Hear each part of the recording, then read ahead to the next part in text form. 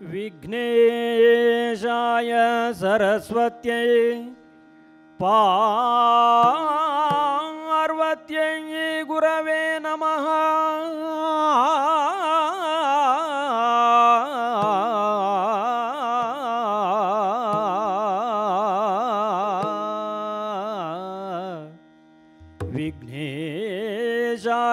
सरस्वत्यै पार्वत्यै गुरवे नमः।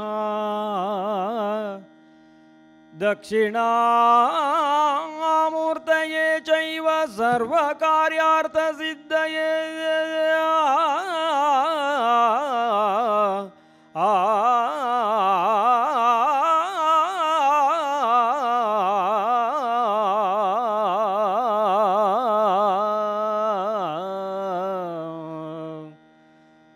दक्षिणामूर्तये चैव सर्वकार्यार्थसिद्धये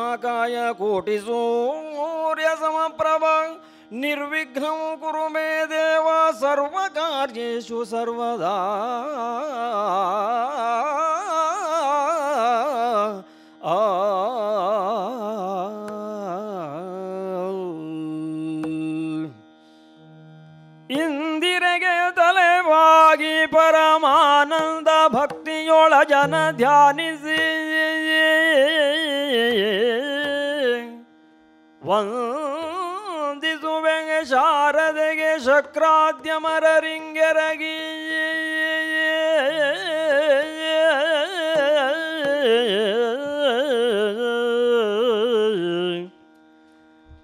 ನಾಂದಿಯೊಳುವರ ವ್ಯಾಸ ಮುನಿಪದ ದ್ವಂದ್ವ ಕಾನತನಾಗಿ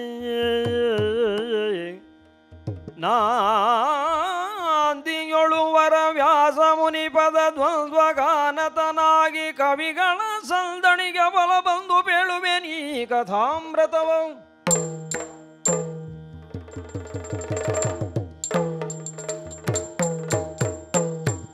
ಬಳಿಕ ಕೇಳೇನ್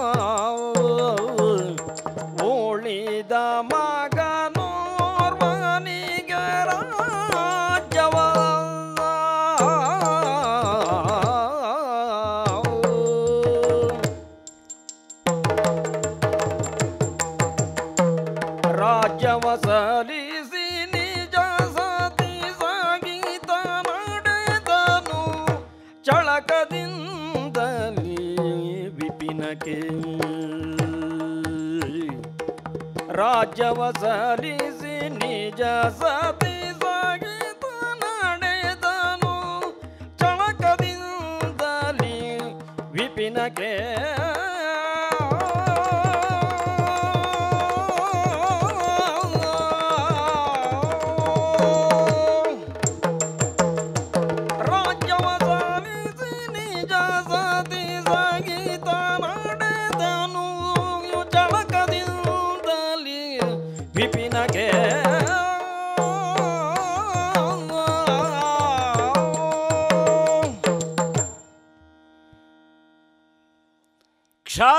ಬಲದ ಬಗ್ಗೆ ನನಗೆ ಜುಗುಪ್ಸೆ ಹುಟ್ಟಿದೆ.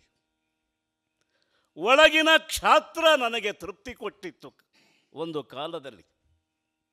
ಆದರೆ ಇದು ಬಲ ಅಲ್ಲ ಅಂತ ಗೊತ್ತಾದಾಗ ನನಗೆ ನಾನೇ ಬೇಡ ಎನ್ನುವ ಸ್ಥಿತಿ ಬಂತಲ್ಲ. ಒಳಗಡೆ ಕಿಡಿ, ಸೇಡು ಕಿಡಿಯಾಗಿದೆ.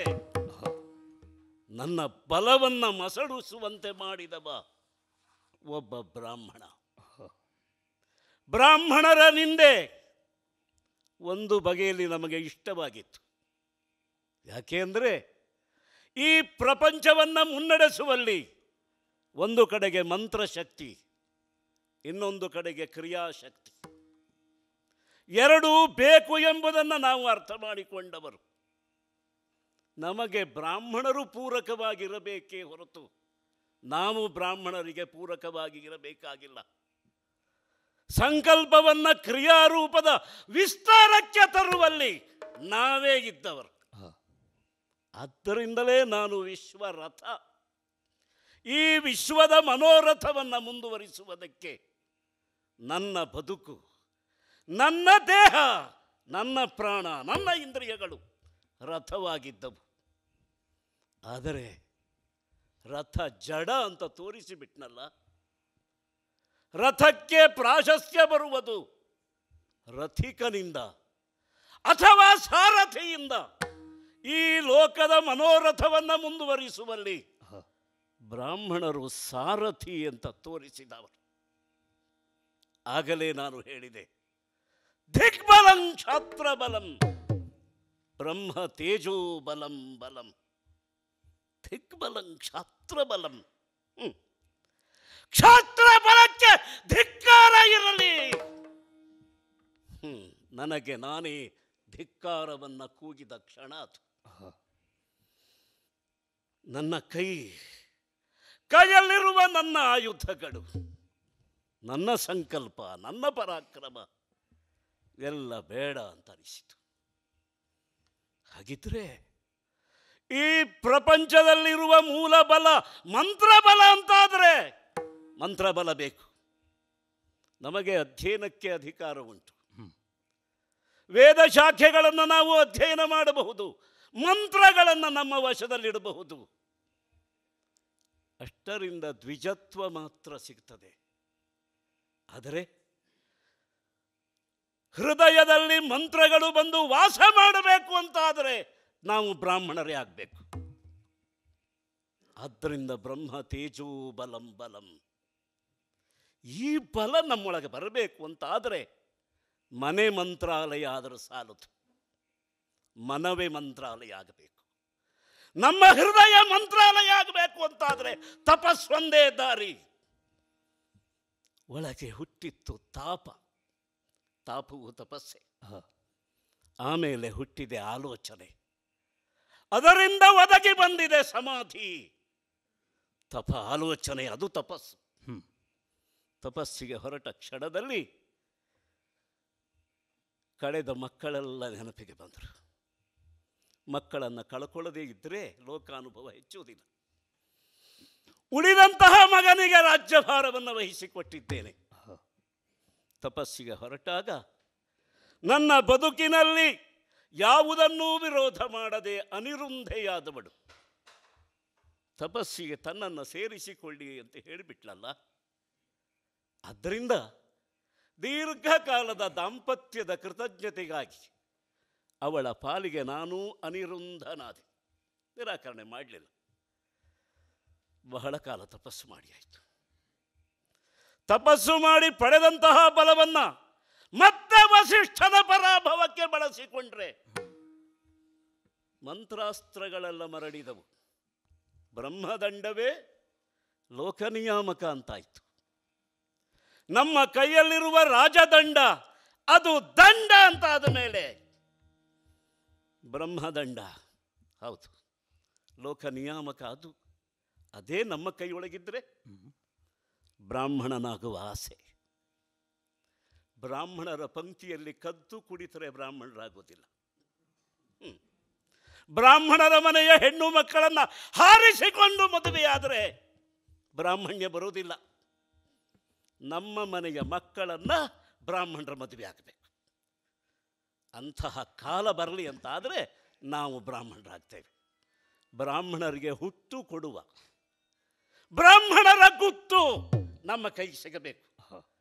ಅದಕ್ಕಾಗಿ ತಪಸ್ಸು ಮಾಡಿ ಮಾಡಿ ಮಾಡಿ ಸದ್ಯಕ್ಕೆ ನಾವು ರಾಜರ್ಷಿಗಳಾಗಿದ್ದೇವೆ. ಒಳಗಿರುವ ರಾಜವರ್ಚಸ್ಸು ತಪಸ್ಸಿನ ಪಾಕದಲ್ಲಿ ಪಕ್ವವಾಗಿ ರಾಜ ಮಾತ್ರ ಅಲ್ಲ ರಾಜ ಋಷಿ ರಾಜರೂ ಹೌದು, ಋಷಿಯೂ ಹೌದು. ಹೊಸ ಹೊಸ ದರ್ಶನಗಳು, ನೋಟಗಳು. ಹೌದು. ಆ ದರ್ಶನದಿಂದಲೇ ನಾನು ಋಷಿಯಾದೆ. ಋಷಿಶ್ಚ ಕಿಲ ದರ್ಶನಾಥ್ ಕಾಣ್ತಾ ಇದ್ದೇನೆ. ಆದರೆ ಕಾಣುವಾಗಲ್ಲ ನನ್ನ ಆಸೆಯೂ ಕಾಣ್ತಾ ಇದೆಯಲ್ಲ? ಆಸೆ ಇಲ್ಲದೆ ಕಂಡರೆ ಅವನು ಬ್ರಹ್ಮರ್ಷಿ, ಯಾರು ಹೇಳಿದರು.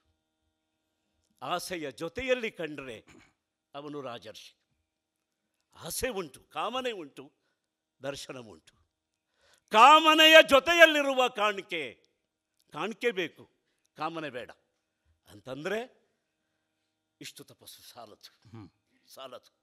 ಇನ್ನೂ ಹೆಚ್ಚಿನ ತಪಸ್ಸು ಮಾಡಬೇಕು ಅಂತಾದರೆ ಕ್ಷೇತ್ರಗಳಲ್ಲಿ ಪುಣ್ಯಕ್ಷೇತ್ರ ಪರಮ ಪಾವನವಾದಂತಹ ಕ್ಷೇತ್ರ ಪುಷ್ಕರ. ಆ ಕ್ಷೇತ್ರದಲ್ಲಿದ್ದು ಪುರುಷ ಪುರುಷೋತ್ತಮನಾಗುವ. ಬ್ರಹ್ಮ ಬ್ರಹ್ಮರ್ಷಿಯಾಗುವ. ರಾಜರ್ಷಿ ಬ್ರಹ್ಮರ್ಷಿಯಾಗುವ.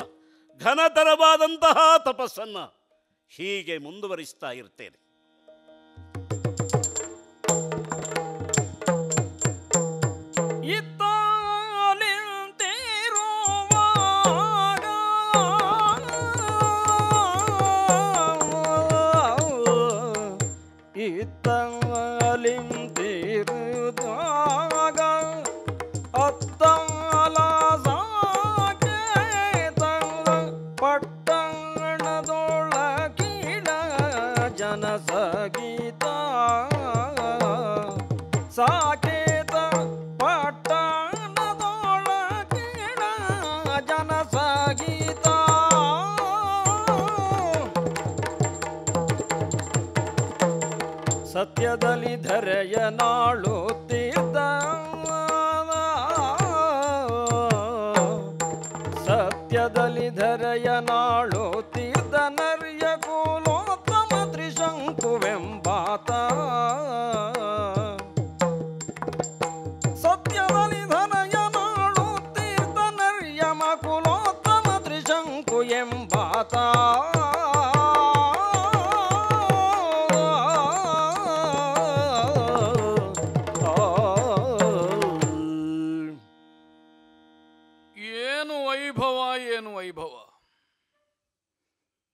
ಕ್ಷಣ ದಿಗ್ಭ್ರಮೆ ಆಗ್ತದೆ. ಇದೆಲ್ಲ ನನಗಾಗಿರುವುದೇ ನಡೆಯುವುದಕ್ಕೆ ರತ್ನಗಂಬಳಿಯ ನಡೆಹಾಸು. ಕುಳ್ಳಿರುವುದಕ್ಕೆ ರತ್ನ ಖಚಿತವಾದಂತಹ ಸಿಂಹಾಸನ. ತಲೆಯ ಮೇಲೆ ಬೆಳಗೊಡೆ. ಒಂದಿನಿತು ಬಿಸಿಯ ಅನುಭವವಾಗದಂತೆ ಚಾಮರ ಬೀಸುವ ಪರಿಚಾರಕರು. ಕಣ್ಣೆತ್ತಿದ್ರೆ ಸಾಕು. ಜಿಯ ಅಪ್ಪಣೆಯಾಗಲಿ ಎನ್ನುವ ಪರಿಚಾರಕರು. ಬಾಯಾರುವುದಕ್ಕಿಲ್ಲ ಹಸಿವೆ ಆಗುವುದಕ್ಕಿಲ್ಲ ಕಿವಿ ತುಂಬ ಮೊಳಗ್ತಾ ಉಂಟು. ತ್ರಿಶಂಕು ಭೂಪತಿಗೆ ಜಯವಾಗಲಿ. ಸತ್ಯವ್ರತ ಮಹಾರಾಜನಿಗೆ ಜಯವಾಗಲಿ. ವಿಷಯ ಅಲ್ಲ. ಇದೆಲ್ಲ ಪ್ರಾರಂಭವಾಗಿ ಇಷ್ಟಾದರೂ ಅಭ್ಯಾಸವಾಗುವುದಕ್ಕೆ ಕೆಲವು ಕಾಲ ಬೇಕಾಯಿತು ನನಗೆ. ಎಲ್ಲಿಯ ಬೀದಿಯ ಬದಿಯಲ್ಲಿ ಸಿಕ್ಕಿದ್ದನ್ನುಂಡು ಹೊಟ್ಟೆ ತುಂಬಿಸಿಕೊಳ್ತಾ ಇದ್ದವನಿಗೆ. ಬಹುರುಚಿಕರವಾದ ಪಕ್ವಾನ್ನವನ್ನು ವ್ಯವಸ್ಥಿತವಾಗಿ ಬಡಿಸಿಟ್ಟು ಹಸ್ತೋದಕ ಕೊಟ್ಟು ಸ್ವೀಕರಿಸಬೇಕು ಅಂತ ಯಾರಾದರೂ ಕೇಳಿದರೆ ಒಂದೆರಡು ದಿವಸ ಕಷ್ಟ ಆಗ್ತದಯ್ಯ ಊಟ ಮಾಡಲಿಕ್ಕೆ. ಯಾವುದನ್ನು ತಿನ್ನಲಿ ಯಾವುದನ್ನು ಬಿಡಲಿ? ಹಳೆಯ ಅಭ್ಯಾಸ ಎಲ್ಲ ಒಟ್ಟಿಗೆ ಬಾಯಿಗೆ ಹಾಕುವ ಅಂತ ಕಾಣೋದು ಆದರೆ ಪದ್ಧತಿ ಹೇಳ್ತದೆ, ಹಾಗೆಲ್ಲ ತಿನ್ನಬಾರದು, ಹೀಗೆ ತಿನ್ನಬೇಕು. ಇದಲ್ವ ಕಷ್ಟ? ಸಿಂಹಾಸನ ಏರುವಾಗ ನನಗದ್ದು ಅದೇ. ಎಲ್ಲಿಯೋ ಹೇಗೋ ಇದ್ದೆ ಸ್ವೇಚ್ಛೆಯಿಂದ. ಕೇಳುವವರಿರಲಿಲ್ಲ ಒಂದು ರೂಢಿಯ ಮಾತುಂಟು. ಅರಸನ ಅಂಕೆ ಇಲ್ಲ, ದೈವದ ಕಾಟ ಇಲ್ಲ. ಹಾಗೆ ಇದ್ದೆ. ಆಗಲಿಕ್ಕೆ ಸೂರ್ಯವಂಶೀಯನಾದ ನಿಬಂಧನ ಮಹಾರಾಜನ ಮಗ. ಸತ್ಯವ್ರತ ಅಂತ ಹುಟ್ಟುವಾಗ ಅಪ್ಪ ಇಟ್ಟ ಹೆಸರು. ಹಾಗಾಗಬೇಕು ಅಂತ ಅಪ್ಪನಿಗಿತ್ತು. ಆದರೆ ಏನು ಮಾಡುವ? ಈ ಮಗನಿಗೆ ಹಾಗಾಗ್ಲಿಕ್ಕೆ ಆಗಲಿಲ್ಲ. ಹಾಗೆ ಅಂತ ಸತ್ಯವ್ರತ ಅನ್ನುವ ಹೆಸರನ್ನು ವ್ಯತ್ಯಾಸ ಮಾಡ್ಲಿಕ್ಕಾಗ್ತದ? ಅಪ್ಪ ಮಾಡ್ಲಿಕ್ಕೆ ಹೋಗಲಿಲ್ಲ. ಅದರಷ್ಟಕ್ಕೆ ಆಯಿತು. ಹಾಗೆ ನೋಡಿದರೆ ನಾನೇ ಮಾಡಿಕೊಂಡೆ ಅಂತ ತಿಳಿಬೇಕು. ಏನು ರಾಜಕುಮಾರನಿಗೆ ಬೇಕಾದ ವಿದ್ಯಾಭ್ಯಾಸ? ಸಕಲ ಶಾಸ್ತ್ರಾಭ್ಯಾಸ ಶಸ್ತ್ರಾಭ್ಯಾಸ. ಸೋತರು ನಮ್ಮ ಗುರುಗಳು. ಪೂರ್ಣ ಪ್ರಮಾಣದಲ್ಲಿ ಕಲಿಸಲಿಕ್ಕೆ ಅವರಿಂದ ಆಗಲಿಲ್ಲ. ನಮ್ಮ ದೋಷ ಏನಲ್ಲ. ಹಾಗಾಗಿ ಆಶ್ರಮ ಬಿಟ್ಟು ಹೊರಗೆ ಬರಬೇಕಾಯ್ತು. ಬರುವುದಲ್ಲಿಗೆ? ಅರಮನೆಗೆ ಅಲ್ವಾ? ಅರಮನೆಯಲ್ಲಿಯೂ ಈ ಪದ್ಧತಿಗಳು ಇದು ನಿನ್ನ ವಂಶ ದೊಡ್ಡದು ನಿನ್ನ ಅಪ್ಪ ಎಷ್ಟು ದೊಡ್ಡವ ನೀನು ಇರಬೇಕಾದ ಹಾಗೆ. ಈ ಉಳಿದವರಿಗೆ ಬೇಕಾದ ಹಾಗೆ ಇರುವುದಾಯ್ತಲ್ಲ ನಮ್ಮ ಬದುಕು. ಅರಮನೆಯು ಅರಮನೆಯೂ ಅಷ್ಟಾಗಿ ಒಗ್ಗಲಿಲ್ಲ. ಹೇಗೆ ಹೇಗೋ ಇದ್ದೇನ ಅದನ್ನೆಲ್ಲ ಬಿಡಿಸಿ ಈಗ ಹೇಳುವುದು ಘನತೆ ಅಲ್ಲ ಅಷ್ಟುಂಟು ನಮ್ಮ ಹಿಂದೆ. ಹಸಿವೆ ಆದರೆ ಹಸಿವೆ ಆದಲ್ಲಿ ಏನು ಕಾಣುತ್ತದೋ ಅದನ್ನು ತಿನ್ನುವುದು. ಸುಖದ ಮಯಕೆ ಆದರೆ ಸುಖದ ಸಾಮಗ್ರಿ ಯಾವುದೋ? ಅದನ್ನು ಪಡೆಯುವುದು. ನಿದ್ದೆ ಬಂದಲ್ಲಿ ಮಲಗುವುದು. ಇದು ನಮ್ಮ ಪ್ರವೃತ್ತಿ ಆಯ್ತು ಯಾಕೆ? ಹೇಳ್ತಾರಲ್ಲ ರಕ್ತದ ಗುಣ ವಂಶದ್ದು ಆನುವಂಶಿಕ. ನಮ್ಮ ಅಪ್ಪನಲ್ಲಿ ಇಲ್ಲ. ನಮ್ಮ ಅಜ್ಜನಲ್ಲಿ. ಹಾಗಾದರೆ ಹಿಂದಿನ ತಲೆಮಾರಿನಲ್ಲಿ ಯಾರಿಗೋ ಇದ್ದಿರಬೇಕು. ಅದೇ ಬಂತು ನಮಗೆ. ಏನೇ ಇದ್ದರೂ ಹೀಗೇ ಸ್ವಚ್ಛಂದದಿಂದ ಬದುಕುತ್ತಾ ಇದ್ದೆ. ನಮ್ಮಪ್ಪನಿಗೆ ಬೇಸರಾಗುವುದಕ್ಕೆ ಬೇಸರ ಆಗುವುದಕ್ಕೆ ಕೆಲವು ಕಾರಣವೂ ಇತ್ತು. ಏನು? ಮದುವೆಯ ವಯಸ್ಸಿಗೆ ಬಂದೆ. ಮದುವೆ ಆಗಲಿಲ್ಲ. ವಯಸ್ಸಿಗೆ ಬಂದಾಗ ಮದುವೆ ಮಾಡದೇ ಇದ್ದರೆ ಪ್ರಕೃತಿ ಸುಮ್ಮನೆ ಇರ್ತದ. ಇಲ್ಲ.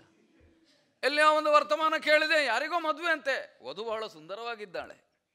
ನಾನು ಹೋದೆ.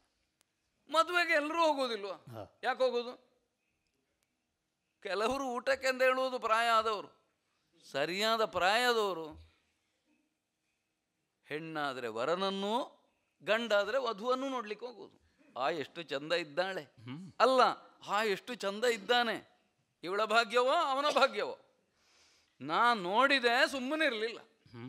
ನನಗೂ ಆಗಬೇಕಿತ್ತಲ್ಲ ಒಂದು ಮದುವೆ ಅಂತ. ಆ ಹೆಣ್ಣನ್ನೇ ಹೇಳ್ಕೊಂಡು ಬಂದೆ. ಗುಲ್ಲಾಯ್ತು ರಾಜಕುಮಾರ ಹೀಗೆ ಮಾಡೋದು ಹಾಗೆ ನೋಡಿದರೆ ರಾಜಕುಮಾರರು ಮಾಡಬೇಕಾದ್ದೇ ಇದು. ಕ್ಷತ್ರಿಯರ ಕ್ರಮ ನಿಮಗೆ ಗೊತ್ತಿಲ್ವ? ನಾನು ಮಾಡಿದ್ರಿಂದ ಅಪರಾಧ ಆಯ್ತದು. ದೂರು ಬಂತು. ಆಸ್ಥಾನದಲ್ಲಿ ವಿಚಾರಣೆ ಆಯ್ತು. ಏನೇ ಹೇಳ್ತೀರಿ ನಮಗೆ ಶಾಸ್ತ್ರ ಕಲಿಸಿದ ವಸಿಷ್ಠರ ಎದುರಿನಲ್ಲಿ ಒಂದು ಪ್ರತಿಪಾದನೆ ಮಾಡಿದ್ದೇನೆ. ಉತ್ತರ ಇಲ್ಲ ಆಚಾರ್ಯರದ್ದು ಮದುವೆ ಆಗ ಆಗುವುದಕ್ಕೆ ಮೊದಲೇ ಆ ಹೆಣ್ಣು ಯಾರ ಹೆಂಡತಿ? ಯಾರಿಗೂ ಬಲ್ಲ ನಾ ತಂದಿದ್ದೇನೆ. ಸಪ್ತಪದಿ ಆಗಿದ ಪಾಣಿಗ್ರಹಣ ಆಗಿದ ಮಾಂಗಲ್ಯ ಬಂಧನ ಆಗಿದೆ ಅಂಥದ್ದು ಆಗಲಿಲ್ಲ ಅಂತ ಹೇಳಿದೆ. ಉತ್ತರ ಕೊಡ್ಲಿಕ್ಕೆ ಆಗಲಿಲ್ಲ ಸಿಟ್ಟು ಬಂತು. ಯಾವಾಗಲೂ ಆಗೋದಾಗೇ ಅಲ್ವ ಅಲ್ವಾ? ಉತ್ತರ ಕೊಡ್ಲಿಕ್ಕೆ ಆಗದಿದ್ದರೆ ಸಿಟ್ಟು ಬರ್ತದೆ. ಸಿಟ್ಟು ಬರೋದು ಯಾಕೆಂದ್ರೆ ಉತ್ತರ ಇಲ್ಲದ ಕಾರಣ. ನನ್ನ ಅಪ್ಪನಿಗೆ ಒಂದು ಕೋಪ ಬಂತು. ಹೊರಗೆ ಹಾಕಿದ. ಅರಮನೆಯಿಂದ. ಒಳ್ಳೆಯದಾಯಿತು ನನಗೆ ಹೇಗೂ ಅರಮನೆಯಲ್ಲಿ ಬಂಧನದ ಹಾಗೆ ಆಗ್ತಿತ್ತು. ಚಿನ್ನದ ಪಂಜರ ಆದ್ರೇನು ಗಿಣಿಗೆ ಬಂಧನವಲ್ವ? ಹೊರಗೆ ಬಂದೆ. ಹೊರಗೆ ಬಂದ ಮೇಲೆ ಬೇಕಾದಾಗಿರ್ಬೋದಲ್ಲ. ನಾನು ಇಷ್ಟು ಮಾಡಿದಾಗ ನಮ್ಮ ಆಚಾರ್ಯರು ಒಂದು ಮಾತು ಆಡಲಿಲ್ಲ. ಇವ ಹೇಳಿದ್ದು ಸರಿ ಅಂತ ಒಪ್ಪಲಿಲ್ಲ. ಶಾಸ್ತ್ರ ಒಪ್ಪುತ್ತದೆ. ಇವರಿಗೆ ಮನಸ್ಸೊಪ್ಪುವುದಿಲ್ಲ ಹಾಗಾಗಿ ಅವರ ಮೇಲೆ ಸಣ್ಣ ಒಂದು ಅಸಮಾಧಾನವೂ ಇತ್ತು ನನಗೆ. ನಮ್ಮಪ್ಪ ಈ ಮಗ ಸರಿಯಿಲ್ಲದ ಕಾರಣ ಇನ್ನೊಬ್ಬ ಮಗನನ್ನು ಪಡೆಯುತ್ತೇನೆ ಅಂತ ತಪ್ಪಸ್ಸಿಗೋದ ರಾಜ್ಯದಲ್ಲಿ ರಾಜ ಇಲ್ಲ. ರಾಜ್ಯ ಅನಾಯಕಮಾದರೆ ಅರಾಜಕಮಾದರೆ ಏನಾಗ್ತದೆ? ಕ್ಷಾಮ ಬರ್ತದೆ ಅಂತ ಹೇಳೋದು ಕೇಳಿದ್ದೇನೆ. ನಮ್ಮ ಅಪ್ಪ ಬಿಟ್ಟು ಹೋದ ಮೇಲೆ ಕ್ಷಾಮ ಬಂತು. ಕ್ಷಾಮ ಬರುವಾಗ ತಿನ್ಲಿಕ್ಕೇನುಂಟು ಎಲ್ಲಿ ಉಂಟು? ಹಸಿಮೆ ಆಗುವಾಗ ಕಂಡದ್ದೆಲ್ಲ ಸಿಗ್ತದೆ. ಹಸಿ ಆಹಾರವಾಗಿ ಕಾಣ್ತದೆ ಹೇಳಿದ್ನಲ್ಲ. ಆಚಾರ್ಯ ವಸಿಷ್ಠರ ಆಶ್ರಮದ ಹತ್ತಿರ ಅವರ ಹೋಮದೇನು ಹುಲ್ಲು ಮೇಯ್ತಾ ಇತ್ತು. ಎಲ್ಲಿ? ಎಲ್ಲಿಂದ ತಂದಿರೋ ಹುಲ್ಲು? ಕೆಲವು ಸಲ ಗುರುಪೀಠಕ್ಕೆಲ್ಲ ಬೇಕಾದ ಭಾಗ್ಯಕ್ಕೆ ಸಿಗ್ತದೆ. ಉಳಿದವರಿಗೆ ಸಿಕ್ಕದೇ ಇದ್ರು. ನೋಡಿದಾಗ ಒಳ್ಳೆ ಪುಷ್ಟವಾದ ಹಸು ಅಲ್ವಾ? ನನಗೆ ಹಸಿವೆ ಅಲ್ವಾ? ಹೊಡೆದು ಕೊಂದೆ ತಿಂದೆ. ಅದು ವಿಶೇಷವಾದ ಒಂದು ಅಪರಾಧವಾಗಿ ಪರಿಗಣಿಸಲ್ಪಟ್ಟಿತು. ಹೊಸ ಹೆಸರಿಟ್ರು ನಮ್ಮ ಗುರುಗಳು. ತ್ರಿಶಂಕು. ಯಾಕೆ? ಶಂಕು ಅಂತಂದ್ರೆ ಪಾಪ ಅಂತೆ. ನಾ ಮೂರು ಮಾಡಿದ್ನಂತೆ. ಒಂದು ಮೊದಲೇ ಮಾಡಿದ್ನಲ್ಲ. ಇದೆರಡು. ಯಾವುದೆರಡು? ಒಂದು ಹೋಮಧೇನುವನ್ನು ಕೊಂದದ್ದು, ತಿಂದದ್ದು. ಎರಡು, ತಿನ್ನಬೇಕಾದ ಕ್ರಮದಲ್ಲಿ ತಿನ್ನದೆ ಬೇರೆ ರೀತಿಯಲ್ಲಿ ತಿಂದದ್ದು. ಏನಿಲ್ಲ ಮೂಗಿನಲ್ಲಿ ತಿಂದದ್ದಲ್ಲ ನಾನು ಬಾಯಿಯಲ್ಲೇ ತಿಂದದ್ದು. ಅದಕ್ಕೆ ಸಂಸ್ಕಾರ ಕೊಟ್ಟು ಕ್ರಮ ಕ್ರಮಾಗತವಾಗಿ ತಿನ್ನಬೇಕಿತ್ತಂತೆ ನಮಗಿನ್ನೂ ಆಗಲಿಕ್ಕೆ ಅಂಥದ್ದುಂಟು. ಇದರ ನಡುವೆ ನನ್ನ ಅಪ್ಪನಿಂದ ಒಂದು ಶಾಪವು ಬಂದಿತ್ತು. ಏನು? ಶ್ವಪಚಾರ ಕೇರಿಯಲ್ಲೇ ಇದ್ದುಕೋ. ಯಾರು ಗೊತ್ತುಂಟು ಶ್ವಪಚಾರ ಅಂದರೆ? ನಾಯಿ ಮಾಂಸ ತಿನ್ನುವವರು. ಇದ್ದೆ ಸುಖವಾಗಿದ್ದೆ. ಒಂದು ದಿನ ಹೇಳಿಕೆ ಬಂತು. ಏನು? ಅರಮನೆಗೆ ಬರಬೇಕು. ಹೇ ಯಾಕೆ ಬರಬೇಕು? ಸಿಂಹಾಸನ ಏರ್ಲಿಕ್ಕೆ ಬರಬೇಕು. ಹೇ ಇದೆಂತದಯ್ಯ ಕೇಳಿದ್ರೆ ಅರಸರಿಲ್ಲದೆ ರಾಜ್ಯ ಅನಾಯಕವಾಗಿದೆ. ಹೋದ ಅರಸರಿಗೆ ಹೊಸ ಮಗ ಸಿಕ್ಕಲಿಲ್ಲ ಅಪ್ಪ ಹಿಂದೆ ಬರಲಿಲ್ಲ. ಮತ್ತೇನು ಮಾಡೋದು? ಕ್ಷಾಮ ಹೋಗಬೇಕಲ್ಲ? ಆಚಾರ್ಯ ವಸಿಷ್ಠರು ನನ್ನ ಮೈ ತೊಳೆದು ತಲೆ ತೊಳೆದು ಶುದ್ಧ ಮಾಡಿ ಸಿಂಹಾಸನದಲ್ಲಿ ಕೂರಿಸಿದ್ರು. ಅಲ್ಲಿಂದ ನೋಡಿ ತೊಡಕದ್ದು. ಏನು ಮಾಡಲಿಕ್ಕೂ ಗೊತ್ತಿಲ್ಲ. ಮನಸ್ಸು ಹೇಳ್ತದೆ ಹೀಗೆ ಮಾಡು. ಬುದ್ಧಿ ಹೇಳ್ತದೆ ನೋಡ್ತಾರೆ ಎಲ್ಲರೂ ಸಿಂಹಾಸನ ಏರಿದ ಮೇಲೆ ಎಷ್ಟು ಕಷ್ಟ ನಮ್ಮಷ್ಟಕ್ಕೆ ನಮಗೆ ನಮಗಿರ್ಲಿಕ್ಕೆ ಉಪಾಯ ಇಲ್ಲ. ಇದಕ್ಕೆ ಒಗ್ಗಿಕೊಳ್ಳಿಕ್ಕೆ ನಮಗಾಗುವುದಿಲ್ಲ. ಆದರೂ ಪರದೆ ಆಚೆ ಜನ ಕಾಣದೇ ಇದ್ದರೆ ಏನಾದರೂ ಮಾಡ್ಬೋದಲ್ಲ. ಮಾಡಿದ್ರು ದಕ್ಕಿಸಿಕೊಳ್ಬೋದಲ್ಲ ಅಧಿಕಾರ ಉಂಟಲ್ಲ ಅಂತ ನಾನಿದ್ದೇನೆ. ಹಾಗಾಗಿ ಉಳಿದವರ ಕಣ್ಣಿಗೆ ಸತ್ಯವ್ರತ ಸತ್ಯದಿಂದ ಆಳುತ್ತಿದ್ದ ಕ್ಷಿತಿಯನ್ನು ಸಾಕು. ಇಷ್ಟಾದರೆ ನಮ್ಮ ಅಪ್ಪನಿಗೆ ಎಲ್ಲಿದ್ದಾರೋ ಗೊತ್ತಿಲ್ಲ. ಅಲ್ಲಿಯೇ ಒಂದು ತೃಪ್ತಿಯಾಗಲಿ ಹೀಗೆ ಆಳ್ತಾ ಇರುವಾಗ ಒಂದು ಪ್ರಕರಣ ಆಯಿತು. ಆಚಾರ್ಯ ವಸಿಷ್ಠರು ನನಗೆ ಸಮೀಪಗತರಾಗಿ ನೀನು ಯಜ್ಞ ಮಾಡಬೇಕು ಅಂತ ಹೇಳಿದರು. ಎಷ್ಟು ಯಜ್ಞ ಗೊತ್ತೋ? ಯಾಗ ಶತಕವನು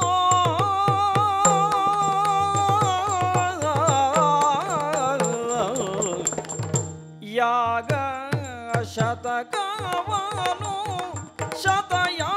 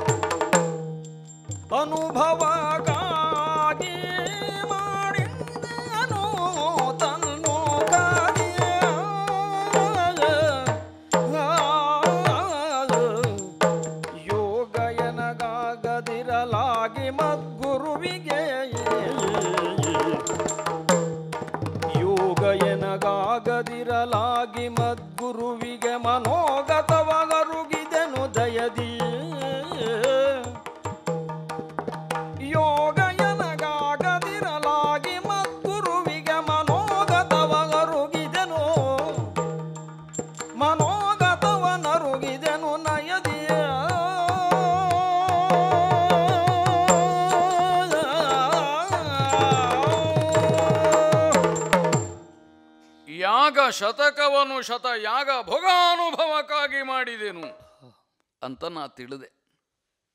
ಕಾರಣ ಏನು? ಗುರುಗಳು ಬಂದು ಅಶ್ವಮೇಧವನ್ನು ಮಾಡು, ಪುಣ್ಯಾತ್ಮನಾಗು. ಮಾಡಿಸಿದರು ಒಂದಲ್ಲ, ಎರಡಲ್ಲ. ತೊಂಬತ್ತೊಂಬತ್ತಲ್ಲ ನೂರು.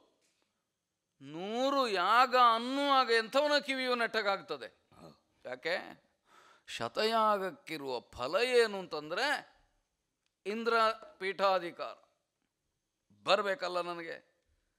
ಎರಡು ಮೂರಾಗುವಾಗಲೇ ಗೊತ್ತಾಗಿದೆ ನನಗೆ ಇಲ್ಲಿಗೆ ನಿಲ್ಲುವುದಿಲ್ಲ ಮುಂದೆ ಹೋಗ್ತದೆ. ಹಾಗಾಗಿ ಆಗಲೇ ಸಂಕಲ್ಪ ಇತ್ತು. ಸ್ವರ್ಗಲೋಕವನ್ನು ಆಳುವ ಒಂದು ಪ್ರಭು ಆಗುವುದಕ್ಕೆ ಅನುಕೂಲ ಉಂಟು ನನಗೆ. ಯಾಕೆ ಭರವಸೆ ಅಂದರೆ ಅಯೋಧ್ಯೆಯ ಸಿಂಹಾಸನಕ್ಕೆ ಏರುವ ಯಾವ ಯೋಗ್ಯತೆಯೂ ಇಲ್ಲದೆ ಎಲ್ಲಿಯೋ ಏನೋ ಆಗಿದ್ದ ನನಗೆ ವಸಿಷ್ಠರೇ ಕರ್ಕೊಂಡು ಬಂದು ಇಲ್ಲಿ ಅಭಿಷೇಕ ಮಾಡ್ತಾರೆ ಅಂತ ಆದರೆ ಇಂಥ ನನಗೆ ಅಲ್ಲಿಯೂ ಆಗಲಿಕ್ಕಿಲ್ವ? ನಾವು ಯೋಚನೆ ಮಾಡುವುದು ಅದನ್ನೇ ತಾನೆ. ಹಾಗೆ ಒಂದು ಭರವಸೆಯನ್ನು ತಳೆದು ಯಾಗವಾಗುವಾಗಲೆಲ್ಲ ನನ್ನ ಅಂತರಂಗದಲ್ಲಿದ್ದದ್ದೊಂದೇ ಶತ ಯಾಗ ಭೋಗಾನುಭವಕ್ಕಾಗಿ ಇದೆಲ್ಲ ಏನು? ಇವತ್ತುಂಟು, ನಾಳೆ ಇಲ್ಲ. ಕಲ್ಪಾಂತದವರೆಗಿರ್ಲಿಕ್ಕಾಗ್ತದಂತೆ ಇಂದ್ರಪೀಠದಲ್ಲಿ.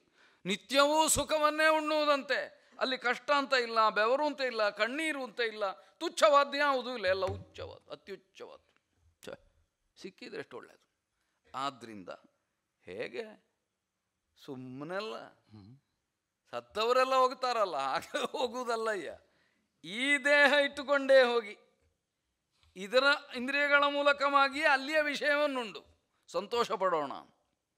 ಮತ್ತು ಸ್ವರ್ಗಕ್ಕೆ ಸುಮ್ಮನೆ ಹೋಗೋದಾದರೆ ಒಂದು ಯಾಗ ಮಾಡಿದರೂ ಸಾಕು. ಆ ಪುಣ್ಯದ ಬಲದಿಂದ ಹೋಗಿ ಅಲ್ಲಿರ್ಲಿಕ್ಕೆ ಆಗ್ತದೆ. ಎಷ್ಟು ದಿನ ತಂದದ್ದೆಷ್ಟೋ ಅದು ವೆಚ್ಚವಾಗುವಲ್ಲಿವರೆಗೆ. ಕ್ಷೀಣ ಪುಣ್ಯನಾದ ಮೇಲೆ ಮತ್ತೆ ಹೋಗು ಕೆಳಗೆ. ನಮಗೆ ಅದು ಬೇಡ. ಒಮ್ಮೆ ಹೋದ ಮೇಲೆ ಹಿಂದೆ ಬರಲಿಕ್ಕೆ ನಮಗೆ ಅಪೇಕ್ಷೆಯೂ ಇಲ್ಲ ಆಗಲೂ ಕೊಡೋದು.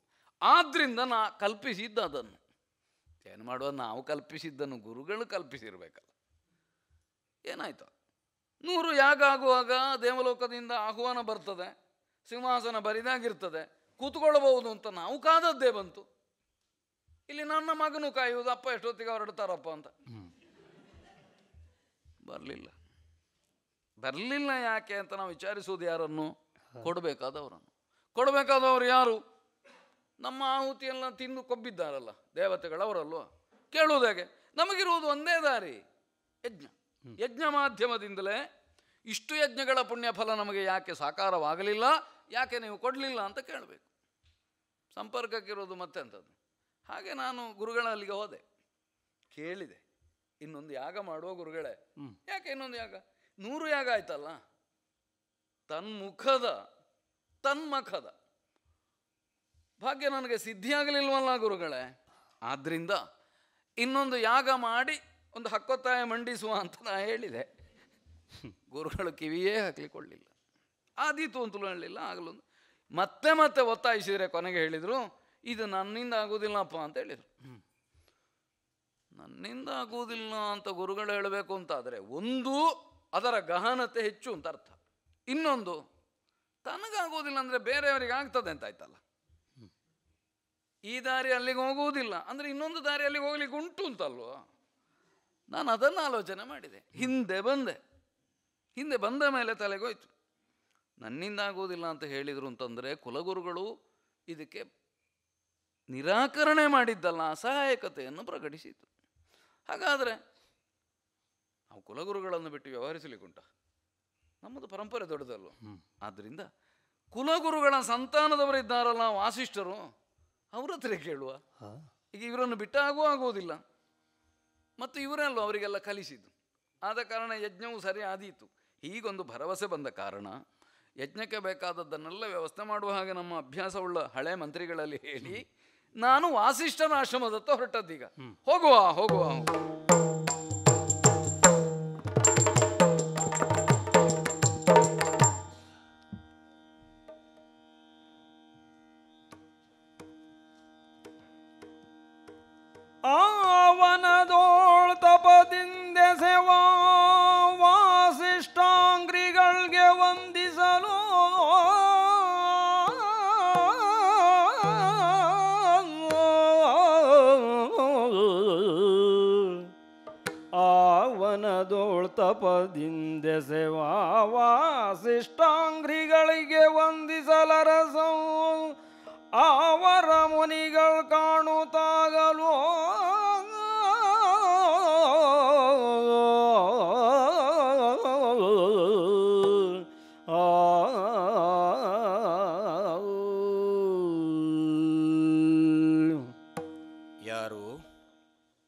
ಸ್ವಾಮಿ ಆಚಾರ್ಯ ಪುತ್ರರು.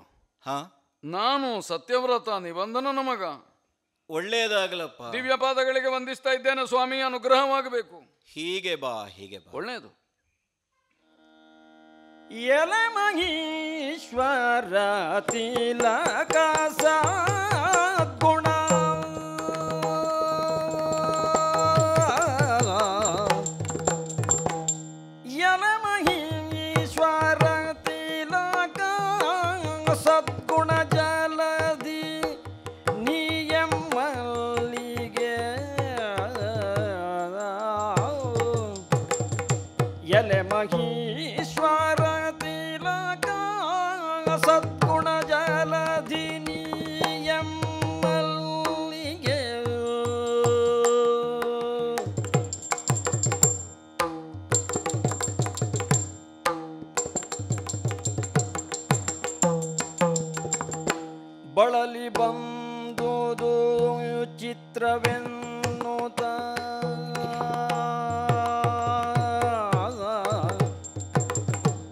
ಬಳಲಿ ಬಂದುದು ತಂಗು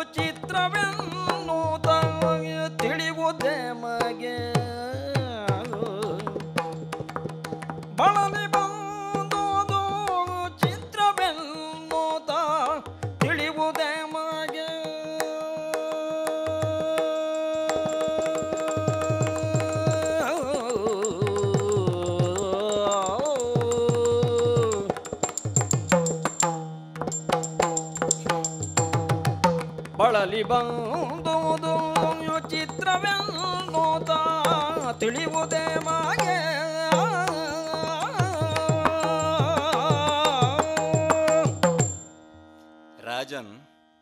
ಮಹರ್ಷಿಗಳೇ ಈ ಕೆಲವು ಬಾರಿ ನಿರೀಕ್ಷೆಯೇ ಇಲ್ಲದಿದ್ದರೆ ಹೀಗೆ ಆಗೋದು ಹೇಗಾಯಿತು ಏನಾಯಿತು?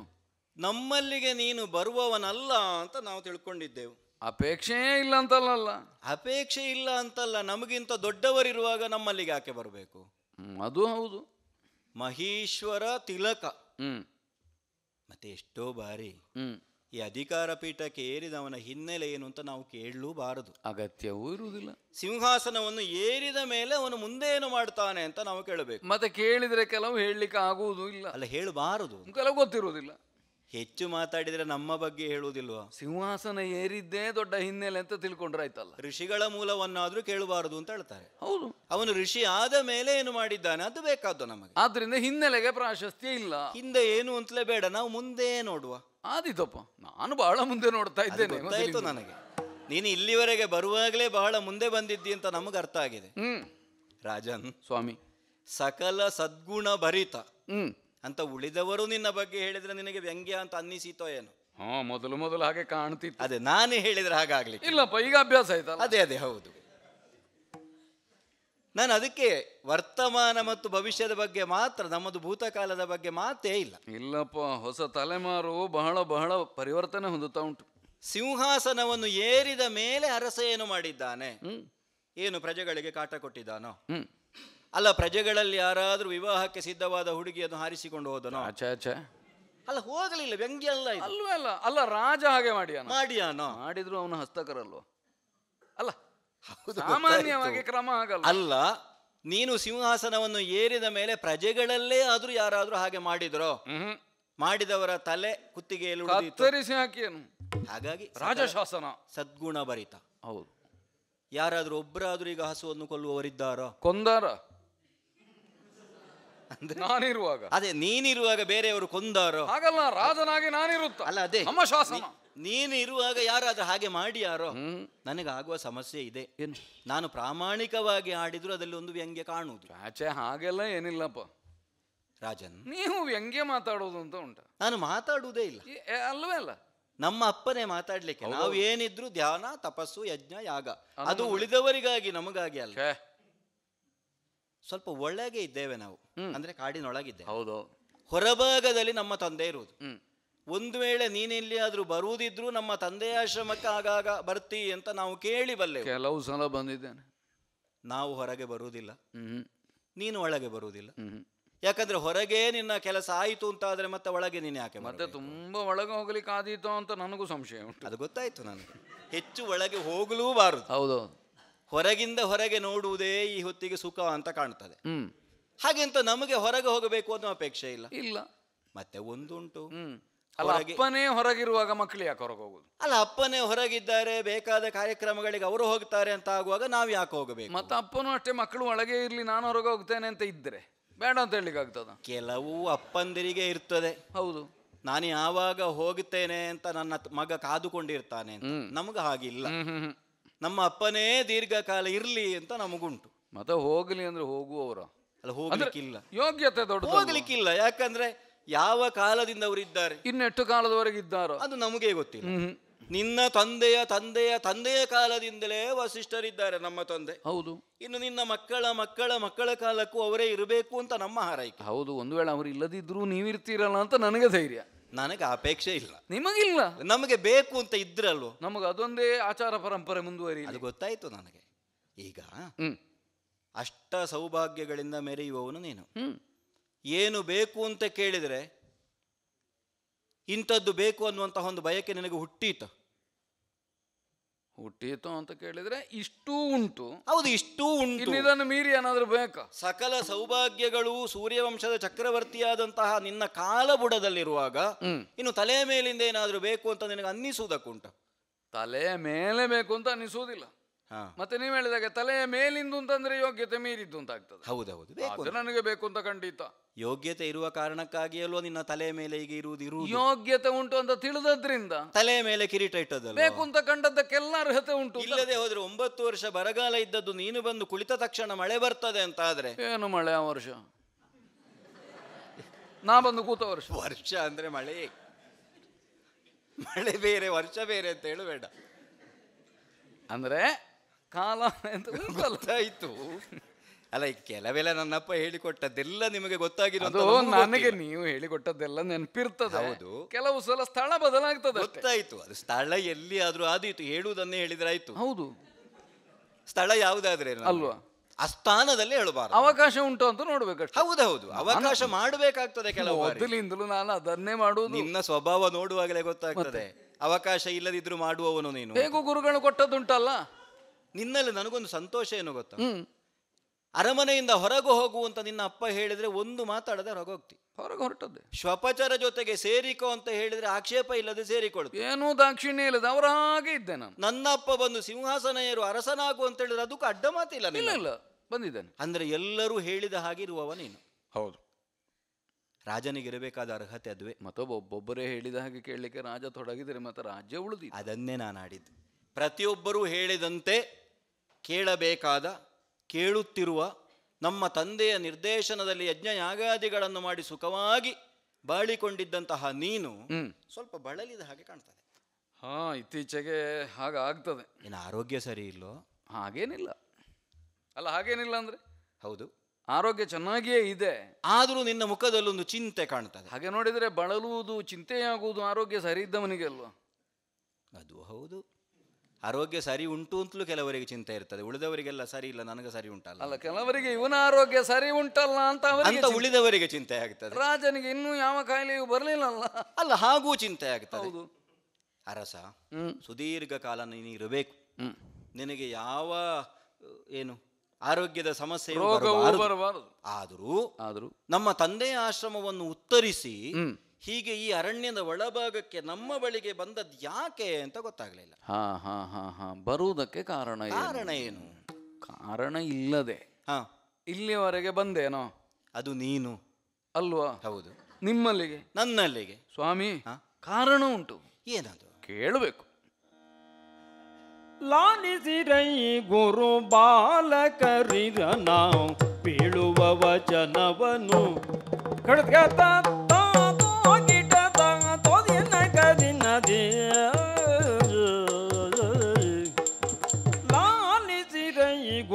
ಬಾಲಕರಿರ ನಾವು ಬೀಳುವ ವಚನವನು.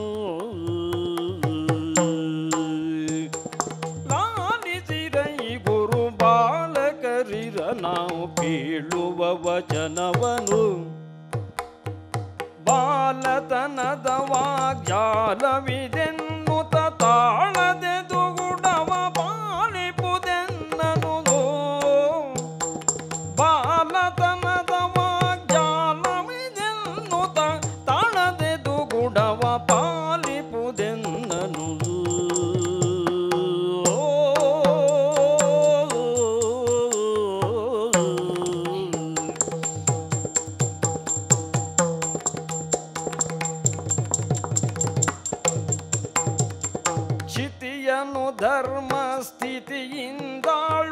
ಸ್ಥಿತಿಯಿಂದಾಳುವುದ ಪ್ರತಿ ನೃಪರಿಗೆ ವಿಗಿತ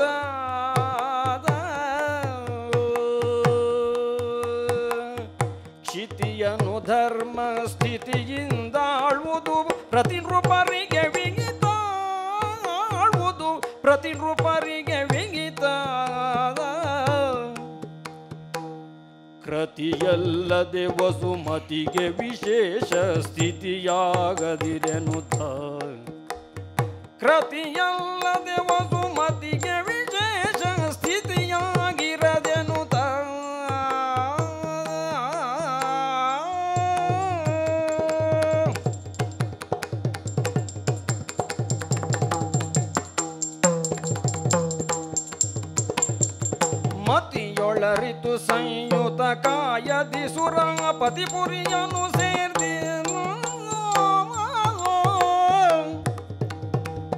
ಮತಿಯೊಳರಿತು ಸಂಯುತ ಕಾಯದಿ ಸುರಪತಿ ಪುರಿಯನು ಸೇರ್ದತಿ ಶಯನೆಂ ಅತಿ ಹರುಷದಿ ಮಗ ಶತವೆಸಗಿದೆ, ನಾ ಕ್ರತುಗಳೆನಗೆ ಪರಗತಿ ಒದಲಿಲ್ಲ.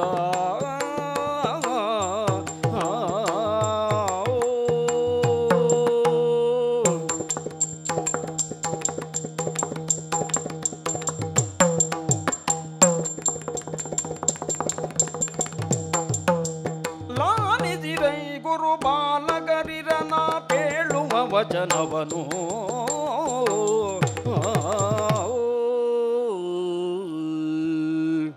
ಸ್ವಾಮಿ ಅರಸ. ನಿಮ್ಮಲ್ಲೇ ಮಾತಾಡಬೇಕು. ನನ್ನ ಮನೋಗತವನ್ನು ನಿಮಗಾರುಹಿ. ಹ್ಮ್. ಅಭಿಲಾಷೆ ಸಿದ್ಧಿಯನ್ನು ಹೊಂದಬೇಕು. ನಮ್ಮಲ್ಲಿ. ಈ ದೃಷ್ಟಿಯಿಂದಲೇ ಬಂದವ. ಓಹೋ. ನೀವು ಉತ್ತರಿಸಿ ಬಂದ್ರಲ್ಲ ಅಂತ ಬಂದಿಯಲ್ಲ ಅಂತ ಹೇಳಿದ್ರಿ.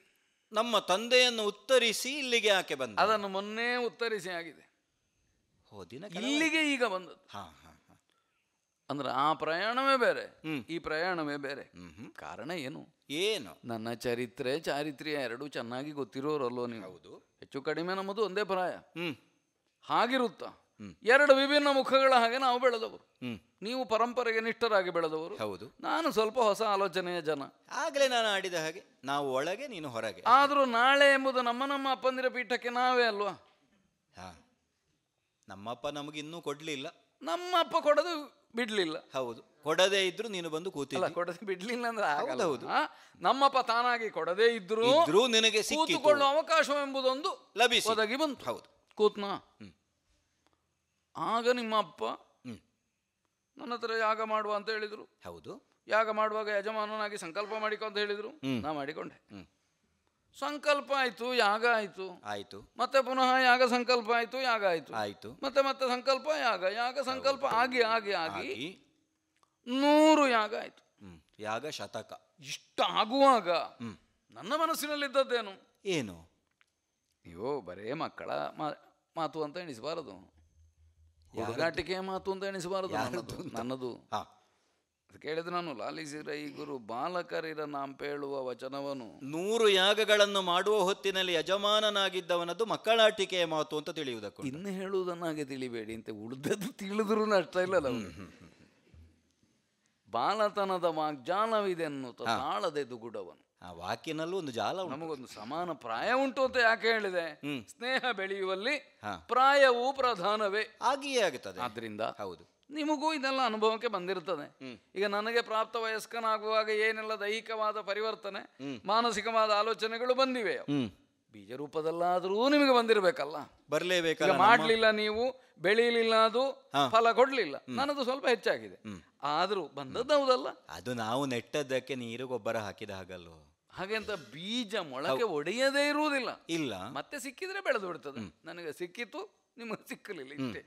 ಅಲ್ಲ ನಾವು ಅಪೇಕ್ಷಿಸಲಿಲ್ಲ ಅದರ ಸಮಾನತೆ ಎಂಬುದಲ್ಲಿ ಸರಿ. ಮನೋಧರ್ಮದಲ್ಲಿ ಒಂದು ಎಲ್ಲಿಯೋ ಒಂದು ಅಂಶ ಉಂಟು ಅಂತ ಅಷ್ಟೇ. ಹಾಗಾಗಿ ಯಥಾರ್ಥ ಅಂತ ನೀವು ಕೇಳಬೇಕು. ನನಗೆ ಆಲೋಚನೆ ಬಂದದ್ದೇನು ಗೊತ್ತುಂಟು? ಏನು? ಕ್ಷಿತಿಯನು ಧರ್ಮ ಸ್ಥಿತಿಯಿಂದಾಳುವುದು ಪ್ರತಿ ನೃಪರಿಗೆ ವಿಹಿತ. ಸರಿ. ವಸುಮತಿಗೊಂದೊಂದು ವಿಶೇಷ ಸ್ಥಿತಿಯೋ? ಎಲ್ಲರೂ ಮಾಡಿದ್ದದನ್ನೆಲ್ಲ. ಅವನಪ್ಪ ಅವನಪ್ಪ. ಹೌದು. ಅಲ್ಲಿ ಇಕ್ಷ್ವಾಕುವಿನಿಂದಲೂ ಪೂರ್ವದಿಂದ ನಡ್ಕೊಂಡು ಬಂದದ್ದೇನುಂಟು? ಏನುಂಟು ಅದೆಲ್ಲ ಇಷ್ಟೇ. ಸಿಂಹಾಸನವನ್ನು ಏರಿದರು. ಧಾರ್ಮಿಕವಾಗಿ ಪ್ರಜೆಗಳನ್ನು ಪಾಲಿಸಿದ್ರು. ನಮ್ಮ ಆಳ್ವಿಕೆಯಲ್ಲಿ ಯಾರಿಗೆ ಯಾವುದಕ್ಕೂ ಕೊರತೆ ಇಲ್ಲ. ಒಡ್ಡೊಲಗ ಮುಗೀತು ಒಳಗೋದ್ರು. ಸರಿ. ಆಮೇಲೆ ಹೊಸ ರಾಜ ಬಂದ ಹೋದ್ರು ಅಂದ್ರೆ ಎಲ್ಲಿಗೋ ಬೇಕಾದಲ್ಲಿಗೆ ಹೋದ್ರವರು ಕಾಲವಶನಾದ ಹೌದು. ಕಾಲವಶನಾದ ಇನ್ನೊಬ್ಬ ಬಂದ. ಅವನು ಆಳಿದ ಅದನ್ನೇ ಹೇಳಿದ ಮತ್ತೆ ಒಳಗೋದ. ಕಾಲಕ್ಕೆ ವಶನ ಏನು ಸಾಧನೆ ಆಯ್ತಪ್ಪ ಸೂರ್ಯವಂಶೀಯ ರಾಜರಲ್ಲಿ? ಇಷ್ಟರವರೆಗೆ ಒಳ್ಳೆ ಆಡಳಿತ ಕೊಟ್ಟದ್ದೇ ಸಾಧನೆ ಅಲ್ವೋ? ಅದರಲ್ಲಿ ಏನುಂಟು ಅಂತ ಹೇಳುವುದು ಬಂದವರೆಲ್ಲ ಮಾಡ್ಲಿಲ್ವ? ಹಾ ಹಾ ಹಾ. ಈಗ ನನ್ನಲ್ಲಿ ನೂರು ಯಜ್ಞ ಮಾಡಿಸುವಾಗ ಸರಿ. ಈಗ ನಮ್ಮ ಅಪ್ಪ ಯಾಕೆ ನೂರು ಯಜ್ಞ ಮಾಡಲಿಲ್ಲ? ಹಾ. ನನಗೆ ಆಲೋಚನೆ ಆದದ್ದು. ಹ್ಮ್. ಮಾಡಬೇಕಾದ್ರೂ ಅರ್ಹತೆ ಬೇಕು ಅಂತ ಆದ್ರೆ ಹ್ಮ್. ನನ್ನಲ್ಲಿ ಉಂಟು ಅಂತಾಯ್ತಲ್ಲ ಹ್ಮ್. ನಮ್ಮ ಅಪ್ಪನಲ್ಲಿ ಇಲ್ಲ ಅಂತ ಹೇಳುವುದಲ್ಲ ನಾನು. ಸರಿ. ಅಪ್ಪ. ಕೆಲವು ಬಾರಿ ಅರ್ಹತೆ ಇದ್ರೂ ಯೋಗ ಬೇಕಲ್ಲ? ಅಲ್ವಾ? ಹೌದೌದು. ಇದು ನಮಗೆ ತಿರುಗಿ ಬರ್ಲಿಕ್ಕಿಲ್ಲಲ್ಲ? ಗೊತ್ತಿಲ್ಲ. ನೀನು ತುಂಬಾ ಮುಂದಾಲೋಚನೆ ಮಾಡಿ ಮಾತಾಡಬೇಡ ನನ್ನಲ್ಲಿ ಮಾತಾಡುವಾಗ. ಹೇಳಿದೆ ಅಂದ್ರೆ ಒಂದಕ್ಕಾಗುವಾಗಲೇ ನೂರನ್ನ ಆಲೋಚನೆ ಮಾಡಿದ ನನಗೆ. ಹಾ. ಮುಂದೆ ಆಲೋಚನೆ ಮಾಡೋದು ಅಭ್ಯಾಸ ಆಗಿ ಹೋಗಿದೆ. ಆದೀತು ಆದೀತು. ಸ್ವಾಮಿ ಹಾಗಾದ್ರೆ ಏನೋ ವಿಶೇಷವಾದ್ದು ಸಾಧಿಸಬೇಕು. ಸರಿ. ಇದು ನನಗೆ ಹಂಬಲ ಹುಟ್ಟಿದೆ ಅಂತ ನಮ್ಮ ಅಪ್ಪನಿಗಿತ್ತೋ ಏನೋ ನಿನ್ನ ಮುಖೇನವಾಗಿ ಸಾಧಿಸಬೇಕು. ಇಲ್ಲದಿದ್ದರೆ ನೂರು ಯಜ್ಞಾಕೆ ಮಾಡಿಸ್ತಾರೆ. ಸಂಕಲ್ಪದಲ್ಲಿತ್ತು. ಹಾ. ನೂರನೇ ಯಜ್ಞ ಪೂರ್ಣ ಆಗುವಾಗ. ಶತಕ್ರತು ಅಂತ ನಾನು ಹೌದು ಹೌದು. ಶತಕ್ರತು ಅಂತ ಇನ್ನೊಬ್ಬನಿಗೆ ಹೆಸರುಂಟಲ್ಲ ಉಂಟಲ್ಲ? ಉಂಟು. ಓ, ಅದೆಂತದ್ದು ನೀವು ಅದೇ ತಲೆಯಿಂದ ಮೇಲಿರುವವನಿಗೆ. ಹೌದು. ಹೌದು. ಅವನಿಗೂ ನನಗೂ ಹೆಸರಿನಲ್ಲಿ ಮಾತ್ರ ಸಾಮ್ಯ ಅಲ್ಲ ಪುಣ್ಯದಲ್ಲಿಯೂ ಸಾಮ್ಯ ಉಂಟು. ಹಾ. ಹಾಗಾದ್ರೆ ನೂರು ಯಾಗ ಆಗುವಾಗ ನಾನು ಇಂದ್ರ ಆಗಬೇಕಾ ಬೇಡ ಸರಿ ಆಸಕ್ತಿ ಉಂಟು ಈ ವಿಷಯದಲ್ಲಿ. ಅದು ಒಂದೇ ಇರೋದು ನಮಗೆ. ಹೌದು ಹೌದು. ಸ್ವಾಮಿ ಹಾಗಾದ್ರೆ ನೂರನೇ ತನ ಮಾಡುವಾಗ ನಮಗೆ ಇಂದ್ರಪೀಠ ಬರಲಿಲ್ಲಲ್ಲ ಬರಲಿಲ್ಲಲ್ಲ ನಾ ಈಗ. ನೂರು ಯಜ್ಞ ಮಾಡಿದ ತಕ್ಷಣ ನಿನಗೆ ಇಂದ್ರಪೀಠ ಬರಬೇಕು ಪೂರ್ಣಾಹುತಿ ಆಗುವಾಗಲೇ ನಿರೀಕ್ಷೆ ನನಗೆ ಈಗ ಬಂದಿತ್ತು ಈಗ ಇದು ಬಂದಿತ್ತು ಪೀಠವೇ ಸ್ವರ್ಗದಿಂದ ಇಲ್ಲಿಗೆ ಬರಬೇಕು ಅಂತಲ್ಲ ಅಲ್ಲ. ಅದು ಅವರ ಕ್ರಮ ಹೇಗುಂಟು ಹಾಗೆ ಅಭ್ಯಂತರ ಇಲ್ಲ ಹೇಗೆ ಬಂದಿಲ್ಲ ಆದೀತು ಅಂತ ನಿರೀಕ್ಷೆ ಮಾಡಿದ್ರೆ ಸರಿ ಅಲ್ಲ ಹಾಗಲ್ಲ ಒಂದು ಪೀಠ ಹೀಗೂ ಹೇಗೂ ಉಂಟು ನಿನಗೀಗ ಇಲ್ಲಿ. ಉಂಟು ಇದು ಸ್ವಲ್ಪ ಸಣ್ಣದಾಗ್ತಾ ಉಂಟು ನಮಗೆ. ಇಂದ್ರ ಪೀಠವೇ? ನರರಿಗೆ ಇಂದ್ರ ಅಂತ ಅಷ್ಟೇ. ಹೌದು ದೇವೇಂದ್ರನಷ್ಟಲ್ಲ ಅಲ್ಲ. ಅಷ್ಟಲ್ಲ. ಹಾಗಾಗಿ ಹ್ಮ್. ನಿರೀಕ್ಷೆ ಮಾಡಿದ್ದು ಬರಲಿಲ್ಲ. ಹಾ. ಯಾಕೆ ಬರಲಿಲ್ಲ ಯಾಕೆ ಬರಲಿಲ್ಲ ಯಾಕೆ ಬರಲಿಲ್ಲ ಅಂತ ಹ್ಮ್. ಕೇಳಿದೆ. ಯಾರಲ್ಲಿ? ನಿಮ್ಮ ಅಪ್ಪಯ್ಯನಲ್ಲಿ. ಹಾ ಅದಕ್ಕೆ? ನೊಂದು ಬಳಿಕ ವಿಧಿ ನಂದನ ನೊಡನಿನ್ನೊಂದು ಮಹಾಧ್ವರವಾ. ನೊಂದು ಬಳಿಕ ವಿಧಿ ನಂದನ ನೊಡನಿನ್ನೊಂದು ಮಹಾಧ್ವರವ. ಇನ್ನೊಂದು ಮಾಧ್ವರವಾ ಚಂದದೊಳೊಲಿದೆನ್ನಿಂದಲಿ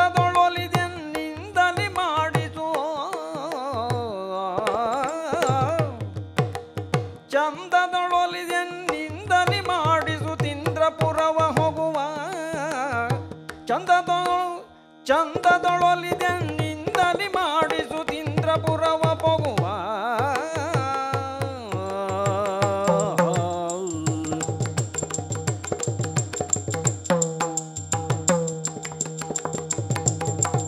ಅಂದವ ತೋರೆನಗೆಂದರೆ ಗುರುಸುತ ನಿನ್ನಿಂದಾಗುವುದೆಂದನ ಇಲ್ಲಿಗೆ. ಅಂದವ ತೋರೆನಗೆಂದರೆ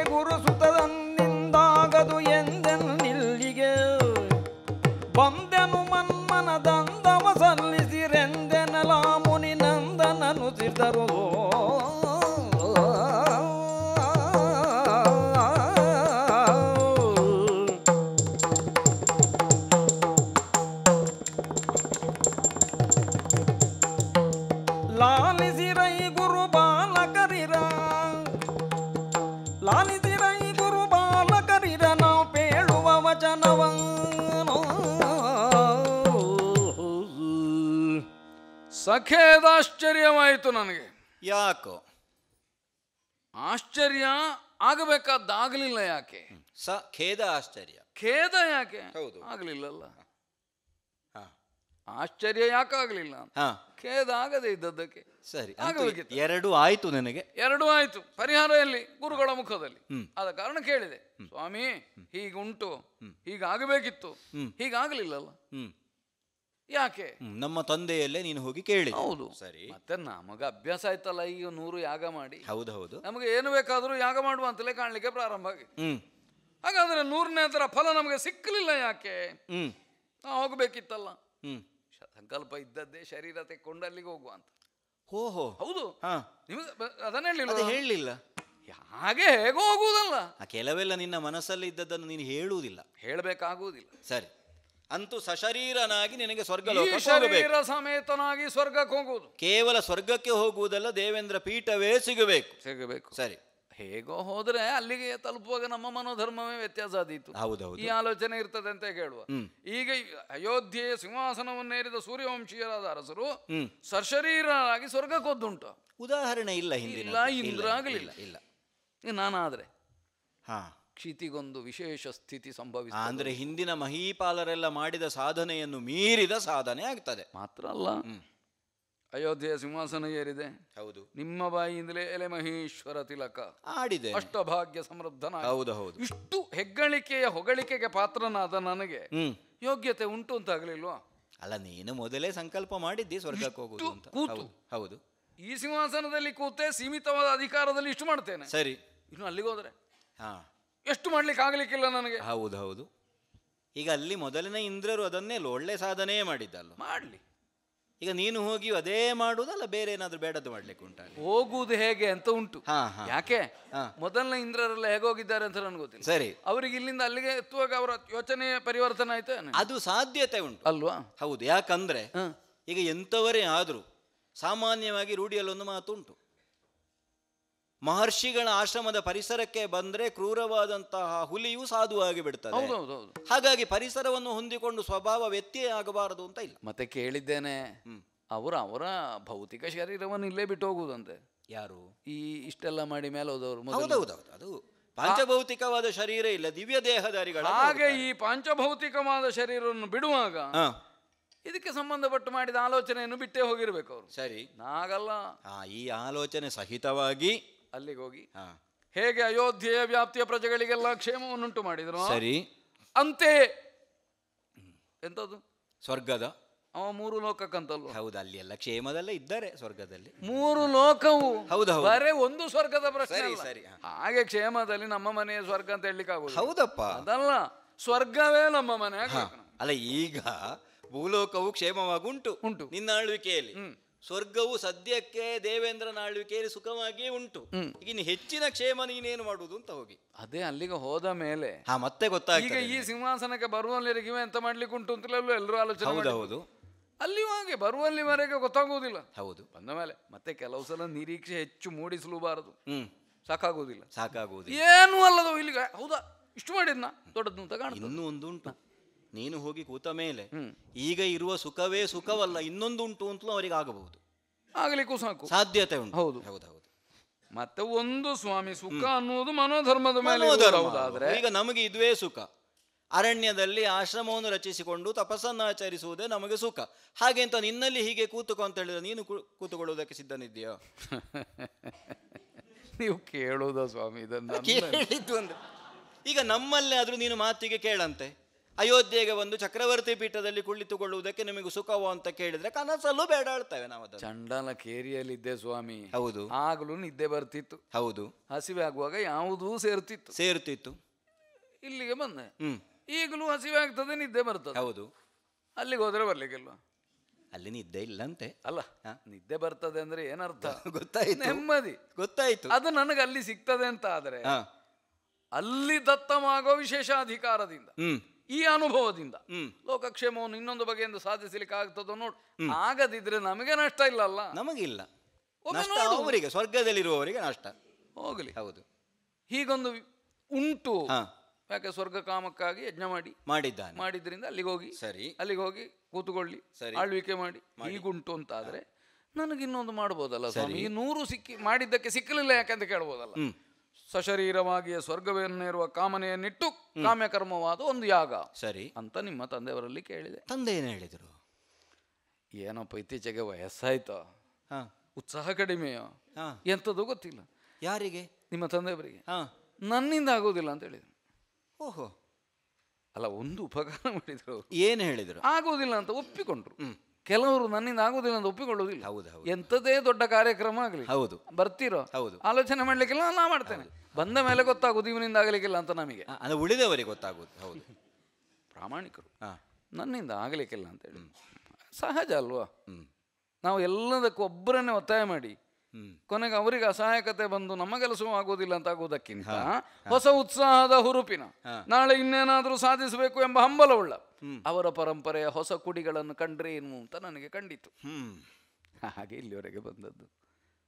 ಈಗ ನಾವೊಂದು ನೂರನೇ ನೂರ ಒಂದನೆಯ ಒಂದು ಯಜ್ಞ ಮಾಡಿ. ಮಾಡಿ. ನಾನು ಸ್ವರ್ಗಕ್ಕೆ ಹೋದರೆ ಹೋದರೆ? ಬರುವುದಿದ್ರೆ ನಿಮ್ಮ ತಂದೆಯವರನ್ನೇ ಕರ್ಕೊಂಡು ಹೋಗ್ತೇನೆ ಬೃಹಸ್ಪತಿಯನ್ನು ಕೆಳಗಿಳಿಸ್ತೇನೆ. ಹಾ ಹಾ. ಇಲ್ಲ. ಈಗ ತಂದೆ ಅಲ್ಲಿಗೂ ಬರುವುದಿಲ್ಲ ಹೇಳಿದರೆ? ನೀವು ಬನ್ನಿ. ನನ್ನಲ್ಲಿ ಅಥವಾ ನಮ್ಮಲ್ಲಿ ಬಂದು ನೀನು ಕೇಳುವುದಲ್ವ? ಹೌದು. ಈಗ ನಾವು ಆದೀತು ಅಂತ ಹೇಳ್ತೇವೆ ಅಂತ ನೀನು ಆಲೋಚನೆ ಮಾಡಿದೀಯ? ಇಲ್ಲದಿದ್ರೆ ಬಂದೇನೋ? ಆಗ್ಲಿಕ್ಕಿಲ್ಲ. ಆಗದಾಗದಾಗದು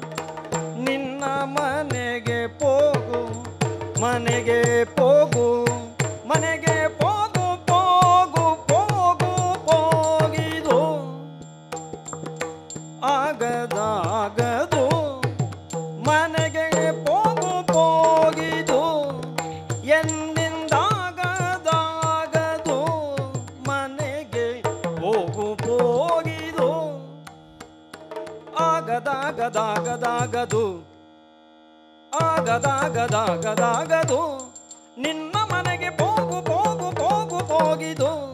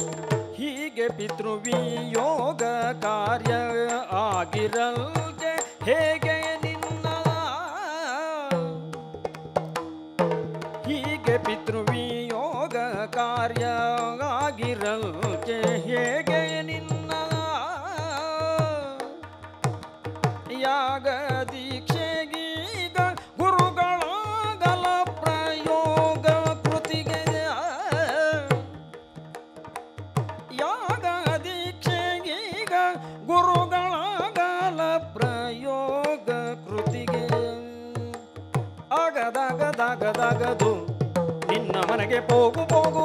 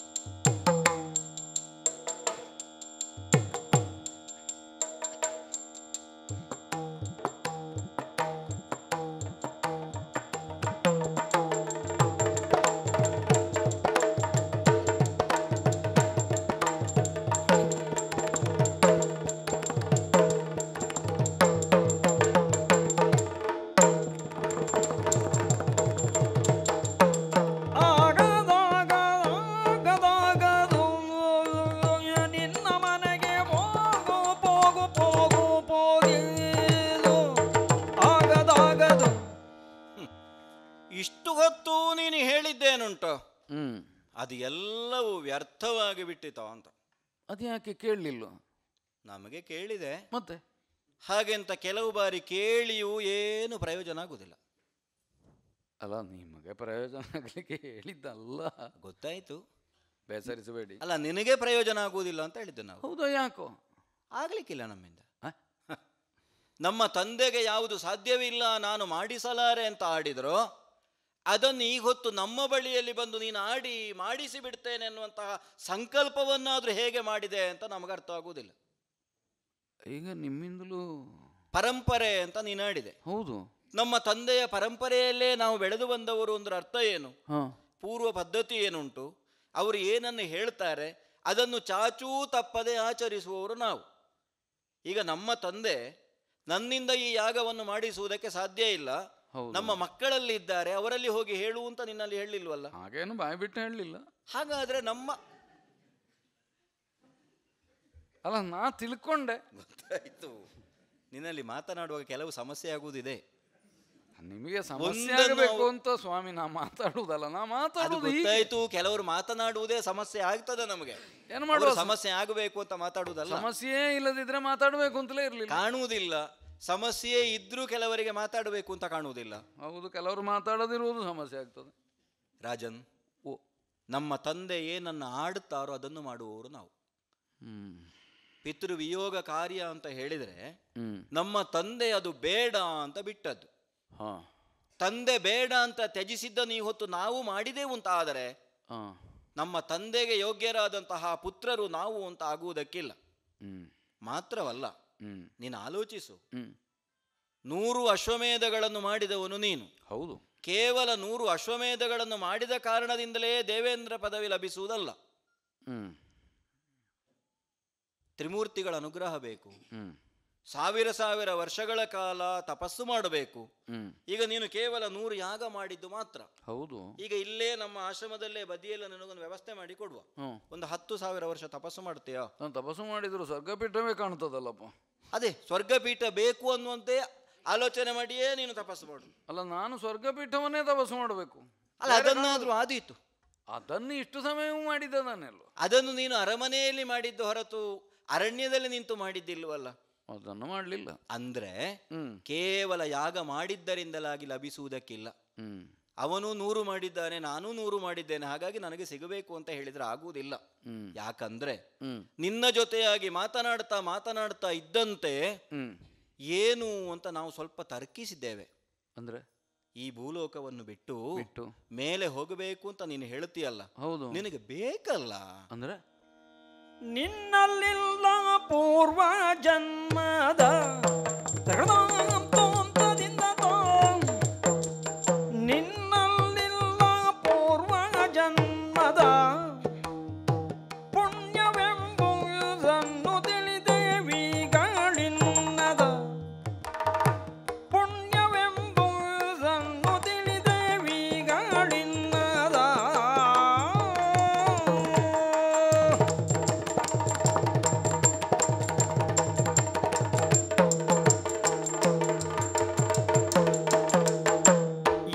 ಎನ್ನಲೇಕೆ ನೂರು ಯಜ್ಞವನ್ನು ಗೈದೊಡೇನು ನಾಗ.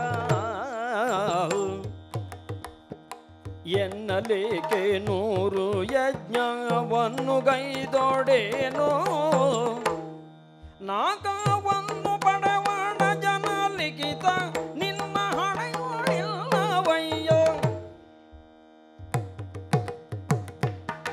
ನಾಕವನ್ನು ಪಡೆವ ಅಜನ ಲಿಖಿತ ನಿನ್ನ ಹಣೆಯೊಳಿಲ್ಲವಯ್ಯ. ಆಗದಾಗದಾಗದಾಗದೋ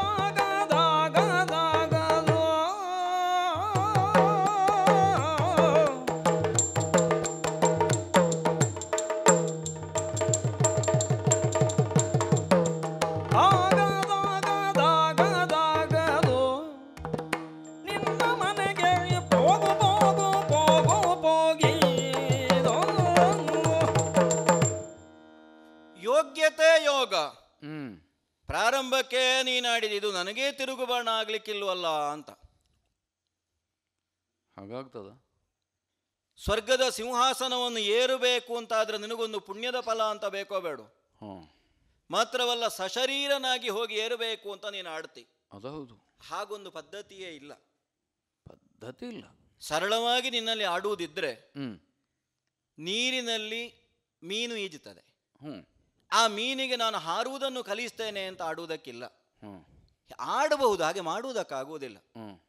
ಹಾಗೆ ಭೂಲೋಕದಲ್ಲಿ ಅಯೋಧ್ಯೆಯಲ್ಲಿ ಚಕ್ರವರ್ತಿ ಪೀಠವನ್ನು ಏರಿ ಆಡಿದಂತಹ ನೀನು ಇಲ್ಲಿ ಮಾಡಿದಂತಹ ಯಾಗದ ಪುಣ್ಯದ ಫಲದಿಂದ ನಾಳೆ ಈ ಪಾಂಚಭೌತಿಕವಾದ ಶರೀರವನ್ನು ಕಳೆದುಕೊಂಡು ದಿವ್ಯ ದೇಹದಿಂದ ಸ್ವರ್ಗಕ್ಕೆ ಹೋಗಬೇಕು ಬಿಟ್ರೆ ಇಲ್ಲಿ ಮಾಡಿದ ಯಾಗದ ಫಲದಿಂದಲೇ ನಾನು ಸ್ವರ್ಗದ ಸಿಂಹಾಸನಕ್ಕೆ ಅಧಿಕಾರಿಯಾಗುತ್ತೇನೆ. ಹೀಗೆ ನೀನು ಆಲೋಚನೆ ಮಾಡಿದ್ರು ನಿನ್ನ ಹಣೆಯಲ್ಲಿ ಹಾಗೆ ಬ್ರಹ್ಮ ಬರೀಲಿಲ್ಲ. ಹೌದಾ? ಹೌದೌದು. ನಾವು ನಿನ್ನಲ್ಲಿ ಮಾತಾಡ್ತಾ ಈಗ ಅದನ್ನು ತಿಳ್ಕೊಂಡೆವು. ಪೂರ್ವಜನ್ಮದ ಪುಣ್ಯದ ಫಲವೂ ನಿನ್ನಲ್ಲಿಲ್ಲ. ಹಾಗಾಗಿ ನೀನು ಪೂರ್ಣವಾಗಿ ಮಾಗಲಿಲ್ಲ. ಈ ಜನ್ಮದಲ್ಲಿ ನೀನು ಮಾಡಿದಂತಹ ನೂರು ಯಾಗಗಳು ಏನುಂಟ ಅದು ನೀನು ಮಾಡಿದಂತಹ ತಪ್ಪನ್ನು ತೊಡೆದುಕೊಳ್ಳುವುದಕ್ಕೆ ತೊಳೆದುಕೊಳ್ಳುವುದಕ್ಕಾಯ್ತು ಬಿಟ್ರೆ ಹೊಸದಾದಂತಹ ಪುಣ್ಯದ ಸಂಚಯನಕ್ಕೆ ಆಗಲಿಲ್ಲ ಮಾತ್ರವಲ್ಲ ಎಷ್ಟು ನಾವು ಪ್ರಯತ್ನ ಮಾಡಿದ್ರು ನಿನ್ನನ್ನು ಆ ಮಟ್ಟಕ್ಕೆ ಎತ್ತರಿಸುವುದಕ್ಕೆ ಬ್ರಹ್ಮನೇ ನಿನ್ನ ಹಣೆಯಲ್ಲಿ ಬರೀಲಿಲ್ಲ. ಹಾಗಾಗಿ ಈಗ ಮೊದಲು ಬ್ರಹ್ಮಲೋಕಕ್ಕೆ ಹೋಗ್ಬೇಕು ನಾನು. ಅಲ್ಲ ನೀನು ಅಲ್ಲ ಅಲ್ಲಿಗೆ ಹೋದ್ರೆ ಅದು ಕಷ್ಟ. ಮತ್ತೆ ನಿನಗೆ ಬ್ರಹ್ಮನೇ ಆಗಬೇಕು ಅಂತ ಆದೀತು. ಅಲ್ಲ ಈಗ ಅವ ಬರಿಬೇಕಲ್ಲ. ಹೌದು ಹೌದು. ಈಗ ಬರಿಬೇಕಾದ್ರೆ ಮೊದಲಿದ್ದದ್ದನ್ನು ವ್ಯತ್ಯಾಸ ಮಾಡಬೇಕಲ್ಲ. ಸತ್ಯಲೋಕಕ್ಕೆ ಹೋದರೂ ಸತ್ಯವ್ರತನ ಹಣೆಯಲ್ಲಿ ಬರೆದದ್ದು ಬದಲಾದೀತೋ? ಈಗ ಬರಿದಿರ್ತಿದ್ರೆ. ನಿನ್ ಆ, ಆಗ್ತಿತ್ತ? ಹೇಗೆ? ಬ್ರಹ್ಮ ಬರೆದಿರ್ತಿದ್ರೆ. ಬ್ರಹ್ಮ ಬರೆದಿರ್ತಿದ್ರೆ ನಾವು ನಾವು ಮಾಡದೇ ಇದ್ರೂ ಆಗ್ತದೆ. ಅಲ್ಲ ಅದೇ ಹೇಳಿದ್ದು ನಾನು. ಬರೆಯದ ಕಾರಣನೂ ಇಷ್ಟು ಮಾಡಬೇಕಾಗುವುದು. ಬರೆಯದ ಕಾರಣ ನಾವು ಏನು ಮಾಡಿಯೂ ಪ್ರಯೋಜನ ಇಲ್ಲ. ನಾವು ಯಾವ ಹೋಮ ಮಾಡಿದರೂ ಅದು ನೀರಿನಲ್ಲಿ ಮಾಡಿದ ಹೋಮದ ಹಾಗೆ ಆಗ್ತದೆ. ನೀವು ಆಲೋಚನೆ ಮಾಡೋದು ಹಾಗೆ ನಾನು ಇಲ್ಲಿ ಆಲೋಚನೆ ಮಾಡೋದು ಹೀಗೆ. ನಿನಗೆ ಒಂದು ದಾರಿ ಉಂಟು. ಎಂಥದ್ದು ಅಯೋಧ್ಯೆಯ ಸಿಂಹಾಸನ ಉಂಟು. ಉಂಟು. ಪಾಪ ಒಳ್ಳೆ ಹುಡುಗ ಹರಿಶ್ಚಂದ್ರ. ಹೌದು. ನನ್ನ ಮಗ. ಹೌದು. ಹ್ಞೂ ನಿನ್ನ ಮಗ ಅದನ್ನು ಪ್ರತ್ಯೇಕ ಹೇಳುವುದು ಯಾಕೆ? ಆಗಲ್ಲ ಆಗಲ್ಲ ಹಾಗೆ ಹೇಳಿದ್ದಲ್ಲ ನಾನು. ಒಳ್ಳೆಯ ಹುಡುಗ ಅಂತ ಹೇಳುವಾಗ ಪಕ್ಕನೆ ನನ್ನ ಮಗ ಅಂತ ನೀನು ಹೇಳಬೇಕು ಅಂತ ಇಲ್ಲ. ಅಲ್ಲ, ಒಳ್ಳೆಯ ಹುಡುಗನೇ ಅವನು. ನಾನು ದೃಢ ಮಾಡಿಕೊಳ್ಳೋದು ನನ್ನಂಥವನಿಗೂ ಅಂತ ಮಗ ಹುಟ್ಟಿದ್ರಲ್ಲ ಅದೇ ಅದನ್ನೇ ನಾನು ಹೇಳಿದ್ದು. ನಿನ್ನ ನಿನ್ನ ಮಗನೇ ಆದ್ರೂ ಒಳ್ಳೆಯ ಹುಡುಗ ಇಲ್ಲಿವರೆಗೆ ನಿನ್ನ ಪೀಠದ ಮೇಲೆ ಕಣ್ಣು ಹಾಕಲಿಲ್ಲ. ಅದು ಸ್ವಾಮಿ ನಿಮ್ಗೆ ಅರ್ಥ ಆಗ್ಲಿಕ್ಕಿಲ್ಲ. ಯಾಕೆ ಗೊತ್ತಾ? ಪರಮ ಪರಮಪಾತಕಿ ಅದ ಅಪ್ಪನಿಗೆ ಒಳ್ಳೆ ನೀತಿವಂತ ಮಗ ಇದ್ರೆ. ಅವನ ಎದುರು ನಿಲ್ಲಿಕ್ಕೆ ಹೆದರಿಕೆ ಆಗ್ತದೆ. ಗೊತ್ತಾಯ್ತು. ಅಲ್ಲ ನಾನು ಅಷ್ಟೆಲ್ಲ ಪಾತಕ ಮಾಡಿದ್ದೇನೆ ಅಂತ ನೀನು ಮಾಡಿದ್ದಿ ಅಂತ ನಾವು ಹೇಳುವುದಿಲ್ಲ. ಯಾಕಂದ್ರೆ ನೀನು ಸೂರ್ಯವಂಶೀಯನಿದ್ದಿ. ಒಳ್ಳೆ ಹುಡುಗ. ತಿಳಿದೋ ತಿಳಿಯದೆ ನೀನು ಅಪರಾಧ ಮಾಡಿದ್ದ ಹೌದು ಆದ್ರೂ ಹ್ಮ್. ಇಷ್ಟು ವರ್ಷಗಳ ಕಾಲ ಮಾಡಿದ ಯಜ್ಞಯಾಗದಿಂದ ಮಾತ್ರವಲ್ಲ ಪ್ರಜೆಗಳಿಂದ ಪಡೆದಂತಹ ಅನುರಾಗದಿಂದಲಾಗಿ ನೀನು ಪರಿಶುದ್ಧನಾಗಿದ್ದಿಲ್ಲ ಅಂತ ನಾವು ಆಡುವುದಕ್ಕಿಲ್ಲ. ಹೊಸ ಬಟ್ಟೆಯಲ್ಲಿ ಆದ ಕಲೆ ಹ. ಬಟ್ಟೆ ಹಳತ್ತಾಗುವಾಗ ಕಲೆ ಹೋಗ್ತದೆ ತೊಳೆದು ತೊಳೆದು ಅಲ್ಲವೇ? ಹಾಗೆಯೇ ಅದೇ ಹಳೇ ಬಟ್ಟೆ ನಿನಗುಂಟು ಇಲ್ಲಿಂದ ಅಯೋಧ್ಯೆಗೆ ಹೋಗುದು ಬಟ್ಟೆ ಅಂದ್ರೆ ದಾರಿ ಅಂತ ಉಂಟಲ್ಲ? ಹೌದಪ್ಪ. ಅದೇ ಹಳೇ ಬಟ್ಟೆಯಲ್ಲಿ ಮರಳಿ ನೀನು ಹೋದೆ ಅಂತ ಆದ್ರೆ ಆದ್ರೆ? ಅಯೋಧ್ಯೆಯ ಚಕ್ರವರ್ತಿ ಪೀಠವನ್ನೇ ಏರಿ ಬ್ರಹ್ಮನಿನ ಹಣೆಯಲ್ಲಿ ಇನ್ನೂ ಎಷ್ಟು ವರ್ಷ ಆಯುಷ ಬರೆದಿದ್ದಾನೋ ಅಲ್ಲಿಯವರೆಗೆ ಚಕ್ರವರ್ತಿಯಾಗಿ ಆಳು ನಮ್ಮಿಂದ ಯಜ್ಞ ಮಾಡಿಸುವುದಕ್ಕೂ ಸಾಧ್ಯ ಇಲ್ಲ ನೀನು ಸ್ವರ್ಗಕ್ಕೆ ಹೋಗುವುದಕ್ಕೂ ಇಲ್ಲ. ಈಗ ನಿಮ್ಮ ಕಾಲಿಗೆ ಬಿದ್ದು ಕೈ ಮುಗಿದು ತಲೆ ತಗ್ಗಿಸಿ ಸ್ವಾಮಿ ಬೇಡಿಕೊಳ್ಳೋದು ಒಂದು ಏನಾದರೂ ಮನಸ್ಸು ಮಾಡ್ತೀರಾ? ಅದು ಏನಾದರೂ ಮಾಡಲಿಕ್ಕೆ ನಮ್ಮಿಂದ ಆಗುವುದಿಲ್ಲ ಅದೇ ಸಮಸ್ಯೆ ನಮಗೆ. ಅಲ್ಲ ಏನಾದರೂ ಅಂತಂದರೆ ಉಪಾಯಾಂತರಗಳನ್ನು ಕಂಡು ನನಗೊಂದು ಸಾಧಿಸಿ ಕೊಡ್ಬೋದಾ? ನಿನ್ನ ಹಣೆಯಲ್ಲಿ ಅದು ಬರದೇ ಇಲ್ಲ ಅಂತ ಆದ ಮೇಲೆ ನಾವಾದರೂ ಹೇಗಪ್ಪ ಮಾಡುವುದು ಅದನ್ನು ಈ ಯಜ್ಞಕ್ಕೆಲ್ಲ ವಿಶೇಷ ಶಕ್ತಿ ಉಂಟಂತಲ್ಲ. ಹೌದು. ಬೇಕಾದ್ದನ್ನು ಸಾಧಿಸುವಲ್ಲಿ ಈಗ ಇವನಿಗೆ ಹಣೆಯಲ್ಲಿ ಬರೆದು ಬರೆ ಬರೆಯಲ್ಪಟ್ಟಿದೋ ಇಲ್ಲೋ ಅನ್ನುವುದಕ್ಕಿಂತಲೂ ಯಜ್ಞದ ಯೋಗ್ಯತೆಯಿಂದ ಅದರ ಫಲಪ್ರಾಪ್ತಿಯಾಗಿಯೇ ಸಿಗ್ತದೆ ಅಂತ ಹೇಳ್ತಾರಪ್ಪ. ಹಾಗೇನಾದರೂ ಮಾಡ್ಲಿಕ್ಕೆ ಆದೀತ? ನಮ್ಮ ಅಪ್ಪನಲ್ಲಿ ಹೋಗಿ ಕೇಳ ಅವರು ಒಪ್ಪಿದ್ರೆ ಅದಿತ್ತು ಅಲ್ಲ ಅವ್ರು ಅವರಿಂದ ಆಗೋದಿಲ್ಲ ಅಂತ ಹೇಳಿದ್ರಲ್ಲ ಈಗ ನಿಮ್ಮಿಂದ ಆಗ್ತದೋ ಅಂತ ನಾನು. ನಮ್ಮ ಅಪ್ಪ ಒಪ್ಪದೇ ಇರುವ ಯಾವುದನ್ನು ನಾವು ಮಾಡಿಸುವುದಕ್ಕೆ ಸಿದ್ಧರಿಲ್ಲ. ಮನಸ್ಸು ಮಾಡೋದಿಲ್ಲ. ದಯವಿಟ್ಟು ಬನ್ನಿ ಸ್ವಾಮಿ. ಸಾಧ್ಯ ಇಲ್ಲ ಅಂತ. ಆಗೋದಿಲ್ಲ ಆಗೋದಿಲ್ಲ. ಆಗೋದೇ ಇಲ್ವ ನಾವು ಆಶ್ರಮದ ಒಳಗೆ ಹೋಗ್ಬೇಕಾ ಅಲ್ಲ? ಅಲ್ಲ ಆಲೋಚನೆ ಮಾಡುವ ಯಾರು ಹೋಗೋದು ಅಂತ. ಆಗೋದಿಲ್ಲ ಅಲ್ಲ? ಆಗೋದಿಲ್ಲ ಕುಲ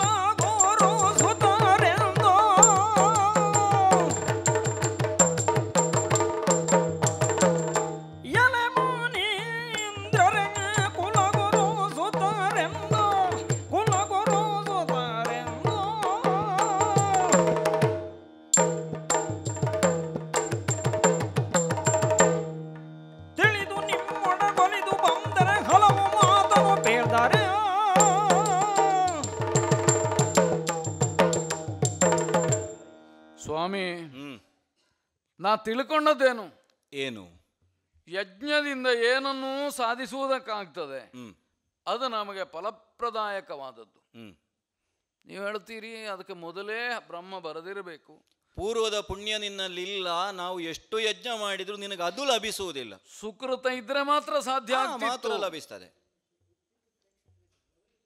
ನೀವು ಮಾಡಬಲ್ಲಿರಿ ಅಂತ ನಾ ತಿಳಿದೆ. ಹ್ಮ್.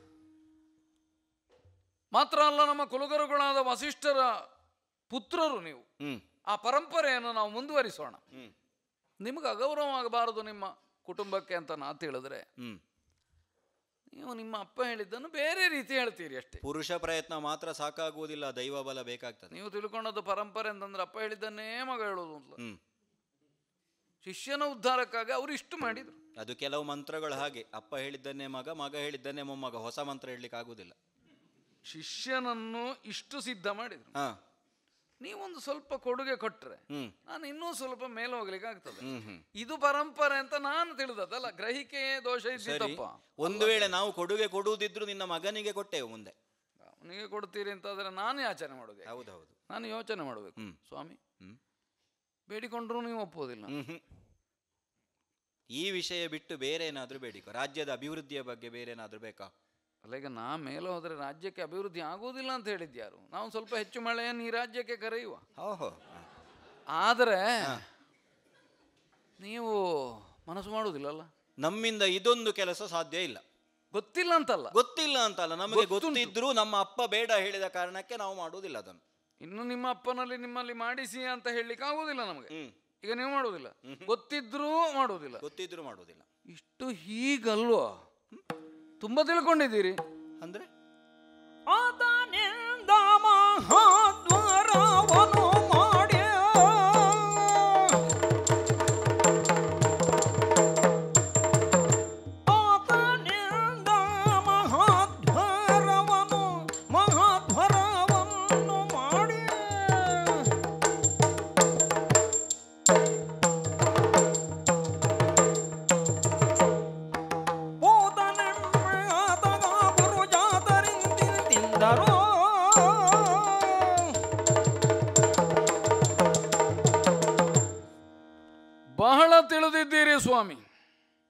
ನಮಗೆ ಎಷ್ಟು ಬೇಕೋ ಅಷ್ಟು ತಿಳಿದಿದ್ದೇವೆ. ಇನ್ನೊಂದನ್ನು ತಿಳ್ಕೊಳ್ಳಿಲ್ಲ ಅಂತ ಕಾಣ್ತದೆ ನನಗೆ ನೋಡಿದ್ರೆ. ಯಾವುದನ್ನು? ನಿಮಗಿಂತ ಹೆಚ್ಚು ತಿಳಿದವರು ಪ್ರಪಂಚದಲ್ಲಿ ಇದ್ದಾರು ಅಂತ. ಇರಲೇಬೇಕಲ್ಲ. ಸರ್ವಜ್ಞನಾಗಿದ್ದೇವೆ ಅಂತ ಭಾವಿಸಿದ್ರಿ. ಹಾ. ಗುರುಪೀಠಕ್ಕೆ ಏರಿ ನಾಳೆ ಹ್ಮ್. ಸೂರ್ಯವಂಶಕ್ಕೆ ಮಾರ್ಗದರ್ಶನ ಮಾಡಬೇಕಾದವರು ನೀವು. ವೈಯಕ್ತಿಕವಾದ ಹಠ ಇಷ್ಟು ಇರಬಾರದಿತ್ತು ಉಂಟು ಇರಲಿ. ಹ್ಮ್. ನಾನು ಅದನ್ನು ಆಕ್ಷೇಪ ಮಾಡ್ಲಿಕ್ಕೆ ಹೋಗುವುದಿಲ್ಲ. ಯಾಕೆ? ನನಗೆ ನಿಮಗೆ ಸಂಬಂಧ ಇಲ್ಲಿ ಮುಗೀತದೆ. ಓಹೋ ಅಂದ್ರೆ ನೀವು ಮಾಡುವುದಿಲ್ಲ ಅಂತ ಆಯ್ತಲ್ಲ. ಇನ್ನೀಗ ಮಾಡಿಸುವುದಿದ್ರೆ ನಿಮ್ಮ ಅಪ್ಪನಲ್ಲಿಗೆ ನಾವು ಹೋಗಬೇಕಲ್ಲ? ಹೋಗಬೇಕು. ನೀವು ಮಾಡುವುದಿಲ್ಲ. ಅಂದ್ರೆ ಇಲ್ಲಿಗೆ ನಮ್ಮ ಸಂಬಂಧ ಮುಗೀತಲ್ಲ? ಇನ್ನು ಏನಿದ್ರು ನಿಮ್ಮ ಅಪ್ಪ ಇಲ್ಲವಾದ ಮೇಲೆ ನೀವಲ್ಲಿಗೆ ಬಂದ್ರೆ ನಾನು ಆಗ ಇದ್ರೆ ಮತ್ತೆ ನಮಗೆ ಸಂಬಂಧ ಇಲ್ಲ ಅಲ್ವಾ ಹಾಗಾದ್ರೆ ಏನ್ ಮಾಡೋ ನಿಮ್ಮ ಅಪ್ಪ ಆಗುದಿಲ್ಲ ಅಂತ ಹೇಳಿ ಹಾಗಾದ್ರೆ ಅನಿವಾರ್ಯ ಆದ್ರೆ ಮತ್ತೆ ಸಂಬಂಧ ಬೇಕು ಅಂತ ಅನ್ನಿಸ್ತದೆ ಅಲ್ಲ ನೀವು ಬೇಡದಿದ್ರೆ ಬಿಟ್ಟು ಬಿಡಿ ಆಗ. ಹೌದೌದು. ಈಗ ಬಿಡುವ ಸ್ವಾತಂತ್ರ್ಯವು ನಿಮಗಿಲ್ಲಲ್ಲ. ನಿಮ್ಮ ಅಪ್ಪನ ನಾನು ಬಿಡ್ಲಿಲ್ಲ. ಆದ್ರೆ ನನಗೊಂದು ಅನುಕೂಲ ಉಂಟು ಏನು? ನಮಗಾಗಬೇಕಾದದ್ದನ್ನು ಮಾಡುವಲ್ಲಿ ನಮ್ಮ ಕುಲಪುರೋಹಿತರು ಒಪ್ಪಲಿಲ್ಲ. ಹಾಗಾದ್ರೆ ನಮಗೆ ಕಾರ್ಯಸಿದ್ಧಿ ಆಗಬೇಕು ಅಂತ ಆದ್ರೆ ನನ್ನಿಂದ ಆಗುವುದಿಲ್ಲ ಅಂತ ಹೇಳಿದ್ರಲ್ಲ? ನನ್ನಿಂದ ಆದೀತು ಅಂತ ಹೇಳುವವರು ಇರ್ಲಿಕ್ಕಿಲ್ವ ಪ್ರಪಂಚದಲ್ಲಿ? ನಿನ್ನಿಂದ ಆದೀತು ಅಂತ ಹೇಳುವವರ? ಅಲ್ಲ ಅವರವರಿಂದ ಆದೀತು ಅಂತ ಹೇಳುವ ವಿಶ್ವಾಸ ಇದ್ದವರು ನನ್ನಿಂದ ಮಾಡಿಸುವವರು. ಕಾಲ ಅನಂತವಾಗಿದೆ ಪೃಥ್ವಿ ವಿಪುಲವಾಗಿದೆ ಅಂತ ಒಂದು ಮಾತುಂಟು. ಉಂಟು ಉಂಟು. ಹಾಗಾದ್ರೆ ಅಷ್ಟು ದೊಡ್ಡ ವಿಸ್ತಾರವಾದ ಭೂಮಿಯಲ್ಲಿ. ಅನಂತ ಕಾಲದಲ್ಲಿ ಯಾವನಾದರೂ ಸಿಕ್ಕಲಿಕ್ಕಿಲ್ವ ನನಗೆ ತಿಳಿದವ ಮಾಡಿಸ್ತೇನೆ ಅಂತ ಅಂತೂ ಮಾಡಿಸುವುದಕ್ಕೆ ನಿನಗೆ ಭೂಲೋಕದಲ್ಲೇ ಸಿಗಬೇಕು. ಆತನಿಂದ ಮಹಾಧ್ವರವನ್ನು ಮಾಡಿಸಿ. ಸ್ವರ್ಗಾಧಿಪತಿ ಆಗ್ತೇನೆ ಸ್ವಾಮಿ ಸಶರೀರನಾಗಿ. ಮತ್ತೆ ಅವರಲ್ಲಿ ಹೋಗಿ ಅವರಲ್ಲಿ ಹೋಗಿ ಹೇಳ್ತಿ ಕಾಣ್ತದೆ ನಿಮ್ಮನ್ನೇ ಸ್ವರ್ಗಕ್ಕೆ ಕರ್ಕೊಂಡು ಹೋಗ್ತೇನೆ ಬೃಹಸ್ಪತಿಯ ಬದಲು. ಅದೀಗ ಏನು ಮಾಡಿದ್ರು ಮಾಡ್ತೇನೆ. ಯಾಕೆ? ಕೊಟ್ಟ ದಕ್ಷಿಣೆಗೆ ದುಡಿಯೋ ವೈದಿಕರನ್ನು ಕಂಡವನ. ಸರಿ. ಯಾಕೆ ಸ್ವಾಮಿ ನಾವು ವರ್ಣದ್ವೇಷ. ಇಲ್ಲ ಬ್ರಾಹ್ಮಣರ ಬಗ್ಗೆ ಗೌರವ ಇಲ್ಲದಲ್ಲ ಸರಿ. ತೆಕ್ಕೊಂಡವರೆಲ್ಲೂ ಎಲ್ಲರೂ ಈಗ ಬೇಡ ನನಗೆ ನನ್ನದು ಸೇವೆ ಅಂತ ಹೇಳಿದವರಿದ್ದಾನೆ ಏನಿಲ್ಲ. ಯಥಾಶಕ್ತಿ ಅಂತ ಹೇಳುದು ರಾಜನ ಹತ್ರ. ಒಂದು ವೇಳೆ ಸೇವೆ ಅಂತ ಹೇಳುತ್ತಿದ್ರೆ ಇಷ್ಟು ಅಶ್ವಮೇಧವು ನೀನು ಮಾಡುವುದಕ್ಕಿರಲಿಲ್ಲ. ಹೋಗಲಿ. ಹೇಳುದು ಯಥಾಶಕ್ತಿ ಅಂತ. ರಾಜನ ಯಥಾಶಕ್ತಿ ಎಷ್ಟೊಂದು ಬೊಕ್ಕಸ ನೋಡಿದ ಪುರೋಹಿತರಿಗೆ ಗೊತ್ತಿಲ್ಲ. ಹೌದಪ್ಪ. ಅಲ್ಲ ಹೇಳಿದ್ದು ನಾನು. ನಾನು ಇನ್ನೊಬ್ಬನನ್ನು ಹುಡುಕ್ತೇನೆ. ಅವನಿಂದ ಮಾಡಿಸ್ತೇನೆ. ಸರಿ ಅವನು ಯಥಾಶಕ್ತಿ ಹೇಳುವವನ ಸೇವೆ ಅವ ಎಷ್ಟು ಕೇಳ್ತಾನೋ ಕೊಡ್ತೇನೆ. ಸರಿ. ವಿತ್ತಕ್ಕೆ ಭಾಗದೇ ಇದ್ದದ್ದು ಕ್ಷತ್ರಿಯರಿಗೂ ಬೇಕಾದ ಅದೇ ಅಲ್ವೋ? ವಿತ್ತಕ್ಕೆ ಬಾಗದೇ ಇದ್ದದಿಲ್ವಲ್ಲ ಹಾ. ನಾ ಮಾಡ್ತೇನೆ. ಅಲ್ಲಿಂದ ಸ್ವರ್ಗಕ್ಕೇರಿದ ಮೇಲೆ ಮತ್ತೆ ನಿಮ್ಮನ್ನು ನೋಡ್ತೇನೆ ನಾನು. ವಿತ್ತಕ್ಕಲ್ಲ ನಿನ್ನ ಪಿತ್ತಕ್ಕೆ ಬಾಗಬೇಕಾದ್ದು ಭಾಪುರೇಂದ್ರ ಬಾಲ ಪ್ರತಾಪಿ ತ್ರಿಶಂಕು.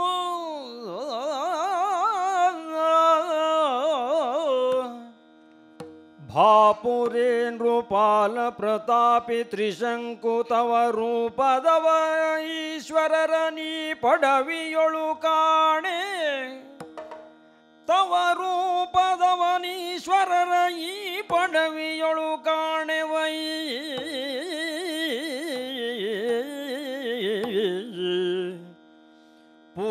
ಪೂರ್ವದಿಂದ ನಿನ್ನೀ ಪತಂಗಾನ್ವಯದ ಭೂಪರ್ಗೆ ಗುರುಗಳಾಗಿಯೇ. ಈ ಪತಂಗಾನ್ವಯದ ಭೂಪರ್ಗೆ ಗುರುಗಳಾಗಿ ವ್ಯಾಪಿಸಿರ್ದ ಎಮ್ಮನುಳಿದೀ ಪರಿಯೊಳನ್ಯರಂ ನೀ ಪರಿಗ್ರಹಿಸುವೆಯಲ.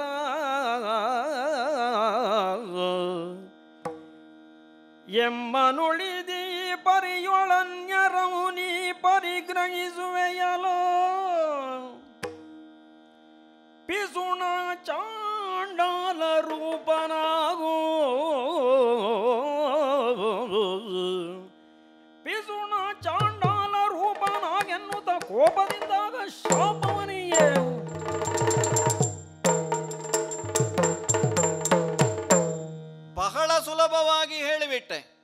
ವೈಯಕ್ತಿಕವಾಗಿ ನಿಮ್ಮದ್ದಾದ ಲಾಭವನ್ನು ಮಾತ್ರ ನೋಡ್ತೀರಿ, ನನಗೆ ಮಾಡುವುದಿಲ್ಲ.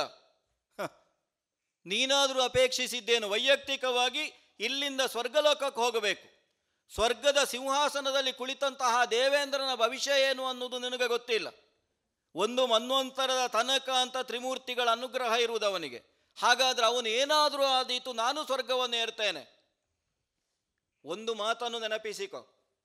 ಸೂರ್ಯವಂಶ ಯಾವ ಕಾಲಕ್ಕೆ ಪ್ರಾರಂಭವಾಯಿತೋ ಅಲ್ಲಿಂದ ಮತ್ತೆ ನಮ್ಮ ತಂದೆಯಾದಂತಹ ವಸಿಷ್ಠರೇ ನಿಮ್ಮ ಕುಲಕ್ಕೆ ಗುರುಗಳಾಗಿದ್ದರು. ಎಂತೆಂತಹ ಕೊಡುಗೆಗಳನ್ನೆಲ್ಲ ಸೂರ್ಯವಂಶಕ್ಕೆ ಅವರು ಕೊಟ್ಟಿದ್ದಾರೆ ಅನ್ನೋದು ಒಮ್ಮೆ ಸ್ಮರಿಸಿಕೊ ನೀನು ಈಗ ಬಹಳ ಸುಲಭವಾಗಿ ನಮ್ಮನ್ನಾಗಲಿ, ನಮ್ಮ ತಂದೆಯನ್ನಾಗಲಿ ತಿರಸ್ಕರಿಸಿ ಬೇರೊಬ್ಬ ಪುರೋಹಿತನನ್ನು ಅದು ವಿತ್ತ ಎಷ್ಟು ಬೇಕೋ ಅಷ್ಟನ್ನು ಕೊಟ್ಟು ದಕ್ಷಿಣ ಕೊಟ್ಟರೆ ಸಿಗುವುದಿಲ್ವೋ ಅಂತ ಆಡ್ತಿ. ನಮ್ಮ ಕುರಿತಾಗಿ, ನಮ್ಮ ಶಕ್ತಿಯ ಕುರಿತಾಗಿ ಇಂತಹ ಹೀಗಳಿಕೆಯ ಮಾತುಗಳನ್ನು ನೀನು ಆಡ್ತಿ ಅಂತ ಆದರೆ ನಿನ್ನಲ್ಲಿ ಇರುವುದೇನು ಗೊತ್ತಾ?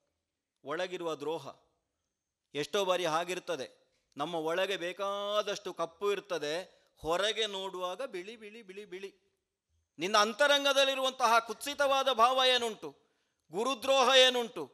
ಒಂದು ನೆನಪಿಸಿಕೊ. ಗುರುಗಳೇ ನನಗೆ ನೀನು ಶಿಷ್ಯ ಬೇಡ, ನೀನು ಬೇರೊಬ್ಬ ಗುರುವನ್ನು ಅರಸು ಅಂತ ಹೇಳದೆ ತಾನಾಗಿ ಶಿಷ್ಯನವರು ಹೋಗಿ ಗುರುವನ್ನು ಬದಲಾವಣೆ ಮಾಡುವುದಕ್ಕೆ ಅವನಿಗೆ ಅಧಿಕಾರ ಇಲ್ಲ. ಬೇರೊಬ್ಬ ಗುರುವನ್ನು ಹುಡುಕುತ್ತೇನೆ ಅಂತ ಹೇಳುವ ನಿನ್ನ ಬುದ್ಧಿ ಉಂಟಲ್ಲ, ಅದು ಚಂಡಾಲ ಬುದ್ಧಿ. ಅದುವೇ ನಿನ್ನ ಶರೀರದಲ್ಲಿ ಪ್ರತಿಫಲಿತವಾಗಲಿ. ನೀನು ಚಂಡಾಲನಾಗಿ ಹೋಗು ಚಂಡಾಲನಾಗಿ ಹೋಗು. ಅರಸನಾಗಲೆ ತನ್ನ ಪುರಕ್ಕೆ ದುಮ್ಮಾನದಿ.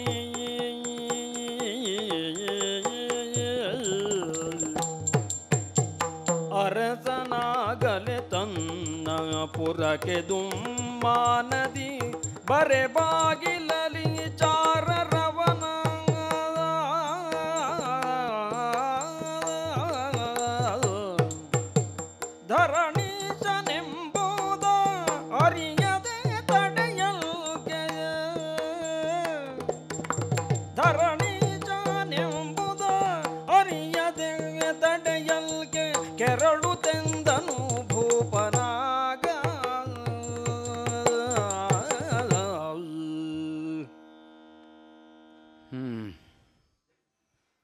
ಆಯ್ತಲ್ಲ.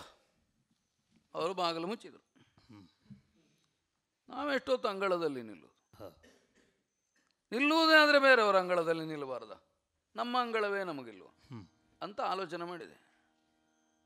ಇದ್ದಕ್ಕಿದ್ದ ಹಾಗೆಯೇ. ಹೊಯ್ ಈ ಶಾಪ ಬಣ್ಣ ಬದಲಿಸ್ತದಲ್ವ? ಹೊನ್ನ ಕಾಂತಿಯಿಂದ ಮಿನುಗುತ್ತಾ ಇದ್ದಂತಹ ನನ್ನ ಶರೀರ ಕಪ್ಪಾಗಿ ಹೋಯಿತು. ಧರಿಸಿದ್ದಂತಹ ಸ್ವರ್ಣಾಭರಣಗಳೆಲ್ಲ ಕಬ್ಬಿಣದವಾದವು.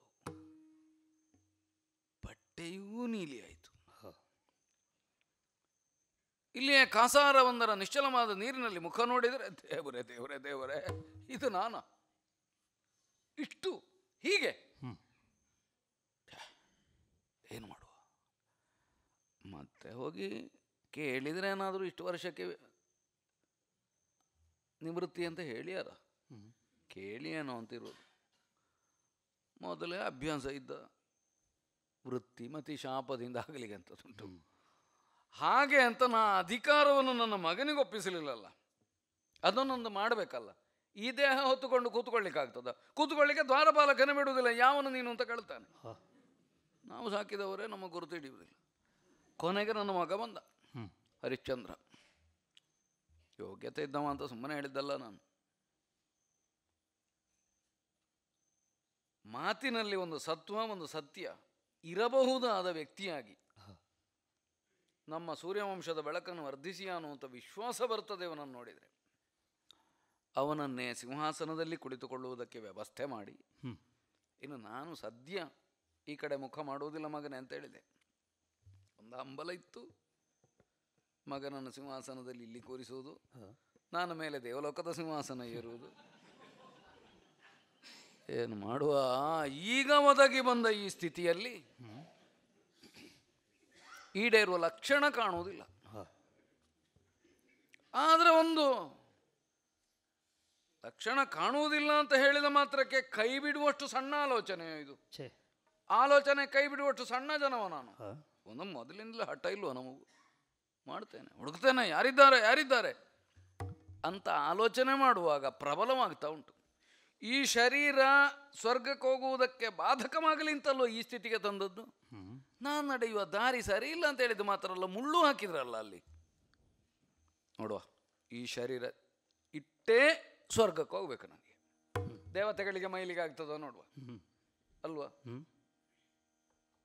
ಆಗ ಅರ್ಥ ಆಗ್ತದೆ ಪ್ರಪಂಚಕ್ಕೆ. ಹಠ ಸಾಧನೆ ಮಾಡುವುದಕ್ಕೆ ಹೊರಟ್ರೆ ತ್ರಿಶಂಕುವಿನ ಹಾಗೆ ಮಾಡಬೇಕು ಅಂತ ಅದಾದರೂ ಒಂದು ಸಿಕ್ಕಲಿ ನಮಗೆ. ನೋಡುವ ದೇವತೆಗಳೆಲ್ಲ ನಮ್ಮನ್ನು ಬಿಟ್ಟು ದೂರ ನಿಂತು ನಾನೊಬ್ಬರೇ ಇಂದ್ರಪೀಠದಲ್ಲಿ ಕೂತರು ಆದೀತು. ಅವರಿಗೆ ಮುಟ್ಟಿದರೆ ದೇವತ್ವ ಕೆಟ್ಟು ಹೋಗ್ತದೆ ಅಂತ ಇದ್ದರೆ ಅಷ್ಟು ಮಾಡಬೇಕು ನನಗೆ. ಯಾರಿಂದ ಮಾಡಿಸುವ ಅಂತ ಆಲೋಚನೆ ಮಾಡುವುದು. ಕೆಲವು ದಿನ ಆಯ್ತು ಈಗ ಕಾಡಿನಲ್ಲಿ ತಿರುಗುವುದು. ಯಾರು ಮಹಾ ತಪಸ್ವಿಗಳಿದ್ದಾರೆ ಯಾರು ಯಜ್ಞಾದಿಗಳನ್ನು ಮಾಡಿ ನನ್ನನ್ನು. ಓಯ್ ಯಾರಲ್ಲಿ ಕೇಳಿದ್ರು ಆಗುವುದಿಲ್ಲ ಅಂತ ಹೇಳ್ತಾರಲ್ಲ. ಯಾಕೆ? ನನ್ನದೇ ಒಂದು ದೋಷ ಹೋಗೋಣದು ನನಗೆ. ವಸಿಷ್ಠರಲ್ಲಿ ಹೋಗಿ ಹೇಳಿದೆ ಅವ್ರು ಆಗೋದಿಲ್ಲ ಅಂತ ಹೇಳಿದ್ರು ಅವರ ಮಕ್ಕಳು ಆಗೋದಿಲ್ಲ ಅಂತ ಹೇಳಿದ್ರು ನೀವು ಮಾಡ್ತೀರ? ಯಾರಾದರೂ ಮಾಡಿ ಯಾರ ದೊಡ್ಡ ಪುರೋಹಿತರು ನಮ್ಮ ಆಚಾರ್ಯರು. ಬಹುಶಃ ಹೆಚ್ಚಿನವರೆಲ್ಲ ಅವರ ಶಿಷ್ಯರೇ ಏನೋ ಯಾರಿಗೊತ್ತು ಯಾರೂ ಒಪ್ಪಲಿಲ್ಲ. ಈಗ ಆಲೋಚನೆ ಮಾಡೋದು ನಾನು. ವಸಿಷ್ಠರನ್ನು ನಾಗದವರು ಇರಲಿಕ್ಕಿಲ್ವೋ ಪ್ರಪಂಚದಲ್ಲಿ? ನನ್ನ ಹಾಗೆ ಆಲೋಚನೆ ಮಾಡುವವರು ಯಾವುದೋ ಒಂದು ಪ್ರಕರಣ ಕೇಳಿದ್ದೇನೆ. ಅವರು ಸ್ವಲ್ಪ ನಮ್ಮ ಹಾಗೆ ಅಂತೆ. ಅಂದರೆ ಕ್ಷತ್ರಿಯರಾಗಿದ್ದರಂತೆ ಯಾವುದೋ ಕಾರಣಕ್ಕೆ ವಸಿಷ್ಠರ ಜೊತೆಯಲ್ಲಿ ಒಂದು ಭಿನ್ನಾಭಿಪ್ರಾಯ ಬಂತು. ತನ್ನ ಹಠ ಸಾಧಿಸಲಿಕ್ಕೆ ಹೊರಟ್ರಂತೆ ವಸಿಷ್ಠರದು ಗೊತ್ತುಂಟಲ್ಲ ಶಿಷ್ಯನಿಗೆ ಅಂತಲ್ಲ ಯಾರಿಗೂ ಅಷ್ಟೇ. ವಿರೋಧ ಮಾಡಿದರು. ಇವರು ಎಲ್ಲ ಬಿಟ್ಟು ನಾನು ಕ್ಷತ್ರಿಯತ್ವವನ್ನೇ ಬಿಡ್ತೇನೆ ಅಂತ ಹೇಳಿದ್ರಂತೆ ಬ್ರಾಹ್ಮಣ್ಯ ಆದೀತು ಅಂತ ಹೇಳಿದ್ರಂತೆ. ಇಲ್ಲಿಯೋ ಒಂದು ಸಣ್ಣ ಸಂಬಂಧದ ಒಂದು ಸೂಕ್ಷ್ಮ ಎಳೆ ನೆನಪಾಗ್ತದೆ ನನಗೆ. ಒಂದು ಉಪಕಾರ. ಇರಲಿ, ಅದನ್ನು ಮುಂದಿಡ್ಲಿಕ್ಕಿಲ್ಲ. ಶೀಘ್ರವಾಗಿ ಅವರಿಲ್ಲೆಲ್ಲೋ ಪುಷ್ಕರ ತೀರ್ಥದಲ್ಲಿ ತಪಸ್ಸು ಮಾಡ್ತಾ ಇದ್ದಾರೆ ಅಂತ ಕೇಳಿದ್ದೇನೆ. ನನಗಾಗಿ ಒದಗಿ ಬಂದಾರೋ ಅಂತ ನೋಡುವುದಕ್ಕೆ ಆ ಕಡೆಗೆ ಸಾಕ್ತೇನೆ, ಆ ಕಡೆಗೆ ಸಾಕ್ತೇನೆ.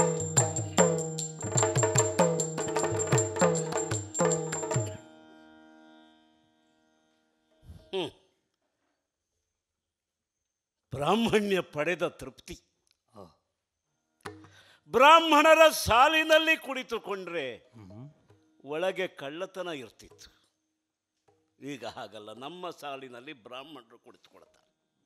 ತೃಪ್ತಿ ಉಂಟು ನನಗೆ ವರ್ಣ ಶುದ್ಧಿ, ವರ್ಣ ಸಿದ್ಧಿ, ನಮ್ಮ ಬದುಕಿನ ನಿಜವಾದ ಸಾಧನೆ ಅದು.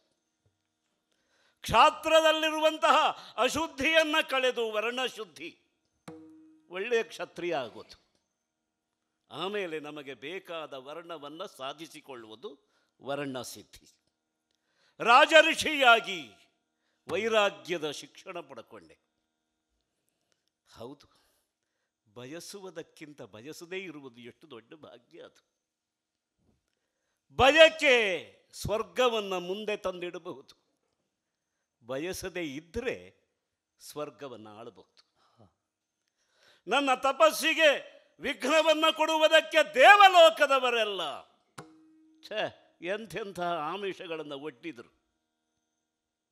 ತಿರಸ್ಕಾರ ಮಾಡಿದ್ದೇನೆ. ಸಿದ್ಧಿಯನ್ನು ಪಡೆಯುವ ಹಾದಿ ಇದು. ಬಂದ ಸಿದ್ಧಿಯನ್ನು ಅನುಭವಿಸ್ತಾ ಕುಡಿತರೆ ಪ್ರಸಿದ್ಧಿ ಬರಬಹುದು. ಮುಂದಿನ ಸಿದ್ಧಿ ಬರುವುದಿಲ್ಲ. ಆದ್ದರಿಂದ ಸಿದ್ಧಿಯ ಪರಂಪರೆಯನ್ನೇ ತಳ್ಳಿಬಿಟ್ಟಿದ್ದೇನೆ ನಾನು. ಈಗ ರಾಜಋಷಿಯಾದವನು ಋಷಿಯಾಗಿದ್ದೇನೆ. ಮಂತ್ರಗಳೆಲ್ಲ ತಾವಾಗಿ ಹೊಡೆ ಹೊಡೆದು ನನ್ನ ಒಳ ಮನಸ್ಸಿಗೆ ಬೆಳಕನ್ನು ಕೊಡ್ತಾ ಇರುವಂತಹ ಈ ಸೌಭಾಗ್ಯ. ಅಬ್ಬ! ನಿಜವಾಗಿ ಪ್ರಪಂಚದಲ್ಲಿ ಧನ್ಯರಾದವರಿದ್ದರೆ ಬ್ರಾಹ್ಮಣರು ಮಾತ್ರ. ನಮ್ಮ ಮೈಯೊಳಗೆ ಕೈಯೊಳಗೆ ನೋಡಿದಲ್ಲಿ ಹಾಸು ಹಾಸಾಗಿ ಬಂಗಾರ ಇದ್ದರೂ ಬದುಕಿನ ಭಂಗ ತಪ್ಪಲಿಲ್ಲ. ಕೈಯಲ್ಲಿ ನಾಲ್ಕು ದರ್ಭೆ ಇದ್ರೂ ಸಾಕು. ದರ್ಭಗಳೇ ಬದುಕಿನ ಬಂಗಾರ ಅಂತ ನಂಬಿದವರು. ಒಣಗಿದ ಹುಲ್ಲಿನ ಮೇಲೆ ಮೈಚಾಚಿ ಮಲಗುತ್ತಾರೆ. ಒಣಗಿದ ಹುಲ್ಲನ್ನು ಹಿಡಿದು ಇದು ಮಂಗಲ, ಇದು ಪವಿತ್ರ ಅಂತ ಹಿಡಿದು ನಿಲ್ತಾರೆ. ಲೋಕ ಮಾಂಗಲ್ಯದ ಗುಟ್ಟು ನಾಲ್ಕು ಒಣಗಿದ ಹುಲ್ಲಿನಲ್ಲಿ ಅಡಗಿದೆ ಅಂತಾದರೆ ತೃಣವನ್ನು ಬ್ರಹ್ಮವಾಗಿಸುವ. ಬ್ರಹ್ಮವೇ ಭೋಗವನ್ನು ಕೊಡುವುದಕ್ಕೆ ಬಂದರೆ ತೃಣವಾಗಿಸುವ ಯೋಗ್ಯತೆ. ಅದು ಬ್ರಾಹ್ಮಣ್ಯ ಅದು. ಇಂತಹ ಬ್ರಾಹ್ಮಣ್ಯವನ್ನು ಅನುಭವಿಸುವಾಗ ಬಹಳ ಪಡೆದರೆ ಹೀಗೆ ಪಡಿಬೇಕು. ಸಶರೀರ ಪ್ರಾಪ್ತಿ. ಇದರ ನಿಜವಾದ ಪೌರೋಹಿತ್ಯ ನಮ್ಮದು. ಪ್ರಪಂಚಕ್ಕೆ ಇಲ್ಲಿವರೆಗೆ ಯಾರಿಗೂ ಗೊತ್ತಿಲ್ಲ. ಒಂದೊಂದು ಸಿದ್ಧಿ ಪಡೆಯುವಾಗ ಬೇರೆ ಮನೋಧರ್ಮ, ಅದಕ್ಕೆ ಬೇಕಾದ ಬೇರೆ ಪ್ರಾಣ, ಬೇರೆ ಇಂದ್ರಿಯಗಳು. ಬೇರೆ ದೇಹ. ದೇವತೆಗಳೇ ಬಂದು ಈ ದೇಹವನ್ನು ಶೋಧನೆ ಮಾಡಿದರು ಅಂತಾದರೆ ಸಶರೀರ ಪ್ರಾಪ್ತಿ ಎನ್ನುವುದೇ ಪ್ರಪಂಚದಲ್ಲಿ ಬಹಳ ದೊಡ್ಡದು ಅಂತ ಆಯ್ತಲ್ಲ. ಅಂತಹ ಒಂದು ಆ ಕಾಮನೆಗೆ ನಮ್ಮ ಪೌರೋಹಿತ್ಯ ಉಂಟು. ನಮ್ಮ ಮನಸ್ಸೇ ನಮಗೆ ಪುರೋಹಿತವಾಗಿ. ಛೇ ಇಲ್ಲಿಯವರೆಗೆ ನನ್ನ ಅಂತರಂಗಕ್ಕೆ ತಿರೋಹಿತವಾಗಿ ಯಾವ ಯಾವ ಸಾಧನೆ ಇತ್ತೋ ಅದನ್ನು ಪುರೋಹಿತ ಮುಂದಕ್ಕೆ ತಂದಿಡ್ತು ಅಂತಾಯ್ತಲ್ಲ ಹೌದು. ತಾಪ ಮತ್ತು ತಪಸ್ಸು. ತಾಪ ಹುಟ್ಟದೆ ತಪಸ್ಸಿಗೆ ಯಾರೂ ಬರೋದಿಲ್ಲ ತಾಪ ಶಾಪದಿಂದ ಬಂದರೆ ಏನಂತೆ? ಪಾಪದಿಂದ ಬಂದರೆ ಏನಂತೆ? ಪಾಪದಿಂದ ತಾಪ, ಶಾಪದಿಂದ ತಾಪ. ಆದರೆ ತಪ್ತನಾದವನು ತಪಸ್ಸಿಗೆ ತೊಡಗಿದರೆ, ಹ್ಮ್, ಎಲ್ಲವನ್ನೂ ಪಡ್ಕೊಳ್ಳಬಹುದು ಅಂತಾಯಿತು.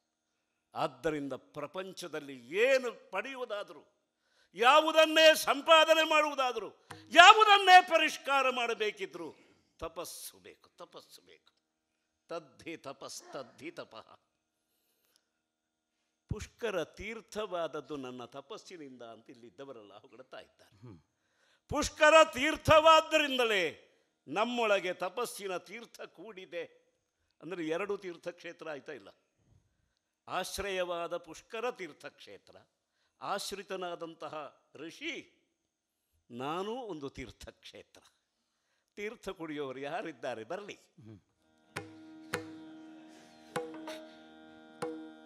ದಿನಪತಿ ಜದಗಾದಿ ತನಯನಂಗ್ರಿಯ ಕಳ್ದು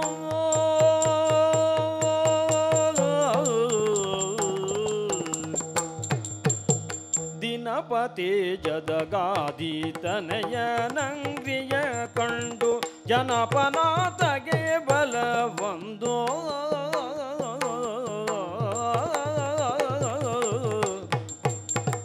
ಜನಪನಾತಗೆ ಬಲವೊಂದು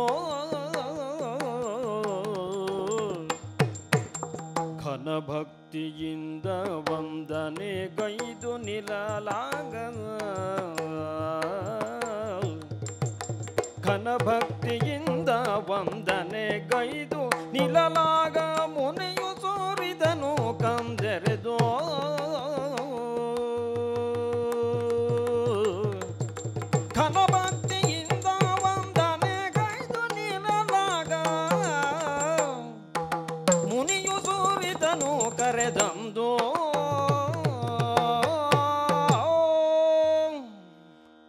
ನಡುಹಗಲೇ ಕತ್ತಲಾಗಿ ಹೋಯಿತು ಅಂತ ಕಾಣಿಸ್ತದೆ. ಅಷ್ಟು ದಟ್ಟವಾದ ಕಾಡು. ದಾರಿ ಕಾಣುವುದಿಲ್ಲ. ಎಲ್ಲಿ ಎಲ್ಲಿ ಪುಷ್ಕರ ಕ್ಷೇತ್ರ ಅಂತ ಹುಡುಕುತ್ತಾ ಬಂದ್ರೆ, ಓಯ್, ದಾರಿಯ ಮೇಲೆ ಬೆಳಕು ಬೀಳ್ತದಲ್ಲ. ಇದೆಲ್ಲಿದ್ದ ಬಂತು? ಓ, ಅಲ್ಲಿ ಓ, ಅಲ್ಲಿ. ಸೂರ್ಯನ ಇನ್ನೊಂದು ಸ್ವರೂಪದ ಹಾಗೆ. ತಪೋ ನಿಮಗ್ನಾದ ಒಬ್ಬ ಮಹರ್ಷಿ. ಏನಯ್ಯ, ಇಷ್ಟು ಎತ್ತರಕ್ಕೆ ನಮ್ಮ ಜಾತಿಯವರು ಹೋಗ್ಲಿಕ್ಕೆ ಆಗ್ತದಲ್ಲ. ದಿನಪತೆ ಜದಗಾದಿತನಯ ಇವರೇ ಹೌದು ಅಂತಾದರೆ ನಮ್ಮ ಕಾರ್ಯಸಿದ್ಧಿಗೆ ಯೋಗ್ಯತೆ ಇವರಲ್ಲಿ ಉಂಟು ಅಂತಾಯ್ತು ಮನಸ್ಸುಂಟೋ ಯಾರಿಗೊತ್ತು ಹಾಗಾಗಿ ಸಮೀಪಗತನಾಗಿ ಕೈ ಮುಗಿದು ಪ್ರದಕ್ಷಿಣೆ ಬಂದು ನಮಸ್ಕರಿಸಿ ನಿಲ್ತೆ.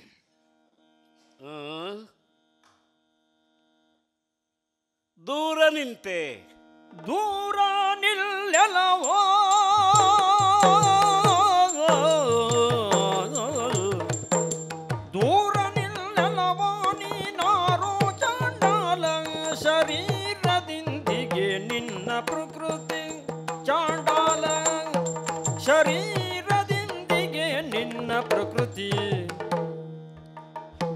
ವೀರರಂ ತಿಗುದು ತತ್ಕಾರಣ ಏನು? ವೀರರಂ ತಿಗುದು ತತ್ಕಾರಣ ಆರು ಆ ಋಷಿಗೆಂದ ನಾನೃಪತಿಯ ದೂರ ನಿಂತೆ ನೀನು. ದೂರ ದೂರ. ಹತ್ತಿರ ಬಾ. ಅಭ್ಯಾಸ. ದೂರ ನಿಲ್ಲು ಅದೇ ಗಮನಿಸಲೇ ಇಲ್ಲ. ಅಭ್ಯಾಸ ಮಾಡಿಕೊಳ್ತಾ ಇದ್ದೇನೆ ದೂರ ನಿಲ್ಲಿಕ್ಕೆ. ದೂರ ನಿಂತವರನ್ನ ಹತ್ತಿರಕ್ಕೆ ಕರೆಯುವುದು ನಮ್ಮ ಸ್ವಭಾವ. ಆದರೆ ಕೆಲವರು ಹತ್ತಿರಕ್ಕೆ ಒತ್ತರಿಸಿ ಬಂದರೆ ದೂರ ಹೋಗುವಂತ ಅನಿಸುತ್ತದೆ ನಮ್ಮ ಹತ್ತಿನ ಕರೆದವರಿಂದ ದೂರ ನಿಲ್ಲುವ ಅಂತ ಕೆಲವು ಸಲ ಕಾಣ್ತದೆ. ಅಂದರೆ ಇಲ್ಲಿಯವರೆಗೆ ಜಾಗೃತವಾದ ನನ್ನ ನಾ ಸಾ ಸಾಯಬಾರದಲ್ಲ. ನೀನು ಹತ್ತಿರ ಬಂದರೆ ಪುಣ್ಯಾತ್ಮ ಛೇ ಪುಣ್ಯ ಏನು ದುರ್ಗಂಧ ಪುಣ್ಯಾತ್ಮ. ಅದೇ ಹೇಳಿದ್ದು ನಾನು. ಅಂದರೆ ವಾಸನ ಸಂಕ್ರಮ ಆಗದೆ ಇದ್ದ ಹಾಗೆ. ಉಳಿದವರೆಲ್ಲ ಚಿಕಿತ್ಸೆ ಮಾಡ್ತಾ ಬಂದಿಲ್ಲ ನೀನು? ಉಳಿದವರೆಲ್ಲ ಪುಣ್ಯಾತ್ಮ ಪುಣ್ಯಾತ್ಮ ಅಂತಲೇ ಹೇಳಿದ ನನ್ನನ್ನು. ಹ್ಮ್. ನೀವೊಬ್ಬರು ಪುಣ್ಯಾತ್ಮ ಅಂತ ಹೇಳಿದ್ರಿ ಕೈ ಮುಗಿತಿ ಪಾಪ. ಕೈ ಮುಗಿತಿ ಪಾಪ. ಹೌದು ಗೊತ್ತಾಯ್ತು. ಹತ್ತಿರಕ್ಕೆ ಬಂದರೆ ನಮಗೆ ಕಷ್ಟ ಆಗುತ್ತದೆ. ನಾವು ಎತ್ತರ ಇದ್ದದ್ದೇ ಒಳ್ಳೇದಾಯ್ತು. ಪಾಪವೇ ಒಬ್ಬನಿಗೆ ಕೈ ಮುಗಿಬೇಕು ಅಂತ ಆದ್ರೆ. ಅವ ಮಹಾಪಾಪಿ ಆಗಬೇಕು ಅಲ್ಲ ಅವ ಮಹಾಪುಣ್ಯವಂತ. ಪುಣ್ಯವಂತ ಅಂತ. ಹೌದೌದು. ನಾನು ನಿಮಗೆ ಕೈ ಮುಗಿತಾ ಇದ್ದೇನೆ. ಹ್ಮ್. ಎಂತಹ ನಾರುತ್ತಿರುವ ದೇಹ ಆಯಿತು. ನಮಗೆ ಗೊತ್ತಾಗೋದಿಲ್ಲ ಸ್ವಾಮಿ. ಚರ್ಮವೆಲ್ಲ ಸುಕ್ಕುಗಟ್ಟಿದೆ. ಹೌದು. ಮೈಯೆಲ್ಲ ಸುಟ್ಟು ಹೋಗಿದೆ. ಮೂಗಿನಿಂದ ಸುರಿಯುವ ಬೇಡ ಶಬ್ದ ಹೇಳ್ಬಾರ್ದು. ಬಾಯಿಯೊಳಗೆ ಅದು ಮುಳುಗುತ್ತಾ ಇದೆ. ಹೌದು. ಬಾಯಿಂದ ಸುರಿಯುವ ಜೊಲ್ಲು ಮೈ ಮೇಲೆಲ್ಲ ಚೆಲ್ಲುತ್ತಾ ಇದೆ. ಇರುವ ಬಟ್ಟೆಯಿಂದ ಒರೆಸ್ಲಿಕ್ಕಾಗೋದಿಲ್ಲ. ಒರೆಸಿದ್ರೆ ಅದೇ ಬಟ್ಟೆ ಅದು ಹೆಗಲ ಮೇಲೆ ಇರುತ್ತೆ ಹೌದು ಒರೆಸಿದ್ರೆ ಮೈಯೇ ಮತ್ತು ಕಂಪಾಗ್ತದೆ ಹ್ಞೂ ಆದ್ದರಿಂದ ನಾರುವ ಕೊಳೆಯುವ ತೊಳೆಯಲಾರದ ದೇಹವನ್ನು ಹೊತ್ತುಕೊಂಡಿದ್ದೀರಿ. ಪಾಪ ಅಂತ ಅನಿಸೋದು ಅದಕ್ಕೆ. ತೊಡೆಯಲಾರದ ದೇಹವು ಹೌದು. ಇದು ಈ ದೇಹ ಹೀಗೆ ಬರಲಿಕ್ಕೆ ಪಾಪ ಕಾರಣ ಅಂತ ಹೇಳಿದ್ದಲ್ಲ. ಹಾ. ಅಯ್ಯೋ ಪಾಪ ಹೀಗಾಯ್ತಲ್ಲ ಅಂತ. ಕನಿಕರ. ಕನಿಕರ. ನನ್ನ ಮೇಲೆ? ಕನಿಕರಕ್ಕೂ ಅದೇ ಶಬ್ದ. ಅಯ್ಯೋ ಪುಣ್ಯ ಅಂತ ಯಾರು ಕನಿಕರಿಸ್ತಾರೆ ಹೇಳು. ಕೂಡದು ಪುಣ್ಯವನ್ನು ಕನಿಕರಿಸಕೂಡದು. ಅಭಿನಂದಿಸಬೇಕು. ಪಾಪವನ್ನು ತಿರಸ್ಕರಿಸಬಾರದು. ಕನಿಕರಿಸಬೇಕು. ಅದಕ್ಕೆ ಅಯ್ಯೋ ಪಾಪ ಅಂತ ಹೇಳಿದ್ದಷ್ಟೇ. ಹೊಸ್ತು ಹೊಸ್ತು ಕೇಳ್ತದಪ್ಪ. ಪುಣ್ಯಾತ್ಮ. ಸ್ವಾಮಿ. ಅಂದರೆ ಆತ್ಮ ಪುಣ್ಯ ಅಂತ. ಪುಣ್ಯಾತ್ಮ. ಯಾರಪ್ಪ ನೀನು? ನೀನು ಯಾರಪ್ಪ? ಯಾಕೆ ಅಂದರೆ ನಿನ್ನನ್ನು ನೋಡುವಾಗ ನಮಗೆ ಒಂದು ರೀತಿಯ ಸತ್ಯದ ಹೊಳಬುಗಳು ತಾನೇ ತಾನಾಗಿ ಬೆಳಗತಾ ಇವೆ ಒಳಗೆ ಬೆಳಕುಂಟು. ಆದರೆ ಬೆಳಕಿನ ತುದಿ ನೀನಾಗಿದ್ದಿ. ಹೌದು. ಬೆಳಕಿನ ತುದಿಯಲ್ಲಿ ಹೊಗೆ ಹುಟ್ಟೋದು. ಹ್ಮ್. ಬೆಂಕಿಯ ತುದಿಯಲ್ಲಿ. ಅಲ್ಲಿಗೆ ಬೆಳಕು ಮುಗಿಯಿತು. ಧೂಮಧ್ವಜ. ಅದು ಅಗ್ನಿ. ಆದರೆ ಧ್ವಜವಾದ ಧೂಮ ಹೊಗೆ ಎಲ್ಲರ ಕಣ್ಣನ್ನು ಕಪ್ಪು ಮಾಡುತ್ತದೆ. ಹೌದು. ಕಾಣಿಸುವುದಿಲ್ಲ ಕಾಣುವ ಕಣ್ಣನ್ನೇ ಕುರುಡಾಗಿಸ್ತದೆ. ಯಾಕಪ್ಪ ಹೀಗಾಗ್ಬಿಟ್ಟಿದ್ದಿ? ನಿನ್ನ ಪರಿಚಯವಾದರೆ ನಾವು ಕನಿಕರಿಸುವುದಕ್ಕಾದರೂ ಒಂದು ಅವಕಾಶ ಆಗ್ತದಲ್ಲ. ಹೌದು ಯಾರ ಮೇಲೆ ಕನಿಕರ ಅಂತ ಆದ್ರೂ ಗೊತ್ತಾಗ್ತದೆ. ಹೌದು. ಸ್ವಾಮಿ ಹೇಳಬೇಕು ಅಂತ ಕಾಣ್ತದೆ ಹೇಳೋದು ಬೇಡ ಅಂತಲೂ ಕಾಣ್ತದೆ. ಹೌದು ನೀನು ಅಷ್ಟು ಆತಂಕಿತನಾಗಿದ್ದಿ. ಹೌದು. ಹೇಳಬಹುದು ತೊಂದರೆ ಇಲ್ಲ ನಾವು ಕೇಳುತ್ತೇವೆ ತೊಂದರೆ ಇಲ್ಲ ಅಂತ ಆದ್ರೆ ಹೇಳ್ಬೋದು ಹೇಳಬಹುದು. ಸ್ವಾಮಿ ಹ. ಕೇಳು ನೀ ಕುಶನಾಭ ಜಾತ ಸಂಜಾತ. ಕೇಳು ನೀ ಕುಶನಾಭ ಜಾತ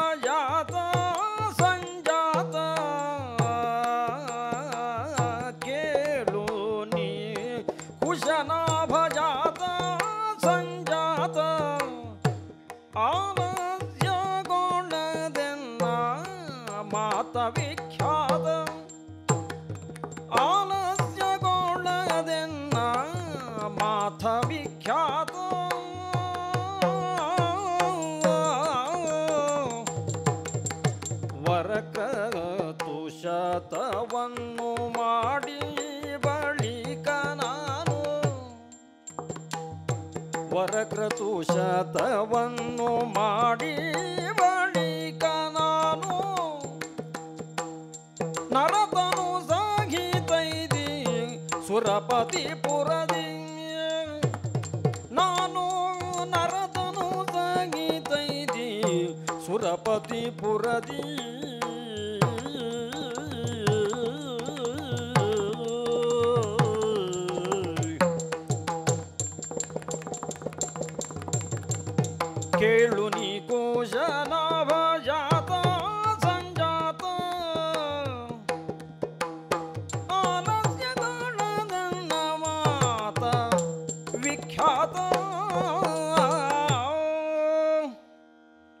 ಸ್ವಾಮಿನ್.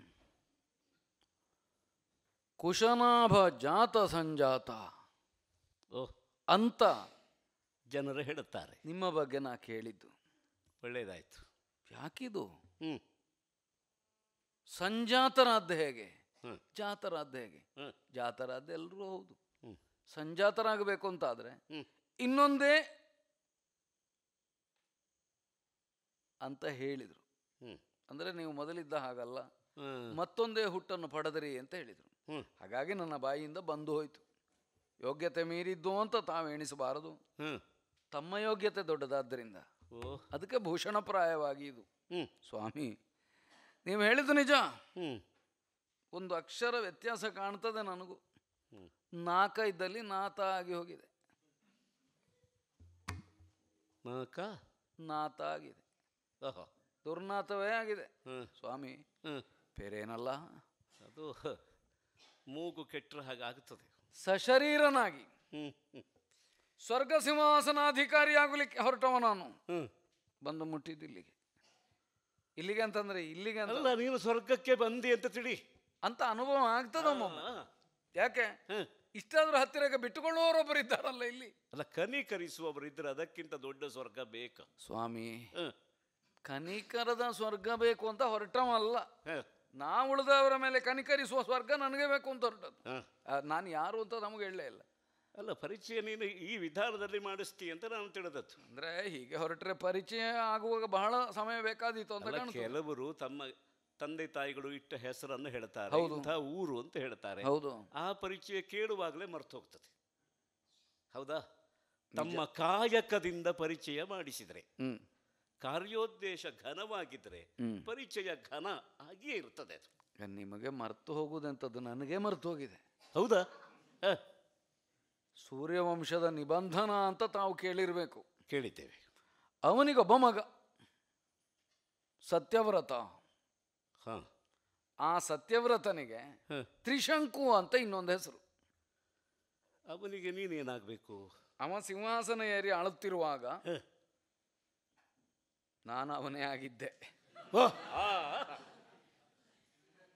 ಈಗ ಅವ ಬೇರೆ ನಾನು ಬೇರೆ ಅಂತ ನನಗೇ ಕಾಣ್ತದೆ. ಓಹೋ. ಯಾಕೆ ಹೀಗಾಯಿತು? ನನಗೊಂದು ಹಂಬಲ ಹುಟ್ಟಿತು ಸ್ವಾಮಿ. ಸ್ವರ್ಗ ಸಿಂಹಾಸನವನ್ನು ಸಶರೀರನಾಗಿ ಏರಿ ಆಳಬೇಕು ಅಂತ. ನಿನಗೆ ಹಂಬಲ ಹುಟ್ಟಿತು. ಅದಕ್ಕೆ ಕಾರಣ ನಮ್ಮ ಗುರುಗಳು ಮಾಡಿಸಿದ ನೂರು ಅಶ್ವಮೇಧ. ಹ್ಮ್. ಒಂದರ ಮೇಲೊಂದು ಒಂದರ ಮೇಲೊಂದು. ನೂರು ಅಶ್ವಮೇಧವನ್ನು ನಮ್ಮ ಕುಲುಗರುಗಳಾದಂತಹ ವಸಿಷ್ಠರು ಮಾಡಿಸಿದರು. ಸಿಕ್ಕಲಿಲ್ಲ. ಸಿಕ್ಕಲಿಲ್ವಾ? ಸಿಕ್ಕದೇ ಇದ್ದಾಗ ಯಾಕೆ ಸಿಕ್ಕಲಿಲ್ಲ? ಅಂತ ಗುರುಗಳಲ್ಲಿ ಕೇಳಿದ್ರೆ ಅದಕ್ಕೂ ಉತ್ತರ ಇಲ್ಲ. ಅದು ತಪ್ಪು ಮಾಡಿದ್ ನೀನು ಅದೇ. ಹಾ. ಈಗ ಯಜ್ಞಗಳು ನಿಜವಾಗಿ ಫಲಕ್ಕೆ ಸಾಧನ. ಹ್ಮ್. ಈ ವಿಷಯದಲ್ಲಿ ಯಾರದ್ದೂ ವಿಪ್ರತಿಪತ್ತಿ ಇಲ್ಲ. ಯಾಕೆ ಒಂದು ಸಾಧ್ಯ ಸಾಧನ ಭಾವ ಇದ್ದ ಮೇಲೆ? ಹೌದು. ನೂರು ಯಾಗಗಳನ್ನು ನೀನು ಮಾಡಿದೆ. ಅದರ ಫಲವಾಗಿ ಸ್ವರ್ಗ ನಿನಗೆ ಸಿಗಬೇಕಿತ್ತು. ಈಗ ಸ್ವರ್ಗ ಸಿಕ್ಕಲಿಲ್ಲ ಅಂದರೆ ಯಾಗ ಸರಿಯಾಗಿ ಆಗಲಿಲ್ಲ ಅಂತಾಯ್ತು. ಅಂತ ಹೇಳಲಿಕ್ಕೆ ನಮಗೆ ಧೈರ್ಯ ಬರ್ತದ? ಈಗ ಧೈರ್ಯ ಬರುವುದಿಲ್ಲ.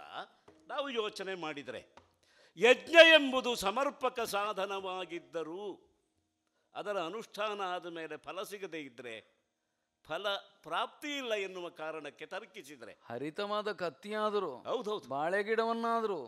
ಬೆನ್ನಿನಲ್ಲಿ ಕಡಿಲಿಕ್ಕಾಗೋದಿಲ್ಲ. ಆದ್ದರಿಂದ ಬಲ ಸಾಕಾಗಲಿಲ್ಲ ಅಂತಾಯ್ತು. ಈಗ ನಾವು ಯೋಚನೆ ಮಾಡಿದರೆ ಪುರೋಹಿತರ ದೋಷ ಇದ್ರೂ ಹೀಗಾಗ್ತದೆ. ಯಜಮಾನನ ದೋಷ ಇದ್ರೂ ಹೀಗಾಗ್ತದೆ. ದ್ರವ್ಯದ ದೋಷ ಇದ್ರೂ ಹೀಗಾಗ್ತದೆ. ಸೂರ್ಯವಂಶಕ್ಕೆ ಸೇರಿದ ರಾಜನಾದ್ರಿಂದ ಯಜಮಾನನಲ್ಲಿ ದೋಷ ಇರಲಿಕ್ಕೆ ಸಾಧ್ಯ ಇಲ್ಲ. ಹೌದಾ? ಮತ್ತೆ ಕ್ಷತ್ರಿಯರು ಅಂದ್ರೆ ಹೌದು. ಅವರು ದುಷ್ಟರಾಗುವುದಿಲ್ಲ ಅಂತ. ದೋಷ ಇರಬಹುದು. ದುಷ್ಟರಾಗುವುದಿಲ್ಲ. ಅದೊಂದು ಸೂಕ್ಷ್ಮ ಇದೆ. ಅಂದ್ರೆ ಅದನ್ನು ತೊಳ್ಕೊಳ್ಳಿಕ್ಕೆ ಬರ್ತದೆ ಹೌದಾ ನಮ್ಮ ಅನುಭವ. ಸ್ವಾನುಭವದ ಆಧಾರದ ಮೇಲೆ ಹೇಳುವುದಾದ್ರೆ ದೋಷ ತಗಲಿದ್ರೆ ಅವ ದುಷ್ಟ ಆಗುವುದಿಲ್ಲ. ತೊಳ್ಕೊಳ್ಳಿಕ್ಕೆ ಬರ್ತದೆ. ಆದ್ರಿಂದ ಆದ್ದರಿಂದ ಯಜಮಾನ ದೋಷ ಅಲ್ಲ.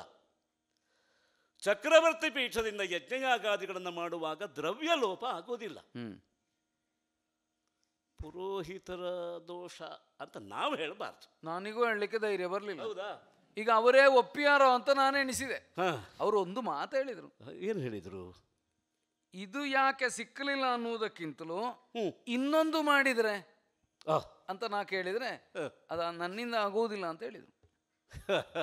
ಅಂದರೆ ಅವರಿಗೆ ಅದು ಗೊತ್ತಿಲ್ಲದೆ ಇರಬಹುದು ಅದು. ಇರ್ಬೋದು ಇರ್ಬೋದು. ಮಾತ್ರ ಅಲ್ಲ. ನನ್ನಿಂದ ಆಗೋದಿಲ್ಲ ಅಂತಂದ್ರೆ ಇಷ್ಟು ಮಾಡಿಯೂ ಆಗದೇ ಇದ್ದದ್ದು. ಇನ್ನು ಎಷ್ಟು ಮಾಡಿದ್ರು ಆಗಲಿಕ್ಕಿಲ್ಲ ನನ್ನಿಂದ ಅಂತಲೇ ಒಪ್ಪಿದ್ರು ಅಂತ ನಾನು ಎಣಿಸಿದೆ. ಹಾಗೆ ಅವರ ಸತ್ಸಂತಾನ ಪರಂಪರೆ ವಾಸಿಷ್ಠ ನಾಮಕವಾಗಿ ಮುಂದುವರಿತಾ ಉಂಟು. ಅವರಲ್ಲೇ ಹೋಗಿ ಹೇಳುವುದು ಉಚಿತ ಅಂತ ನನಗೆ ಕಂಡಿತು ಸ್ವಾಮಿ. ಹಾಗೆ ಅವರನ್ನು ಸಮೀಪಿಸಿ ಕೇಳಿದರೆ ಅದನ್ನು ಬೇರೆ ರೀತಿಯಲ್ಲಿ ಹೇಳಿದ್ರು ಅವರು. ಹೌದಾ? ಹೌದು. ಅಪ್ಪ ನನ್ನಿಂದ ಆಗೋದಿಲ್ಲ ಅಂತ ಹೇಳಿದ್ದು. ಇವ್ರು ಆಗುವುದೇ ಇಲ್ಲ ಅಂತ ಹೇಳಿದ್ರು. ಆಗುವುದೇ ಇಲ್ಲ ಅಂತ. ಆಗದ ಆಗದ ಆಗದ ಆಗದು. ಓ ಎಷ್ಟು ಸಾರಿ. ಛೇ ಛೇ ಛೇ. ಅದನ್ನು ಮತ್ತೆ ಮತ್ತೆ. ಮತ್ತೆ ಮತ್ತೆ. ಅವರಿಗೆ ಆಪ್ಯಾಯಮಾನ ಅಲ್ಲ ಅದು ಅವರ ಮಟ್ಟೆ ಹಾಗುಂಟು ಅಂತ ನಮಗೆ ಕರ್ಕಶ. ನಮಗಿದು ಕೇಳಿಯೇ ಗೊತ್ತಿಲ್ಲ. ಸ್ವಾಮಿ. ಯಾಕೆ ಅಂತ ಕೇಳಿದೆ? ನಿನ್ನಲ್ಲಿ ಇಲ್ಲ ಪೂರ್ವ ಪುಣ್ಯದ ಸುಕೃತ. ಒಂದು ಕಾರಣವನ್ನು ಹೇಳಿದ್ರು ಅವರು. ಹೇಳಿದ್ರು. ಹ್ಮ್. ಈಗ ಪೂರ್ವ ಪುಣ್ಯದ ಸುಕೃತ ಇದ್ದರೆ ಮತ್ತೆ ಯಜ್ಞ ಮಾಡುದು ಎಂತದಕ್ಕೆ ಅಂತ ಕೇಳಿ ಹೋಯ್ತು. ಅಲ್ಲ ಸರಿಯಾಗಿ ಕೇಳಿದ್ದೀನಿ ಕ್ಷತ್ರಿಯ ಅಲ್ವಾ? ಸರಿಯಾಗಿ- ಕ್ಷತ್ರಿಯ ಅಲ್ವಾ ಇದು? ಮಹರ್ಷಿಗಳೇ ಸರಿಯಾಗಿ ಕೇಳಿದೆ ಹೌದು ಕೇಳಿದವರಿಗೆ ಸರಿಯಾಗಲಿಲ್ಲ. ಅಲ್ಲ ಅದಾದ ಉತ್ತರ ಗೊತ್ತಿಲ್ಲದೆ ಇದ್ರೆ ಯಾವ ಪ್ರಶ್ನೆ ಕೇಳಿದ್ರು ಸರಿಯಲ್ಲ. ನೀವು ಮತ್ತೆ ಉತ್ತರ ಗೊತ್ತಿದ್ರೆ ಪ್ರಶ್ನೆ ಹೇಗೆ ಕೇಳಿದ್ರು ಸರಿ. ಪ್ರಶ್ನೆಯೂ ಸರಿ ಉತ್ತರವೂ ಸರಿ. ಉತ್ತರ ಗೊತ್ತಿದ್ದವನಿಗೆ ಪ್ರಶ್ನೆಯೇ ಬೇಡಲ್ಲ. ಅಲ್ಲ ಪ್ರಶ್ನೆ ಒಂದು ನೆಪ ಬೇಕಲ್ಲ. ನೀವು ಮಾತ್ರ ಓದಿದವರಲ್ಲ ಪ್ರಪಂಚದಲ್ಲಿ. ಅಂತ ಹೇಳಿದ್ಯಾ ನೀನು? ತಿಳ್ಕೊಂಡವರು ಬಹುಮಂದಿ ಇದ್ದಾರೆ ಅಂತಲೂ ನೀನು ಹೇಳಿದೆ. ಅಂತಲ್ಲಿ ನಿಮಗಿಂತಲೋ ನಿಮ್ಮ ಅಪ್ಪನಿಗಿಂತಲೋ ಅಧಿಕ ಯೋಗ್ಯತೆ ಉಳ್ಳ ಯಾರಾದರೂ ದೊಡ್ಡವರನ್ನು ಕೇಳಿ ನಾ ಯಜ್ಞ ಮಾಡಿಸಿಕೊಂಡೇನು ಅಂತ ಹೇಳಿ ಹೋಯ್ತು ಸ್ವಾಮಿ. ಸರಿಯಾಗಿ ಹೇಳಿದ್ದೆ. ಅದು ಪ್ರೇರಣೆ ಅಂದ್ರೆ ಹಾಗೆ ಸ್ಫೂರ್ತಿ ಅಂದ್ರೆ ಹಾಗೆ. ಆದ್ರೆ ಅಂದ್ರೆ. ಪರ್ವತಕ್ಕಿಂತ ಇನ್ನೊಂದು ಪರ್ವತ ಎತ್ತರವಾಗಿರಬಹುದು.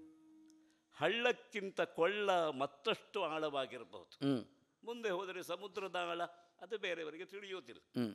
ಸರಿಯಾಗಿ ಹೇಳಿದ್ದು ಏನು ತಪ್ಪಿಲ್ಲ. ಅಂತ ನಾ ತಿಳಿದೆ. ಅಲ್ಲ ನಾವು ತಿಳಿದೇ ಹೇಳಿದ್ದೇವಲ್ಲ. ಅವರು ತಿಳಿಯದೆ ಹೋದರು. ಗೊತ್ತಾಗಲಿಲ್ಲ ಅವರಿಗೆ. ಗೊತ್ತಾಗಲಿಲ್ಲ ಅಂತ ಆದ ಕೂಡಲೇ. ಅಲ್ಲ ಹುಡುಗರು ಪಾಪ ಅವರಿಗೇನು ಗೊತ್ತಾಗ್ತದೆ. ಅಂತ ನೀವು ಹೇಳುವುದು ಸರಿ. ಆದರೆ ಆದ್ರೆ ಅವರವರನ್ನು ಹುಡುಗರು ಅಂತ ತಿಳ್ಕೊಳ್ಳಿಲ್ಲ ಮುದುಕರು ಅಂತಲೇ ತಿಳ್ಕೊಂಡಿದ್ದಾರೆ. ಓಹೋ. ಜ್ಞಾನ ವೃದ್ಧತ್ವ ಬಂದುಬಿಟ್ಟಿದೆ. ಬಿಟ್ಟಿದೆ ಆದ್ರಿಂದ ಶಾಪ ಕೊಟ್ರು.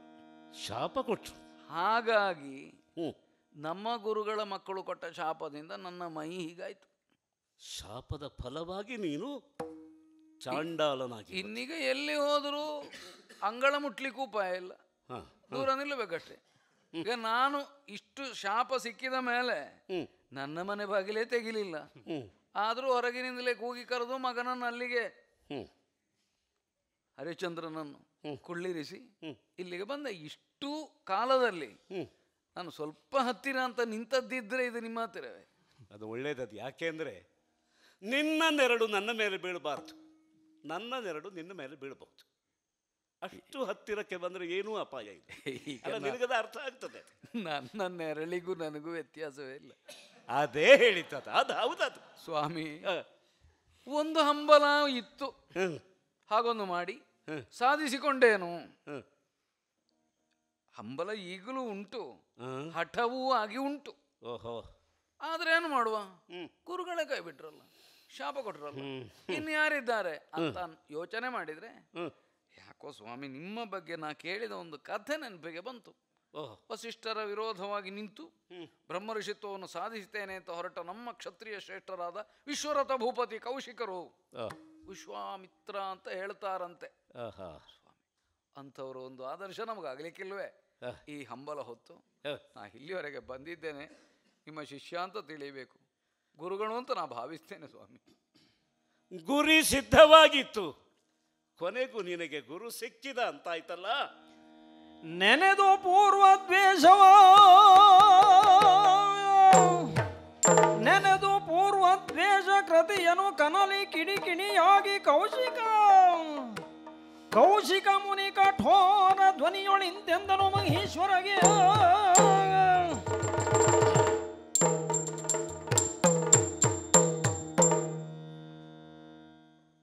ಸಿದ್ಧಿಗಳು ತಾವಾಗಿ ಬಂದು ಒದಗುವಾಗ ಹಳೆಯ ಮೂಲ, ಹಳೆಯ ಬೇರು ಮತ್ತೆ ಸಿಕ್ಕಿತು ಅಂತಾಯಿತು.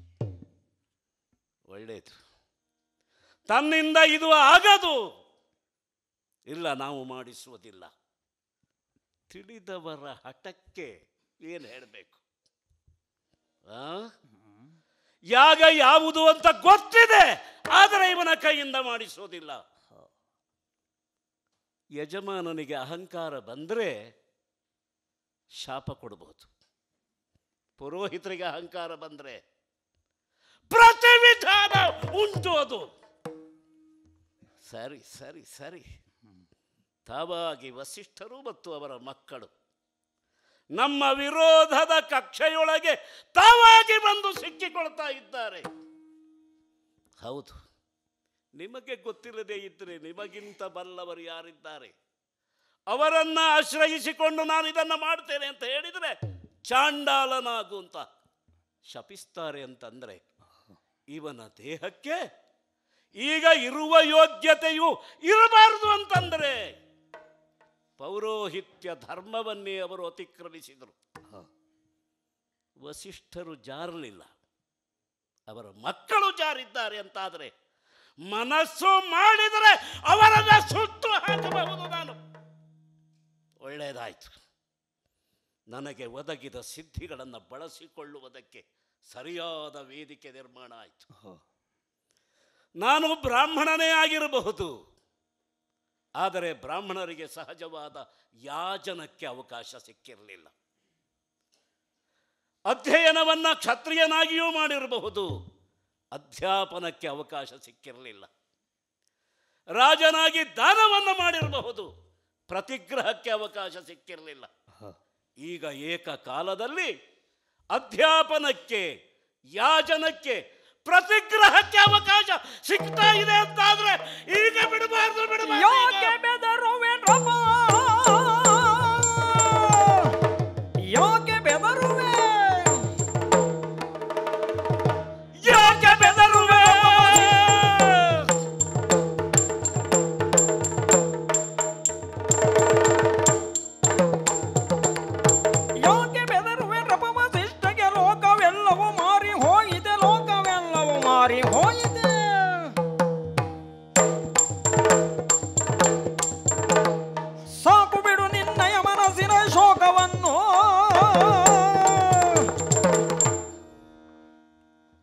ತ್ರಿಶಂಕು ಸ್ವಾಮಿನ್ ಯಾಕೆ ಹೆದರ್ತಾ ಇದ್ದೆ ನೀನು? ವಸಿಷ್ಠರಿಗೆ. ನಾನಿದ್ದೇನೆ. ವಸಿಷ್ಠರಿರಲಿ ಅವರ ಮಕ್ಕಳೇ ಇರಲಿ. ಶಕ್ತಿ ಯಾವುದಿದ್ದರೂ ನಮ್ಮಲ್ಲಿ ಯುಕ್ತಿ ಇದೆ. ನೀನು ಹೆದರಬೇಕಾದದ್ದಿಲ್ಲ. ಈ ಪ್ರಪಂಚ ಎಲ್ಲ ವಸಿಷ್ಠಗೆ ಮಾರಿಹುದೆ. ಎಲ್ಲರನ್ನೂ ತನ್ನ ವಶದಲ್ಲಿ ಇಟ್ಟುಕೊಂಡವ ವಸಿಷ್ಠ. ಎಲ್ಲರ ಹೃದಯದಲ್ಲಿ ವಾಸ ಮಾಡುವವ ವಸಿಷ್ಠ. ಒಪ್ಪಿಕೊಂಡವರು ನಾವು. ಆದರೆ ಇದೇ ಅವರ ಅಹಂಕಾರದ ಬೀಜ ಆಗುತ್ತದೆ ಅಂತಾದರೆ. ಅಲ್ಲಿ ಅವರ ಪತನ ಇದೆ ನಮಗೆ ಗೊತ್ತಿದೆ. ಒಬ್ಬ ಯೋಗ್ಯತಾವಂತ ಇರಬಹುದು ಆದರೆ ಪ್ರಪಂಚವನ್ನು ಅವ ಕ್ರಯ ಮಾಡಲಾರ. ಅವನ ಯೋಗ್ಯತೆಯ ಉಪಯೋಗ ಪ್ರಪಂಚಕ್ಕಾಗಬೇಕು. ನಿನ್ನ ಮನದಲ್ಲಿರುವಂತಹ ಶೋಕವನ್ನ ಚಿಂತೆಯನ್ನು ನೀನು ಬಿಟ್ಟು ಬಿಡು. ಬಿಟ್ಟು. ಯಾಕೆ ಅಂತಂದ್ರೆ ಈಗ ನಾವಿದ್ದೇವೆ ಈಗ ಸಮರ್ಥಕರಾಗಿ. ಹೌದು. ಸಶರೀರ ಸ್ವರ್ಗ ಪ್ರವೇಶ. ಅವರ ಕಾರಣ ಏನು? ಈ ಶರೀರ ಮಣ್ಣಿನಿಂದಾದದ್ದು. ಜನ ಹೇಳಿ ಹೇಳದೇ ಇರಲಿ. ನಾವೆಲ್ಲ ಮಣ್ಣಿನ ಮಕ್ಕಳು. ಹೌದಾ? ಹೌದು. ಕೆಲವರು ಮಣ್ಣಿನ ಮಕ್ಕಳು ಅಂತ ಹೇಳಿಕೊಂಡೇ ಅಧಿಕಾರಕ್ಕೆ ಬರೋದು. ಕೆಲವರು ಅಧಿಕಾರಕ್ಕೆ ಬಂದ ಮೇಲೆ ಉಳಿದವರಿಗೆ ಹೇಳುವುದು ನೀವೆಲ್ಲ ಮಣ್ಣಿನ ಮಕ್ಕಳು ಅಂತ. ಹೌದಾ? ಹೌದು. ಅದೆಲ್ಲ ಮುಖ್ಯ ಅಲ್ಲ. ಈ ಮಣ್ಣನ್ನು ಹೊನ್ನಾಗಿಸುವ ಅಂದರೆ ಮಣ್ಣಿನೊಳಗಿಂದ ಹೊನ್ನು ತೆಗೆಯುವ ವಿದ್ಯೆ ನಮಗೆ ಗೊತ್ತಿದ್ರೆ ಮಣ್ಣಿನ ಮಕ್ಕಳಾದ್ದೇ ಒಳ್ಳೆಯದು ಅಂತ. ಸ್ವರ್ಗಲೋಕದ ಚಿನ್ನ ಇಲ್ಲಿ ತರಬೇಕು ಅಂತಲ್ಲ. ಭೂಮಿಯ ಮಣ್ಣನ್ನಲ್ಲಿ ತೆಗೆದುಕೊಂಡು ಹೋದ್ರೆ ಏನು ತಪ್ಪು? ಸಶರೀರ ಸ್ವರ್ಗ ಪ್ರವೇಶ ಹೌದು. ಛೇ ಏನು ಭವ್ಯವಾದ ಸಂಕಲ್ಪ ಅದು. ಸ್ವಾಮಿ. ಇಂತಹ ಒಂದು ಸಂಕಲ್ಪ ಹುಟ್ಟಿದರೆ ಒಬ್ಬ ಕ್ಷತ್ರಿಯನಿಗೆ ಮಾತ್ರ ಹುಟ್ಟುವುದಕ್ಕೆ ಸಾಧ್ಯ. ನಿಮ್ಮಂಥವರು ನನ್ನ ಕಡೆಯಿಂದ ಒಂದು ಮಾತು ಹೇಳ್ತೀರಿ ಅಂತ ಅಂದರೆ. ನೂರು ವಸಿಷ್ಠರು ಎದುರು ಬಂದರೂ ನನಗೆ ಹೆದರಿಕೆ ಇಲ್ಲ. ಅಲ್ಲ ಅದು ನೀನು ಹೆದರಬಾರದು ಎನ್ನುವ ಕಾರಣಕ್ಕೆ ಹೇಳಿದ್ದು. ಸಶರೀರ ಸ್ವರ್ಗ ಪ್ರವೇಶ ಈಗ ಈ ದೇಹ ಬಿದ್ದು. ಬಿತ್ತು. ಯಾವ ಇಂದ್ರಿಯಗಳನ್ನು ಇಟ್ಟುಕೊಂಡು ಈ ಪ್ರಪಂಚವನ್ನು ಕಂಡೆವು ಆ ಇಂದ್ರಿಯಗಳೆಲ್ಲ ಸತ್ತು. ಯಾವ ಮನಸ್ಸಿನ ಬಲದಿಂದ ಸಂಕಲ್ಪವನ್ನು ಪಡ್ಕೊಂಡವು ಆ ಮನಸ್ಸು ತಟಸ್ಥ ಆಗಿ. ಪ್ರಾಣಗಳನ್ನೆಲ್ಲ ತೊರೆದು ಸ್ವರ್ಗಕ್ಕೆ ಹೋಗಬೇಕು ಅಂತ ಏನು? ಪ್ರವೇಶ ಮಾಡಿದ್ರೆ ಏನು ಪ್ರಯೋಜನ ಅಂತ? ಎಲ್ಲಿಗೆ ಹೋದ್ರೇನು ಅದೇ ಯಾವುದು ಪ್ರಾಕೃತವೋ ಯಾವುದು ಲೋಕವೋ ಅದು ಲೋಕೋತ್ತರ ಆಗಬೇಕು. ಅದೇ ಅಲೌಕಿಕವಾಗಬೇಕು. ಲೋಕವನ್ನೇ ಲೋಕೋತ್ತರದಿಂದ ಅಲೌಕಿಕವಾಗಿಸುವ ಸಂಕಲ್ಪ. ಇದೇ ಮಹಾಸಂಕಲ್ಪ ಸಂಕಲ್ಪ. ಅಂದರೆ ನಿನ್ನಂಥವನ ಸಂಕಲ್ಪ ನಮ್ಮಂಥವರಿಗೆ ಒಂದು ಕಾವ್ಯದ ವಸ್ತು ಅಂತ ಹೇಳುದು. ಈ ಮಹಾಸಂಕಲ್ಪವನ್ನು ಪೂರೈಸುವುದಕ್ಕೆ ಹ್ಮ್. ಒಬ್ಬ ಮಹಾಕ್ಷತ್ರಿಯ ಸಿದ್ಧ ಆದರೆ ಒಬ್ಬ ಮಹಾಬ್ರಾಹ್ಮಣ ಸಿಗುವುದಿಲ್ವ ಎರಡು ಒಟ್ಟಾಗಿ ಬಿಟ್ರೆ? ಅದು ಅದು ವಿಶೇಷ ಅಂತ.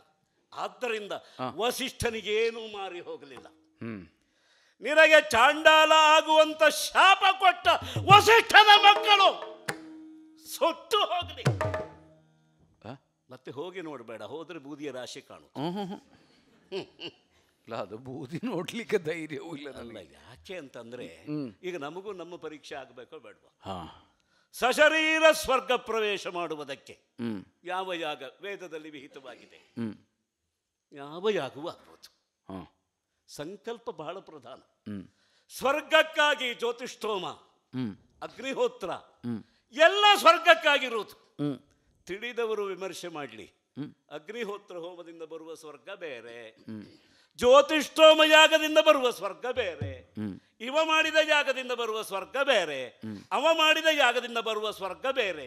ಆ ಚಿಂತನೆ ನಡೆಸಿದ್ರ ಫಲವೇ ನಮಗೆ ಪ್ರೇರಣೆ ಆದದ್ದು ಮತ್ತೆ? ನಾವು ಮಾಡಿಸುವ ಯಾಗದ ಸ್ವರ್ಗ ಬೇರೆ ಆದರೆ ಆಗಲಿ. ಆದರೆ. ಅನ್ಯಮಿಂದ್ರಂ ಕರಿಷ್ಯಾಮಿ. ಒಂದು ಸಂಕಲ್ಪ ನಮ್ಮದು ಓ. ಯಾವುದನ್ನ ಶಾಸ್ತ್ರ ಹೇಳ್ತದೆಯೋ ಅದನ್ನೇ ನ್ಯಾಯ ಸಮರ್ಥನೆ ಮಾಡಬೇಕು ಅಂತಾದ್ರೆ ಒಂದು ಪ್ರಯೋಗ ಬರೀಲಿಕ್ಕೆ ಆಗುದಿಲ್ವಾ ಏನಾಗದೆ? ಈಗ ನಮಗೂ ಹಾಗೆ ಪೌರೋಹಿತ್ಯ ಮಾಡಿಸಿ ಅಭ್ಯಾಸ ಇಲ್ಲ. ಮಾಡಿಸುವ ಉತ್ಸಾಹ ಉಂಟು. ಈಗ ಸೊಪ್ಪು ದರ್ವಿ ಅದಕ್ಕೆ ಬೇಕಾದ ಪರಿಕರ ಎಲ್ಲ ಮಾಡಿಸಿಟ್ಟಿದ್ದೇವೆ. ಒಬ್ಬ ಯೋಗ್ಯ ಯಜಮಾನ ಸಿಕ್ಕಲಿಲ್ಲ ಇಂತಹ ಮಹಾ ಸಂಕಲ್ಪವನ್ನ ಮಾಡಿದ ಒಬ್ಬ ಯಜಮಾನ ಸಿಗ್ತಾನೆ ಅಂತ ಆದರೆ. ನಾವೇ ಯಾಕೆ ಮಹಾಬ್ರಾಹ್ಮಣರಾಗಬಾರದು? ಎಲ್ಲ ಇಲ್ಲಿ ಸಿದ್ಧ ಆಗಿತ್ತು. ಅವರು ಒಪ್ಪಲಿಲ್ಲ ಅನ್ನೋದು ಬಿಟ್ರೆ ಹ. ಇದು ಶುದ್ಧವೇ ಉಂಟು. ಅಲ್ಲ ಶುದ್ಧ ಅಲ್ಲ ಆದರೂ ಮಾಡುವ ದೊಡ್ಡದಲ್ಲ. ನಿಮ್ಮ ಕೈಗೆ ಒಪ್ಪಿಸಲಿಕ್ಕೆ ನಮಗೆ ಸಂಕೋಚ ಇಲ್ಲ ಸ್ವಾಮಿ. ಅಲ್ಲ ಯಾಕೆ ಅಂದ್ರೆ ನಾವು ಒಪ್ಪಿದ ಮೇಲೆ. ಶುದ್ಧ ಅಶುದ್ಧ ಅಂತ ಭೇದವೇ ಇಲ್ಲ. ಹೌದಾ. ಈಗ ಗಂಗಾ ನದಿಯಿಂದ ಎಲ್ಲ ಗಂಗಾ ನದಿಯಲ್ಲಿ ಸ್ನಾನ ಮಾಡಿದವರ ಮೈಯೆಲ್ಲ ಮೈ ಕೊಳೆ ಎಲ್ಲ ಹೋಗುತ್ತದೆ. ಅವರು ಶುದ್ಧರಾಗುತ್ತಾರೆ. ಹಾಗೆಂತ ಗಂಗಾ ನದಿಯನ್ನು ಶುದ್ಧ ಮಾಡುವುದಕ್ಕೆ ಪ್ರಯತ್ನ ಮಾಡಿದರೆ ಅಲ್ಲ ಒಂದು ವಿಚಾರ. ಗಂಗಾ ನದಿಯ ಜಲದಲ್ಲಿ ಶುದ್ಧಿ ಇರಬಹುದು. ಜಲದ ಜೊತೆಗಿರುವುದೆಲ್ಲ ಶುದ್ಧ ಅಲ್ವಲ್ಲ? ಅದನ್ನು ತೊಳೆದ್ರಾಯ್ತಷ್ಟೇ ಹ್ಮ್. ಅಂದ್ರೆ ಅಂದ್ರೆ? ಕೊಳೆಯನ್ನ ಕಳೆದ್ರೆ ಯಾವುದು ಉಡಿತದೆಯೋ ಅದು ಸ್ವರೂಪದಿಂದ ಶುದ್ಧ. ಈಗ ಇರುವುದು ಅದು ಹಾ. ಪಾಪ ವಸಿಷ್ಠರಿಗೆ ಗೊತ್ತಾಗ್ಲಿಲ್ಲ ಅದು. ಗೊತ್ತಾಗದೆ ಇದ್ದದು ಒಳ್ಳೇದಾಯ್ತು. ಅವನ ಮಕ್ಕಳಿಗಂತೂ ಇದು ತಿಳಿಯಲೇ ಇಲ್ಲ. ಅದು ಆ ಪರಂಪರೆಯಲ್ಲಿರುವ ದೋಷ ಅದು. ನಮದಾಗಲ್ಲ ಹೊಸ ಪ್ರಯೋಗ. ಹೊಸ ಪರಿಣತಿ. ಹೊಸ ಪಾಕ. ಈಗ ಪ್ರಯೋಗ ಮಾಡುವವರು ಸ್ವಲ್ಪ ಮೈ ಸುಟ್ಕೊಳ್ಳೋದು ಹೆಚ್ಚು. ಹೌದು. ಯಾಕೆ? ಅದು ಅನಿವಾರ್ಯ ಅದು. ಮಾಡುವವರಿಗೆ ಮೈ ಸುಡ್ತದೆ ಉಣ್ಣುವವರಿಗೆ ಬಾಯಿ ಸುಡ್ತದೆ. ಆದ್ರೂ ಒಂದು ಒಳಗೆ ಹೋದ ಮೇಲೆ ತೇಗ ಬರ್ತದಲ್ಲ? ಗೊತ್ತಾಗ್ತದೆ. ಅದು ಗೊತ್ತಾಗ್ತದೆ ತೇಗ ಬರ್ತದಲ್ಲ. ಆದ್ದರಿಂದ ಆ ಸುಖಕ್ಕಾಗಿ ಒಂದು ಹೊಸ ಪೌರೋಹಿತ್ಯ. ಅದೀತು ಆಗಬಹುದಾ? ಅದೀತು ಬಳಿಕ ವಿಧಿಸುತ ಮಂತ್ರದಲ್ಲಿ ನಿರ್ಮಲ ಹೃದಯನನು ಮಾಡಿದನು ರವಿಕುಲ ಜನನು. ಬಳಿಕ ವಿಧಿಸುತ ಮಂತ್ರದಲ್ಲಿ ನಿರ್ಮಲ ಹೃದಯನನು ಮಾಡಿದನು ರವಿಕುಲ ಜನನು ದೀಕ್ಷಾ ಪವಿತ್ರವ ನಿತ್ತನಾತಂಗೆ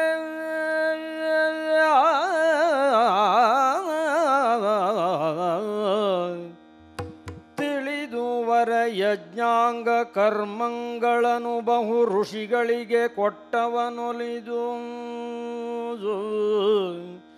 ತಿಳಿದುವರ ಯಜ್ಞಾಂಗ ಕರ್ಮಗಳನ್ನು ಬಹು ಋಷಿಗಳಿಗೆ ಕೊಟ್ಟವ, ಒಲಿದು ಯಾಜಕತಾನಾದನೈ ಆ ಮಹಾಧ್ವರಕ್ಕೆ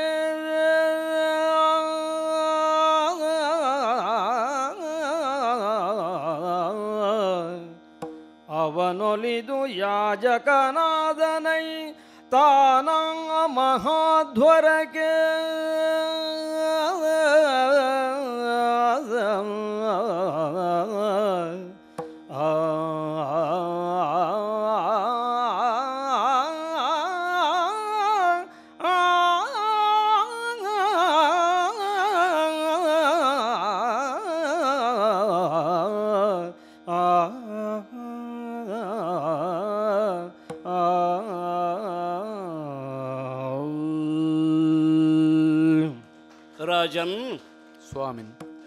ಮಹಾಧ್ವರಕ್ಕೆ ನಾವೆಲ್ಲ ಸಿದ್ಧತೆಯನ್ನು ಮಾಡಿಕೊಂಡಿದ್ದೇವೆ. ಇದು ಈ ಯಜ್ಞಶಾಲೆಯನ್ನು ಪ್ರವೇಶ ಮಾಡ್ತಾ ಇದ್ದೇವೆ. ಒಳ್ಳೆಯದು ಯಜ್ಞಶಾಲಾ. ಯಜಮಾನ ಬೇರೆಯಲ್ಲ ಯಜ್ಞಶಾಲೆ ಬೇರೆಯಲ್ಲ. ಯಜಮಾನನ ದೇಹದ ಅಳತೆಯಲ್ಲಿಯೇ ಸಿದ್ಧಪಡಿಸಿದ ಯಜ್ಞಶಾಲಾ. ಯೋಚನೆ ಮಾಡು. ತನ್ನದು ಚಾಂಡಾಲ ಶರೀರ. ಯಜ್ಞಶಾಲೆ ಚಾಂಡಾಲ ಆಯಿತು ಅಂತ ಗ್ರಹಿಸಬೇಡ. ಈ ಯಜ್ಞಶಾಲೆಯಲ್ಲಿ ಪ್ರವೇಶ ಮಾಡುವಾಗಲೇ ನಿನ್ನ ದೇಹ ಧರ್ಮಗಳೆಲ್ಲ ಪರಿವರ್ತಿತವಾಗ್ತಾ ಇವೆ.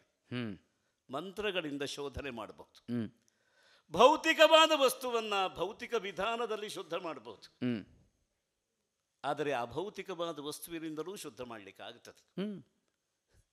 ಗಾಳಿ ನೀರು ಬೆಂಕಿಗಳೇ ಶೋಧನೆ ಮಾಡುವುದಕ್ಕೆ ಸಮರ್ಥವಾಗಿವೆ ಅಂದರೆ ಅವುಗಳ ಶಕ್ತಿಯನ್ನು ಪ್ರಚೋದಿಸುವ ಮಂತ್ರಗಳಿಗೆ ಎಷ್ಟು ಶಕ್ತಿ ಇದೆ ಯೋಚನೆ ಮಾಡು. ಮಕ್ಕಳಾದವರೆಲ್ಲ ಮಾತಾಡ್ತಾರೆ. ಮಂತ್ರಕ್ಕೆ ಮಾವಿನಕಾಯಿ ಉದುರೋದಿಲ್ಲ ಅಂತ. ಮಾವಿನಕಾಯಿ ಉದುರಿಸ್ಲಿಕ್ಕೆ ಮಂತ್ರ ಬಳಸಿದರೆ ಅವರಂತಹ ಹೆಡ್ಡರು ಯಾರಿದ್ದಾರೆ ಹೇಳು. ಮರದಲ್ಲಿ ಮಂತ್ರ ಮಂತ್ರದಿಂದ ಮಾವಿನ ಮರ ಬೆಳೆಸಬಹುದು. ಮಾವಿನಕಾಯಿ ಉದುರಿಸುವುದಲ್ಲ ಅದು. ಒಂದು ವೇಳೆ ಹಾಗೆ ಉದುರುತ್ತದೆ ಅಂತ ಆದ್ರೆ ಯಾವ ಮಾವಿನ ಮರದಲ್ಲಿಯೂ ಕಾಯಿ ಇರ್ಲಿಕ್ಕಿಲ್ಲ. ಇರ್ಲಿಕ್ಕಿಲ್ಲ. ಯಾಕೆ? ಮಂತ್ರ ಹೇಳುವವರು ಇದ್ದೇ ಇರ್ತಾರೆ. ಆದ್ದರಿಂದ ಮಂತ್ರದಿಂದ ನಿನ್ನ ದೇಹ ಧರ್ಮವನ್ನ ಶೋಧನೆ ಮಾಡಿ. ಹ್ಮ್. ನಿನ್ನ ಮನಸ್ಸನ್ನ ಮಡಿ ಮಾಡ್ತಾ ಇದ್ದೇವೆ ನಾವು. ನಿನ್ನ ಸಂಕಲ್ಪ ಎಷ್ಟು ಶುದ್ಧವಾಗ್ತಾ ಇದೆ ನೋಡಿ. ಇದು ಚಾಂಡಾಲ ದೇಹ. ಅದು ಸ್ವರ್ಗ. ಅಲ್ಲಿ ಪ್ರವೇಶ ಮಾಡುವುದಕ್ಕೆ ಹೇಗೆ ಸಾಧ್ಯ. ಅದು ಹೇಗೆ ಸಾಧು? ಈಗ ಮನಸ್ಸಿನ ಶುದ್ಧಿ ಅಂತಂದ್ರೆ ಅದು ನಿರ್ಣಯದಿಂದ ಮಾತ್ರ ಸಾಧ್ಯ. ಯಾರ ಮನಸ್ಸಿನಲ್ಲಿ ಸಂದೇಹ ಇದೆಯೋ ಗೊಂದಲ ಇದೆಯೋ. ಆತಂಕ ಇದೆಯೋ ಅವನು ಯಾವುದನ್ನೂ ಮಾಡುವುದಕ್ಕೆ ಸಾಧ್ಯ ಇಲ್ಲ. ಅವನು ಏನೇ ಮಾಡಿದರೂ ಅದು ಸಂದೇಹದ ಗೂಡಾಗ್ತದೆ. ಆದ್ದರಿಂದ ಮನಸ್ಸಿನ ನೈರ್ಮಲ್ಯ ಇರುವುದು ನಿರ್ಣಯದಲ್ಲಿ. ನಿರ್ಣಯ ಸರಿಯಾಗಬೇಕು. ಸರಿಯಾಗದೆ ಇದ್ರೂ ತೊಂದರೆ ಇಲ್ಲ. ಅದು ನಿರ್ಣಯವಾದ ಕಾರಣದಿಂದಲೇ ಮನಸ್ಸು ಸಮರ್ಥವಾಗ್ತದೆ. ನಿರ್ಣಯ ತಪ್ಪಲಿ. ಫಲ ತಪ್ಪುವುದಿಲ್ಲ. ಆದ್ದರಿಂದ ನಿನ್ನ ಮನಸ್ಸಿನಲ್ಲಿರುವಂತಹ ಸಂದೇಹ ಮೊದಲಾದಗಳ ವಿಚಿಕಿತ್ಸೆ ಮೊದಲಾದಂತಹ ಧರ್ಮಗಳನ್ನೆಲ್ಲ ನಿವಾರಣೆ ಮಾಡಿ. ಮನಃಶುದ್ಧಿಯನ್ನು ಸಂಪಾದನೆ ಮಾಡಿ ಆಗಿದೆ. ಯಜ್ಞಶಾಲೆಯಲ್ಲಿ ತ್ರೇತಾಗ್ರಿಗಳ ಸ್ಥಾಪನೆ. ಆಹವನೀಯ ಗಾರ್ಹಪತ್ಯ ದಕ್ಷಿಣ. ಯಜಮಾನನ ಸ್ಥಾನ ಇದು. ಆ ಸ್ಥಾನವನ್ನು ನಿರ್ದೇಶ ಮಾಡಿದ್ದೇವೆ. ಒಳ್ಳೆಯದು ಬೇರೆ ಬೇರೆ ಋಷಿ ಮುನಿಗಳನ್ನೆಲ್ಲ ಆರ್ತ್ವಿಜ್ಯಕ್ಕೆ ಆಹ್ವಾನಿಸಿದ್ದೇವೆ. ನಾವು ಕಣ್ಣು ಬಿಟ್ಟರು ಸಾಕು. ಅವರೆಲ್ಲ ಹಾಗೆ ಬಂದು ಅಲ್ಲಲ್ಲಿ ಕುಳಿತು ತಮ್ಮ ಕರ್ತವ್ಯವನ್ನು ನಿರ್ವಹಿಸ್ತಾರೆ. ಕ್ರಮ ಅಂತ ಕೇಳೋದು. ಕೋ ಯಜ್ಞ. ಯಾವ ಯಜ್ಞ? ಕಾ ದಕ್ಷಿಣ ಅಂತ ಕೇಳೋದು. ಅಂದ್ರೆ ದಕ್ಷಿಣೆ ತೆಗೆದುಕೊಳ್ಳದೆ ಯಜ್ಞ ಮಾಡಬಾರ್ದು. ನಾವು ಇಲ್ಲಿವರೆಗೆ ದಕ್ಷಿಣೆ ಕೊಟ್ಟವರು ತಗೊಂಡವರಲ್ಲ. ಇವತ್ತು ನೀನು ಏನು ದಕ್ಷಿಣೆ ಕೊಡ್ತೀ ಅಂತ ನಾವು ಕೇಳೋದು. ಬೇರೆ ಏನೂ ಬೇಡ. ನಾವೆಲ್ಲ ಗೋಧನರು ಸಾಮಾನ್ಯ ವೈದಿಕರಾದರೆ ಅವರೆಲ್ಲ ಅಗೋಧನರು. ನಾವು ಗೋಧನರು. ನೀನಷ್ಟು ಗೋ ಸಂತತಿ ಕೊಟ್ಟರೆ ಮುಟ್ಟಿದರೆ ನಂದಿನಿ ಧೇನು ಮಾಗಿಸ್ತೇವೆ. ಅದು ಅದು ಬಹಳ ಮುಖ್ಯ ಅದು. ಹೌದೌದು. ಅಂದರೆ? ಹೌದು ಒಂದು ಕಾಲದಲ್ಲಿ ನಂದಿನಿ ಧೇನುವನ್ನು ಮುಟ್ಟಿದವರು. ನಂದಿನಿ ಧೇನು ಮುಟ್ಟಿದಾಗ ಕಳ್ಕೊಂಡಿದ್ದೇವೆ. ಈಗ ಯಾವ ಗೋವನ್ನು ಮುಟ್ಟಿದ್ರು ಅದು ನಂದಿನಿ ಧೇನುವಾಗ್ತದೆ ಇದು ಪುರೋಹಿತರ ಒಂದು ನಿಜವಾದ ಅರ್ಹತೆ ಅಂತ. ಇದು ದೀಕ್ಷಾ ವಿಧಾನ. ಋತ್ವಿಜರನ್ನು ದೀಕ್ಷೆಗೊಳಿಸುವುದಕ್ಕೆ ಅವರನ್ನು ದಕ್ಷವಾಗಿಸುವುದಕ್ಕೆ ದಕ್ಷಿಣ. ಅವರು ಕೇಳುವುದು ಇವರು ಕೊಡುವುದು ಅಂತಲ್ಲ. ವಿತ್ತದಿಂದ ಎಲ್ಲವನ್ನು ಕ್ರಯಕ್ಕೆ ತೆಗೆದುಕೊಳ್ಳಲಾಗದು. ಚಿತ್ತದಿಂದ ನಾವು ಕ್ರಯಿಸಬಹುದು. ಆದ್ದರಿಂದ ಈ ಗೋಧನವೆಂಬ ನೆಪದಿಂದ ನಮ್ಮ ಚಿತ್ತ ಸರಿಯಾಗಿ ನಾವು ಇಟ್ಟುಕೊಂಡ್ರೆ ಯಾವುದನ್ನು ಕ್ರಯಕ್ಕೆ ತೆಗೆದುಕೊಳ್ಳಬಹುದು. ಆದ್ದರಿಂದ ಚಿತ್ತಕ್ರಯವಾಗಲಿ ವೇತಕ್ರಯ ಆಗಬಾರದು. ಅದೇ ನಿಜವಾದ ದೀಕ್ಷಾ ವಿಧಾನ ಅಂತ ದೀಕ್ಷಾ ವಿಧಾನವನ್ನು ಕೊಡಿಸ್ತಾ ಯಜ್ಞವನ್ನು ಪ್ರಾರಂಭ ಮಾಡೋಣ. ಒಳ್ಳೆಯದು ಒಳ್ಳೆಯದು ಒಳ್ಳೆಯದು.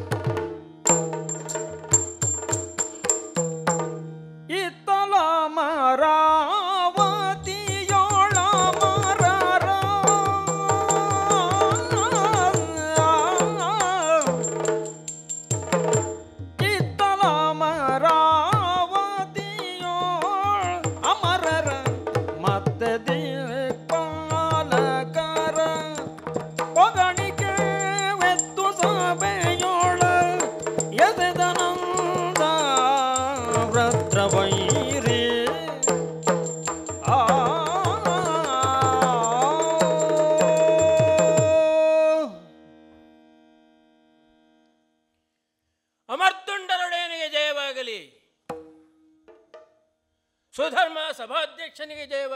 ಶುಭಮಸ್ತು ಸ್ವಸ್ತಿ. ದಿಕ್ಪಾಲಕರೇನು ಸೇರಿದ ಪುಣ್ಯಪುರುಷರ ಮಹಾಸಭೆಯಿಂದ ಪ್ರತಿಯೊಬ್ಬನೂ ಘೋಷಣೆಯನ್ನು ಮಾಡುತ್ತಾ ಇದ್ದಾರೆ.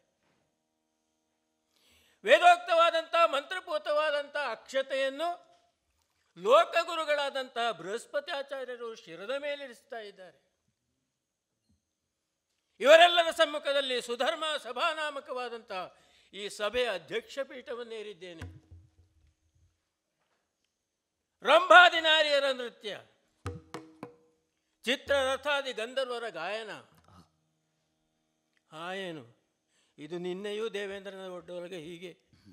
ಇವತ್ತು ಹೀಗೆ. ನಾಳೆಯೂ ಹೀಗೆ. ಹಾಗಿದ್ರೆ ಹೀಗೆ ಯಾಕೆ? ಅದನ್ನು ಯೋಚನೆ ಮಾಡಬೇಕಾದ್ದು. ಏನದರ ವೈಶಿಷ್ಟ್ಯ ಸುಧರ್ಮ ಸಭೆಯದ್ದು? ಇಂದ್ರಪೀಠದ ಮಹತ್ತೇನು? ಇದನ್ನು ಮೊತ್ತ ಮೊದಲಾಗಿ ಅರ್ಥ ಮಾಡಿಕೊಳ್ಬೇಕು. ಇಷ್ಟು ಹೇಳಿದರೆ ಸಾಕಾಗ್ತದೆ. ವಿರಾಟ್ ಸ್ವರೂಪನ ಶಿರಸ್ಸೇ ಸ್ವರ್ಗ. ಆ ಸ್ವರ್ಗದಲ್ಲೊಂದು ಸುಧರ್ಮ ಸಭಾಪೀಠ ಅಂತ ಯಾಕೆ? ಲೋಕದಲ್ಲಿ ಧರ್ಮಾಧರ್ಮಗಳ ಸಮತೋಲವನ್ನು ಕಾಪಾಡಿಕೊಳ್ಳುವುದಕ್ಕೆ ಮೂರು ಮೂರ್ತಿಗಳಿಂದ ನಿರ್ಮಿತವಾದಂತಹ ಸೃಷ್ಟಿಸಲ್ಪಟ್ಟಂತಹ ಅಧ್ಯಕ್ಷ ಪೀಠ ಇದು. ಅದನ್ನು ಹೇಳಿದ್ದೇನೆ. ಎನ್ನುವಲ್ಲಿ ಗರ್ವ ಅಲ್ಲ. ಆತ್ಮಸಂತೃಪ್ತಿ. ಹಾಗಿದ್ರೆ ಹೇಗೆ ಲಾಭ ಆಯಿತು, ಹೇಗೆ ನಮಗೆ ದೊರಕಿತು ಈ ಸ್ಥಿತಿ? ಶತಾಧ್ವರಗಳನ್ನು ಮಾಡುವುದರ ಮೂಲಕವಾಗಿ ಶತಮನ್ಯುವೆಂದು ಕರೆಸಿಕೊಂಡು ನಾನು ಈ ಪೀಠವನ್ನೇರಿದ್ದೇನೆ ಮೂರು ಮೂರ್ತಿಗಳ ಮನಸ್ಸನ್ನು ಮೆಚ್ಚಿಸಿದ್ದೇನೆ. ಇಲ್ಲಿ ಯೋಚನೆ ಮಾಡಬೇಕಾದ ವಿಷಯ ಇಷ್ಟೇ. ಅವರು ಮೆಚ್ಚಿದ ಮೇಲಲ್ವೋ ನಾನು ಮೆಚ್ಚಿಸಿದ್ದೇನೆ ಅಂತ ಆಗೋದು. ಹಾಗಾಗಿ ಮೆಚ್ಚಿಸುವುದಕ್ಕಾಗಿ ಮಾಡಿದ ಯಾಗಲ್ಲ ಇದು. ಅವರು ಮೆಚ್ಚಿಕೊಂಡ ಮೇಲೆ ಮೂರು ಮೂರ್ತಿಗಳ ಮನಸ್ಸನ್ನು ಮೆಚ್ಚಿಸಿದ್ದೇನೆ. ಅಂದರೆ ಯಜ್ಞ ಮಾಡುವಂಥ ಸಂದರ್ಭದಲ್ಲಿ ನಿಸ್ಪೃಹತೆಯಿಂದ ಮಾಡಿದ್ದೇನೆ. ಹಾಗಾಗಿಯೇ ಪುರಂದರನಾದಂಥ ನಾನು ಇವತ್ತು ದೇವೇಂದ್ರ ಅಂತ ಕರೆಸಿಕೊಳ್ಳುವುದಕ್ಕೆ ಸಾಧ್ಯವಾದದ್ದು. ಆ ಕಾರಣದಿಂದಲೇ ಸ್ವರ್ಗದ ಮಹತ್ವ ಏನು? ಪರುಷ ವಂಗಣದ ಕಲು, ಸುರಭಿ ಕರಹಂ ಕಲ್ಪತರುವನಂ ಇತ್ಯಾದಿ ಇತ್ಯಾದಿ ಇತ್ಯಾದಿ. ಅದಕ್ಕೆ ಶಿಖರ ಇಟ್ಟ ಹಾಗೆ ಇಷ್ಟನ್ನೆಲ್ಲ ನೋಡಿಕೊಳ್ಳುವಂಥ ಹೊಣೆಗಾರಿಕೆ ಯಾರಲ್ಲಿ? ಅಭವನಲ್ಲಿ. ಜಗತ್ಪಿತನಾದಂಥ ಪರಮೇಶ್ವರನಲ್ಲಿ ಅವನಿಷ್ಟನ್ನು ನೋಡಿಕೊಳ್ಳಬೇಕಿದ್ರೆ ಇದು ಎಷ್ಟು? ಇದನ್ನು ಅರ್ಥ ಮಾಡಿಕೊಳ್ಬೇಕು. ಗೊತ್ತಾಯಿತು ನೋಡಿ ಒಂದು ಉಪಾಯ. ನೂರು ಯಾಗಗಳನ್ನು ಮಾಡಿದರೆ ದೇವೇಂದ್ರನಾಗುವುದಕ್ಕೆ ಸಾಧ್ಯ ಆಗ್ತದೆ. ಯೋಚನೆ ಮಾಡಲಿಲ್ಲ ಅವರು.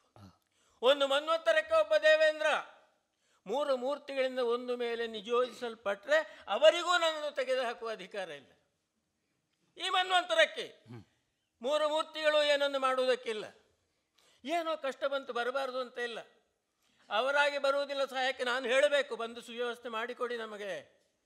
ಅಷ್ಟಿದೆ ನಮ್ಮ ಯೋಗ್ಯತೆ. ನೂರು ಯಾಗ ಮಾಡಿದರೆ ಆಯಿತು ಅಂತ ಯೋಚನೆ ಮಾಡಿದರು.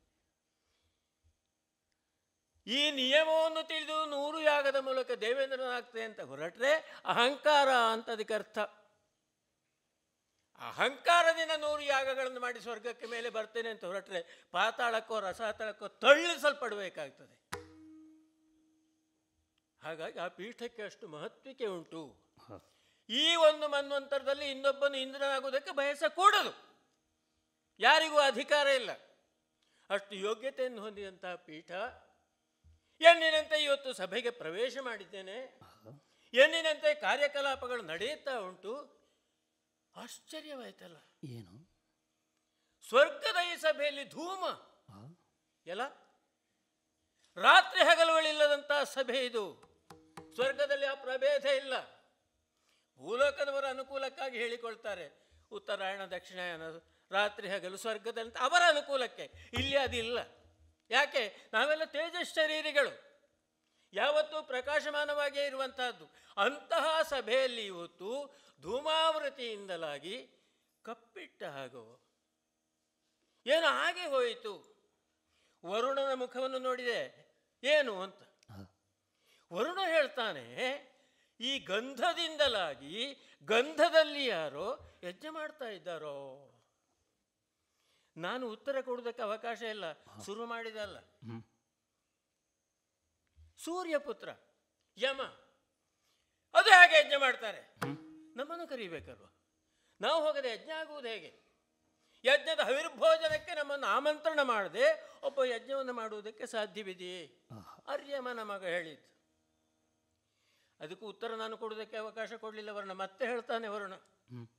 ಭೂಲೋಕದಲ್ಲಿ ಭೂಸುರರು ಎನ್ನುವಂತಹ ಋಷಿಪೋತ್ತಮರು ಮಾಡುವಂತಹ ಚಾಕಚಕ್ಯತೆಯ ಕೆಲಸಗಳು ಅಥವಾ ಋಷಿಗಳ ವೃತ್ತವನ್ನು ಅರ್ಥ ಮಾಡಿಕೊಳ್ಳೋದಕ್ಕೆ ಸಾಧ್ಯವಿದೆಯೇ?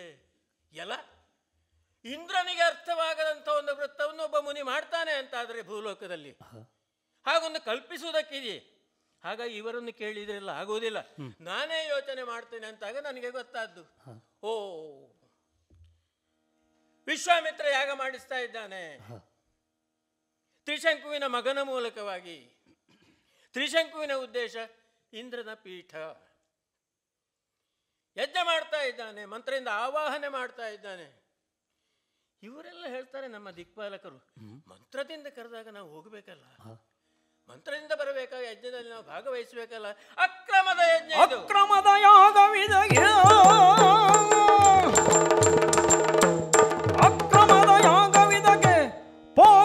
ಹೋಗುವುದು ಸಕ್ರಮವಾದಾಗ ಮನಕ್ಕೆ ಹೋಗುವುದು ಸಕ್ರಮವಾದ ಆಗಮನಕ್ಕೆ ವಕ್ರವಾಗದು ಯೋಚಿಸಿ ನೋಡೆನುತ ಶಕ್ರ ನುಡಿದನು ಗರ್ವಿಸಿ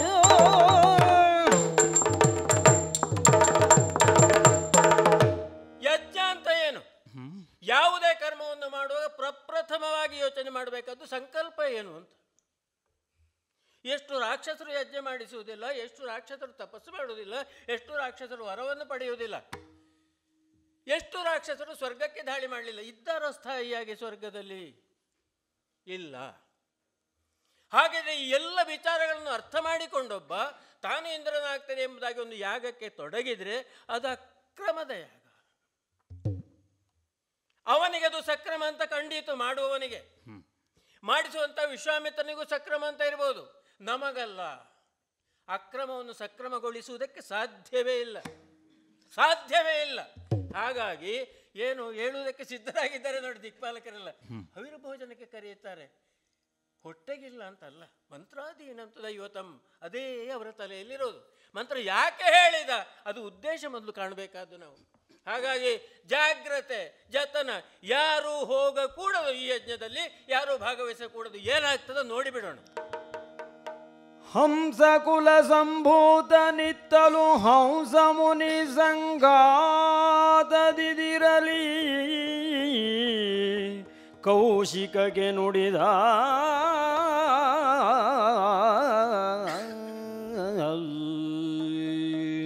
ಸ್ವಾಮಿ. ಋಷಿಯೇ ಲಾಲಿಸು ಹವ್ಯ ಭಾಗಕ್ಕೆ ಸಮನಸರಾರು ಬರಲಿಲ್ಲ ಸ್ವರ್ಗಕ್ಕೆ ಸುಮನಸರಾರು ವರಲಿಲ್ಲ ಸ್ವರ್ಗಕ್ಕೆ ಸಶರೀರನಾಗಿ ಪೋಪೋದಕ್ಕಿನ್ನು ಆವ ವಿಷಮವಾಗುವುದೋ.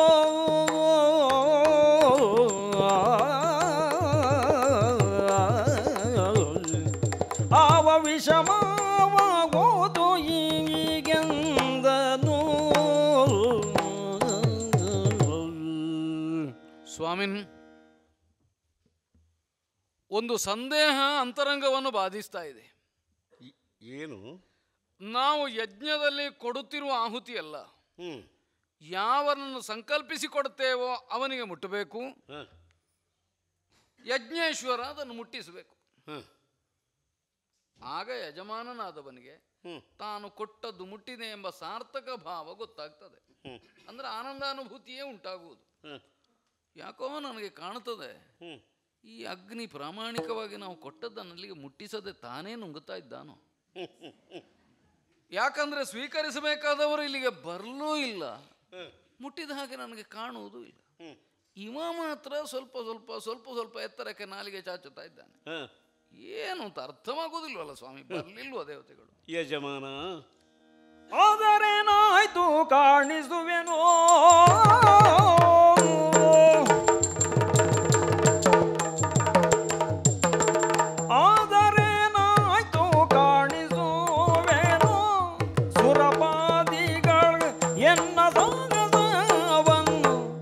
ಸುರಪಾದಿಗಳ ಎನ್ನ ಸಾಹಸವ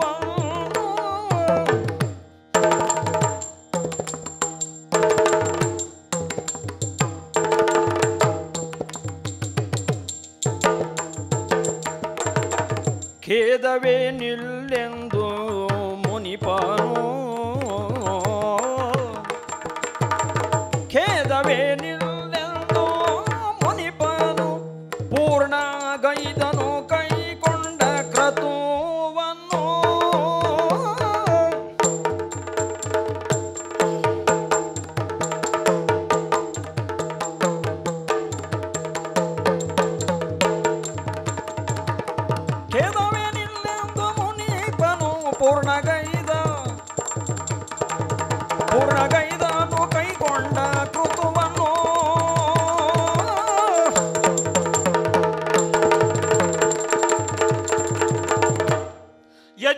ಯಜ್ಞಕುಂಡವನ್ನು ನಾವು ಗಮನಿಸ್ತಾ ಇದ್ದೇವೆ.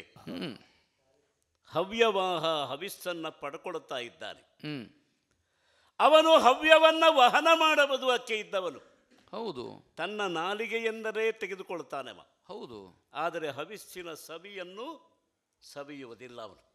ವಾಹನ ಮಾಡಬೇಕು ಇಲ್ಲದಿದ್ರೆ ವಮನವಾದರೂ ಮಾಡಬೇಕಲ್ಲ. ವಮನ ಮಾಡಬಾರ್ದು ಅದಕ್ಕೆ ಪ್ರಾಯಶ್ಚಿತ್ತ ಉಂಟು. ಇವ ಇಟ್ಟುಕೊಳ್ತಾನೋ ಅಂತ ಕಾಣ್ತದೆ ಮುಟ್ಟಿಸದಿದ್ರೆ. ಪ್ರಾಯಶ್ಚಿತ್ತಕ್ಕೆ ಇಲ್ಲಿ ಅವಕಾಶ ಇಲ್ಲ. ಹಾ. ಕುಂಡದಲ್ಲಿ ಹಾಕಿದ ಆಹುತಿಗಳೆಲ್ಲ ಕರಟಿ ಹೋಗ್ತಾ ಇವೆ. ಹೌದು. ಅವನ ಕೆನ್ನಾಲಿಗೆಯ ಒಳಗೆ ಅದು ಕರಗಿ ಹೋಗ್ತಾ ಇದೆ ಅಂತ ಆದರೆ ಅಲ್ಲಿಯವರೆಗೆ ಸರಿಯಾಗಿದೆ. ದೇವತೆಗಳು ಬರಲಿಲ್ಲ. ಬಂದು ಹವಿಸ್ಸನ್ನ ಪಡಿತಾ ಇಲ್ಲ. ಯಾಕೆ ಅಂತ ಯೋಚಿಸುವಾಗ ಹ್ಮ್. ಸುರಪನ ಷಡ್ಯಂತ್ರ ಇತ್ತು. ಅಂದ್ರೆ ಆಯಾ ದೇವತೆಗಳು ಇಲ್ಲಿಗೆ ಬಂದು ಹವಿರ್ಭಾವವನ್ನ ಭಾಗವನ್ನ ತೆಗೆದುಕೊಳ್ಳುವುದಕ್ಕೆ ಅವನು ಪ್ರತಿಬಂಧ ಮಾಡ್ತಾ ಇದ್ದಾನೆ ಅಂತ ಆದರೆ ಹೋ ಹೋ ಹೋ. ಈ ಕೆಲವರಿಗೆ ಹಾಗೆ ಆಗೋದದು ಹ್ಞೂ. ಅಸೂಯ. ಹೌದು. ದೇವತೆಗಳಿಗೆ ಅಸೂಯೆ ಇರಬಾರ್ದು. ತೇಜ ಶರೀರ ಸುಮನಸರು ಅಂತಲ್ವ? ಹೌದಾ ಸುಮನಸರು ಅಂತ ಹೆಸರು. ನಿಜವಾಗಿ ನಮ್ಮ ಭೂಲೋಕದಲ್ಲಿ ಬೆಳೆಯುವ ಈ ಸುಮನಸ ಎಂಬ ಹೂವುಗಳಿಗಿರುವ ಗಂಧವೂ ಅವಕ್ಕಿಲ್ಲ. ಸುಮನಸರು ಹೌದವರು. ಇದರಿಂದ ತೃಪ್ತಿ ಪಡುವುದಕ್ಕಿದ್ದವರು. ಭೋಗ ಭೂಮಿಯಲ್ಲಿ ಇದ್ದವರಿಗೆ ಉಳಿದ ಮನೋಧರ್ಮಗಳು ಇಲ್ಲದೆ ಇರಬಹುದು. ಆದರೆ ಅಸೂಯೆಗೆ ಅವಕಾಶ ಉಂಟದು. ಹ್ಮ್. ನಾಕ ದುಃಖವಿಲ್ಲದ ಸುಖ. ಹ್ಮ್. ದುಃಖ ಇದ್ದರೆ ಸ್ವಲ್ಪ ಸಂಸ್ಕಾರ ಆಗುತ್ತಿತ್ತು ಕಷ್ಟಪಟ್ಟು ಕಷ್ಟಪಟ್ಟು ಈ ಸುಖ ಪಡೆದಿದ್ದೇವೆ. ಆದ್ದರಿಂದ ಬೇರೆಯವರು ಕಷ್ಟಪಟ್ಟರೆ ಹಂಚಬಹುದು ಅಂತ. ಹ್ಮ್.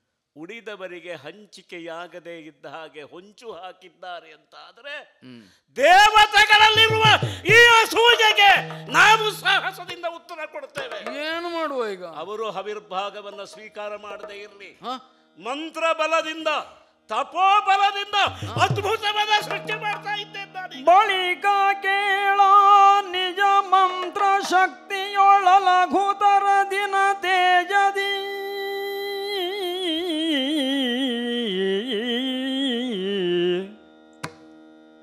ನಿಜ ಮಂತ್ರ ಶಕ್ತಿಯೊಳಲಘುತರ ದಿನ ತೇಜದಿ ನಿರ್ಮಲ ವಿಮಾನವನೊಂದ ಮಾಡಿ. ನಿರ್ಮಲ ವಿಮಾನವನೊಂದ ಮಾಡಿದದಂತರಾಳದಲ್ಲಿ ನಿಲ್ಲಿಸುತ್ತಾ ಭೂಪನನು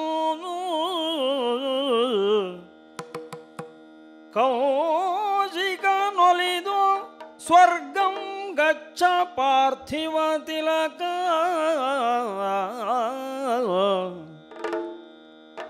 ಸ್ವರ್ಗಂ ಗಚ್ಚ ಪಾರ್ಥಿವ ತಿಲಕಾಯನೆ ನೃಪ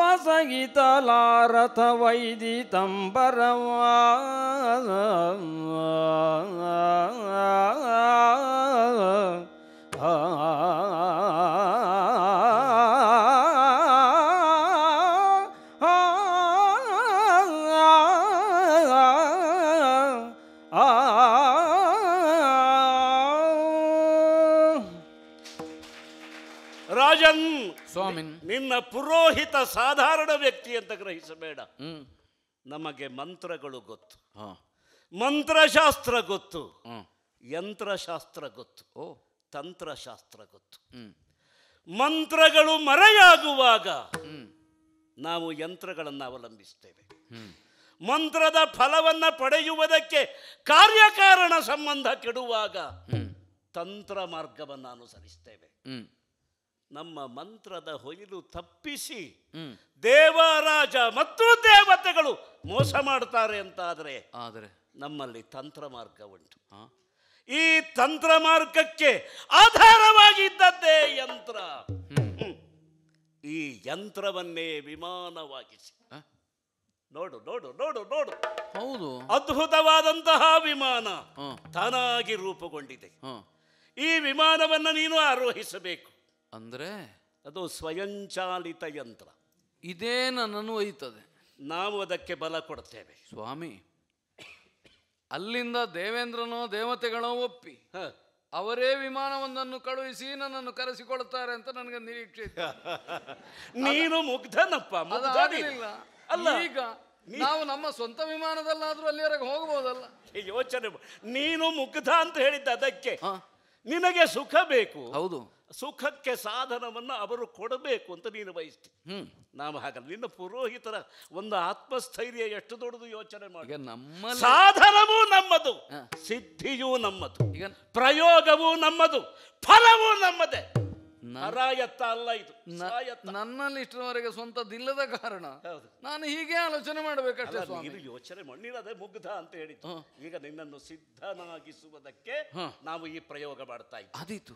ಈ ವಿಮಾನವನ್ನು ನೀನು ಆರೋಹಿಸು. ಒಳ್ಳೆಯದು ಸ್ವಾಮಿ. ಅದು ಸ್ವಯಂಚಾಲಿತ ಚಾಲಿತ ಆದರೆ ಪರಪ್ರೇರಿತ. ನೀವು ಇಲ್ಲಿಂದ. ಅಲ್ಲ ಪರ ಪರಪ್ರೇರಿತ. ಪರ. ಪರ ಪರಪ್ರೇರಿತ. ಪ್ರೇರಿತ ಅದರಿಂದ ಪ್ರೇರಣೆಗೆ ನಾವಿದ್ದೇವೆ. ನೀನು ವಿಮಾನವನ್ನ ಹತ್ತಿದೆ ಅಂತ ಆದ್ರೆ ಇಲ್ಲಿಂದ ನಿನ್ನನ್ನ ಮೇಲಕ್ಕೆ ಕಳಿಸುವುದಕ್ಕೆ ನಾವಿದ್ದೇವೆ. ಸ್ವರ್ಗಕ್ಕೇರುವ ಕಾಂಕ್ಷೆಯನ್ನೇ ಇಲ್ಲಿ ಕಾಣುತ್ತಾ ಸಾಂಕೇತಿಕವಾಗಿ ವಿಮಾನವನ್ನು ಏರ್ತೇನೆ ಸ್ವಾಮಿ. ಒಳ್ಳೇದು ನೀನು ವಿಮಾನ ಏರಿದೆ ಅಂತ ಆದ್ರೆ ಪೃಥ್ವಿ ಪಾಲಕ ಸ್ವರ್ಗಂಗಚ್ಚ ಮೇಲೆ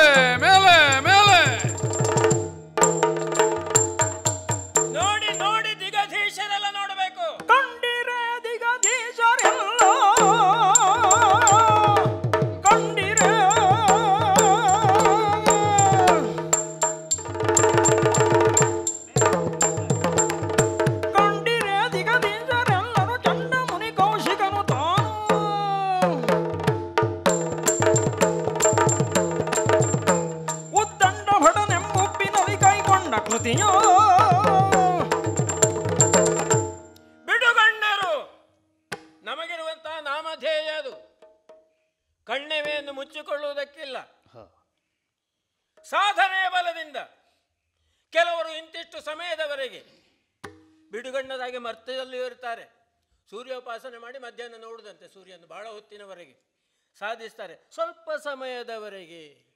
ನಾವು ಹಾಗಲ್ಲ, ಯಾವತ್ತಿದ್ದರೂ ಬಿಡುಗಣ್ಣರೇ. ಯಾಕೆ ಅಂತ ಯೋಚನೆ ಮಾಡಿದ್ದೀರಾ? ಪ್ರಪಂಚದಲ್ಲಿರುವಂಥ ಎಲ್ಲ ಜೀವಿಗಳು ಕೂಡ ನಮ್ಮನ್ನು ಆರಾಧನೆ ಮಾಡುವವರು. ರಾತ್ರಿ ಮಲಗಿರುವಾಗಲೂ ಬಿಡುಗಣ್ಣಿನಿಂದ ನಾವು ಅವರನ್ನು ನೋಡ್ತಾ ರಕ್ಷಣೆಯನ್ನು ಮಾಡಬೇಕು.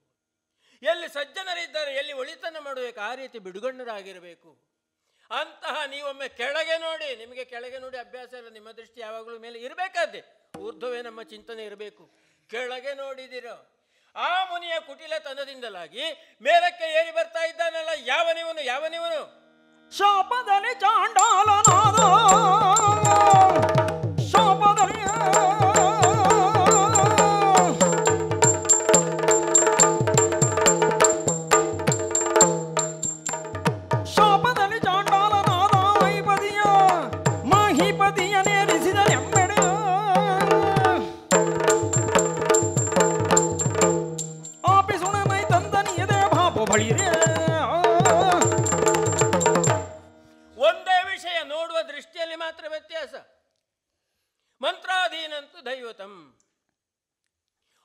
ತಪಸ್ಸು ಮಾಡಿದ.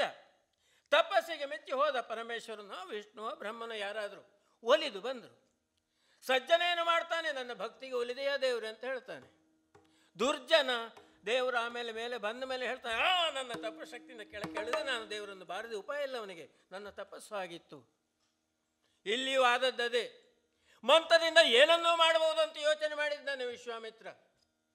ನನ್ನ ಯೋಗ್ಯತೆ ಅಷ್ಟು ಬಿಡೋಣ. ಮೇಲಕ್ಕೆ ಬರುವವನಾದರೂ ಹೇಗಿದ್ದಾನೆ ಅದನ್ನು ಯೋಚನೆ ಮಾಡಬೇಕೋ ಬೇಡ? ಚಂಡಾಲ. ಜನ್ಮದಿಂದಲ್ಲ ಗುರುದ್ರೋಹಿಯಾಗಿ ಗುರುಪುತ್ರರಿಂದ ಶಾಪ ಶಕ್ತನಾದಂತಹ ವ್ಯಕ್ತಿ ಚಾಂಡಾಲ. ಸ್ವರ್ಗಕ್ಕೆ ಬರುವಂತಹ ಪ್ರಯತ್ನದಿಂದ ಮೇಲಕ್ಕೆ ಮೇಲಕ್ಕೆ ಬರ್ತಾ ಇದ್ದಾನೆ. ಮುಟ್ಲಿಲ್ಲ ಇನ್ನು ಸ್ವರ್ಗಕ್ಕೆ. ನಾವಿದ್ದೇವಲ್ಲ ಇನ್ನು ಸ್ವರ್ಗದಲ್ಲಿ. ಸೇರಿಸಿಕೊಳ್ಬಹುದೇ ಸ್ವರ್ಗಕ್ಕೆ ಇಂಥವನನ್ನು? ಯಾರು ಬರಬೇಕು ಸ್ವರ್ಗಕ್ಕೆ?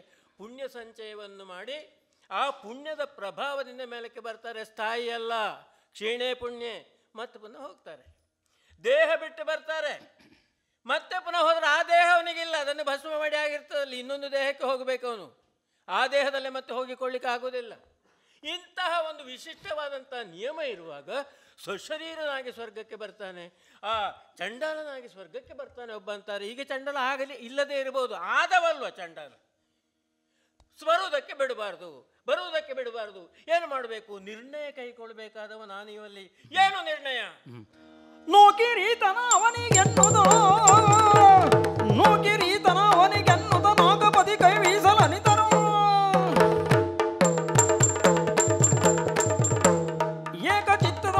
ಅವರಾನಿ ಕವರದೆ ನೂರಲ್ಲ ಸಾವಿರ ಯಾಗಗಳನ್ನೇ ಮಾಡಲಿ. ಇನ್ನೊಬ್ಬ ಇಂದ್ರನಾಗುವುದಕ್ಕೆ ಸಾಧ್ಯ ಇಲ್ಲ. ಮೂರ್ತಿತ್ರಯದ ಸಿದ್ಧಾಂತವೇ ಅದು, ನಿರ್ಣಯವೇ ಅದು. ಇಂದ್ರನಾಗಿ ನನ್ನನ್ನು ಮಾಡಿದ ಮೇಲೆ ಈ ಸುಧರ್ಮ ಸಭೆ ಎಂಬಲ್ಲಿ ಯಾರು ಬರಬಹುದು, ಯಾರು ಬರಬಾರದು, ಆ ನಿರ್ಣಯವನ್ನು ಕಳುಬೇಕು ನಿರ್ಣಯವನ್ನು ಕೈಗೊಳ್ಳಬೇಕಾದವ ಸಭಾಪತಿಯಾದ ನಾನು. ಬರುವಂತಹ ವ್ಯಕ್ತಿ ಹೇಗೆ? ಗೊತ್ತಾಗಿದೆ ನನಗೆ, ಅನರ್ಹ ಅನರ್ಹ. ಇಲ್ಲಿಗೆ ಬರುವಂತ ಯೋಗ್ಯತೆ ಅವನಿಗಿಲ್ಲ. ಆಗ ಇವತ್ತು ಅಂತಲ್ಲ ಇನ್ನು ಜೀವಮಾನದಲ್ಲಿ ಬರಲಿಕ್ಕಿಲ್ಲ ಅವನು. ಇಷ್ಟು ವರ್ಷ ಅಂತ ನಿಯಮ ಇಲ್ಲ. ಜೀವಮಾನದಲ್ಲಿ ಮತ್ತೆ ಈ ಸ್ವರ್ಗಕ್ಕೆ ಬರಲಿಕ್ಕೆ ಕೊಡುದು ಈ ರೀತಿ ಅನರ್ಹತೆಗೊಳಿಸುವಂಥ ಶಕ್ತಿ ಸಾಮರ್ಥ್ಯಗಳು ನನ್ನಲ್ಲುಂಟು. ನಾನೊಬ್ಬ ಅಲ್ಲ ನೀವು ದಿಕ್ಪಾಲಕರಿದ್ದೀರಿ. ಎಲ್ಲರೂ ಒಂದಾಗಿ ಸೇರಿ ಅವನ ಕತ್ತಿನ ಮೇಲೆ ಕೈಯನ್ನಿಟ್ಟು ಭೂಮಿಯಲ್ಲಿ ಹೇಳ್ತಾರೆ ಅರ್ಧಚಂದ್ರ ಪ್ರಯೋಗ ಅಂತ. ಆ ಕೈಯನ್ನಿಟ್ಟು ತಳ್ಳಿದ ರಭಸಕ್ಕೆ ಮೇಲ್ಮುಖವಾಗಿ ಬರುತ್ತಾ ಇರುವಂತಹ ಅವನು ತಲೆ ಕೆಳಗಾಗಿ ಅಪ್ಪಳಿಸಲಿ ಭೂಮಿಗೆ ಹೋಗಿ ತಳ್ಳಿಬಿಡಿ ತಳ್ಳಿಬಿಡಿ ಹಾ ಹಾ ಕೌಶಿಕರೇ! ಬೀಳುತ್ತ ಮಧ್ಯ ಮಾರ್ಗದ ಲರಸನ ಅತಿಶಯ ಭೀತಿಯಲಿ ಬಾಯ್ದೆರೆದು ಗಾದಿ ಕುಮಾರನ ಕರೆವುತ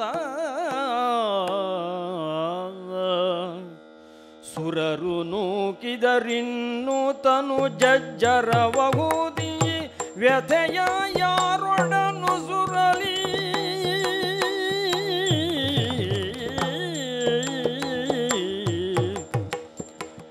ಸುರರು ನೂಕಿದರಿನ್ನು ತನು ಜಜ್ಜರಿತವಾದುದಿ ದಿವ್ಯತೆಯ ಯಾರೊಡ? ವರವೆ ನೀಗುವೆ ಕೆಟ್ಟೆನಯ್ಯೋ, ಹರಗರ ಎಂದೆನುತ ಕ್ಲೇಶದಿಂದ, ಘನತರ ಶೋಕದಿಂದ. ಹಾ, ಕೌಶಿಕರೇ, ಬೀಳ್ತಾ ಇದ್ದೇನೆ ಬೀಳ್ತಾ ಇದ್ದೇನೆ. ಶಿಷ್ಯೋತ್ತಮ ದೇವೇಂದ್ರಾದಿಗಳೆಲ್ಲ ನನ್ನನ್ನು ಘಾತಿಸಿದ್ರು. ಓಹ್. ವಿಮಾನ ಎಲ್ಲಿಗೋ ಹೋಯ್ತು. ನಾ ತಲೆ ಕೆಳಗಾಗಿ ಬೀಳ್ತಾ ಇದ್ದೇನೆ ಸ್ವಾಮಿ ಪತನ ಪತನ ಪತನ. ಬೀಳುವುದಿಲ್ಲ ನೀನು ಬೀಳುವುದಿಲ್ಲ.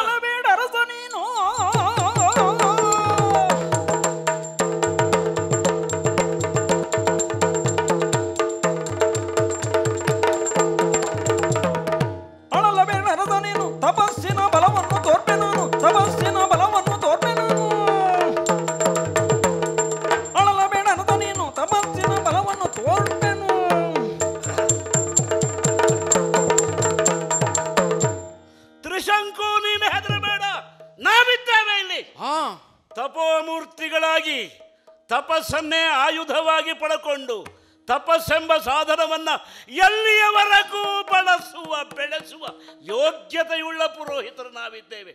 ನೀನೇನು ಹೆದರಬೇಡ. ನಿನ್ನ ತಲೆ ಕೆಳಗಾದ್ರೆ ಏನಾಯ್ತಂತೆ? ಕಾಲು ಮೇಲಾಗಿದೆ ಹೆದರಬೇಡ ಹೆದರಬೇಡ. ನಿನ್ನ ಕಾಲು ಮೇಲಾಗಿದೆ. ಯಾವ ಸ್ವರ್ಗಲೋಕ ನಿನ್ನನ್ನು ತಳ್ಳಿತು ಅದು ನಿನ್ನ ಕಾಲ ಮೇಲಿದೆ ನೀನು ಹೆದರಬೇಡ. ಆ ಕಡೆಗೆ ನೀನು ಕಾಲು ಮಾಡಿದ್ದಿ. ಬೀಳುವಾಗಲೂ ಪುರೋಹಿತರ ಕಡೆಗೆ, ಗುರುಗಳ ಕಡೆಗೆ ತಲೆ ಮಾಡಿದ್ದೀಯಲ್ಲ. ಈ ವಿಧೇಯತೆಗೆ ನಾವು ನಮ್ಮ ತಪಸ್ಸಿನಿಂದ ಇದು ಅದ್ಭುತ ಸೃಷ್ಟಿ ಮಾಡ್ತಾ ಇದ್ದೇವೆ. ಸ್ವರ್ಗವೇನು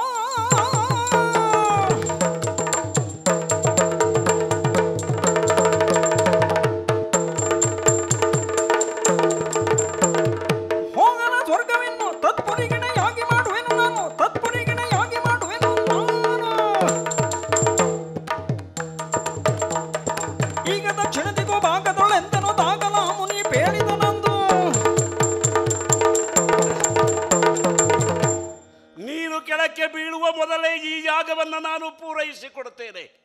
ಪೂರ್ಣಾಹುತಿಯನ್ನು ಕೊಟ್ಟು ನೀನಿರುವಲ್ಲಿಯೇ ಸ್ವರ್ಗ ನಿರ್ಮಾಣ ಮಾಡುವ ಅದ್ಭುತ ಸೃಷ್ಟಿ ಮಾಡ್ತಾ ಇದ್ದೇನೆ. ಹೆದರಬೇಡ ಹೆದರಬೇಡ. ಆದೀತು ಸ್ವಾಮಿ ಆದೀತು.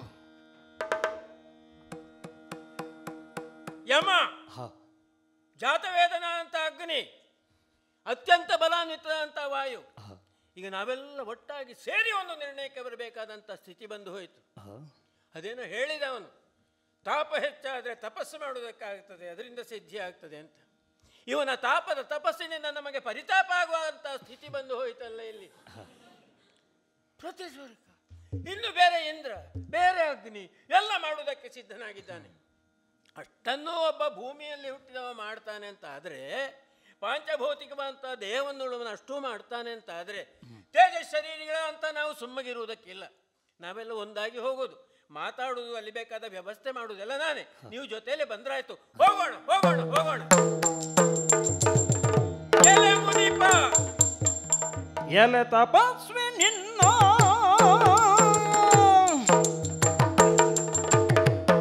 ಎಲೆ ತಪಸ್ವಿ ನಿನ್ನ ನಿಜದ ಕೆಲಸ ಯಾವುದೀಗ ಕೆಲಸ ಯಾವುದೀಗ ಹಿಡಿದ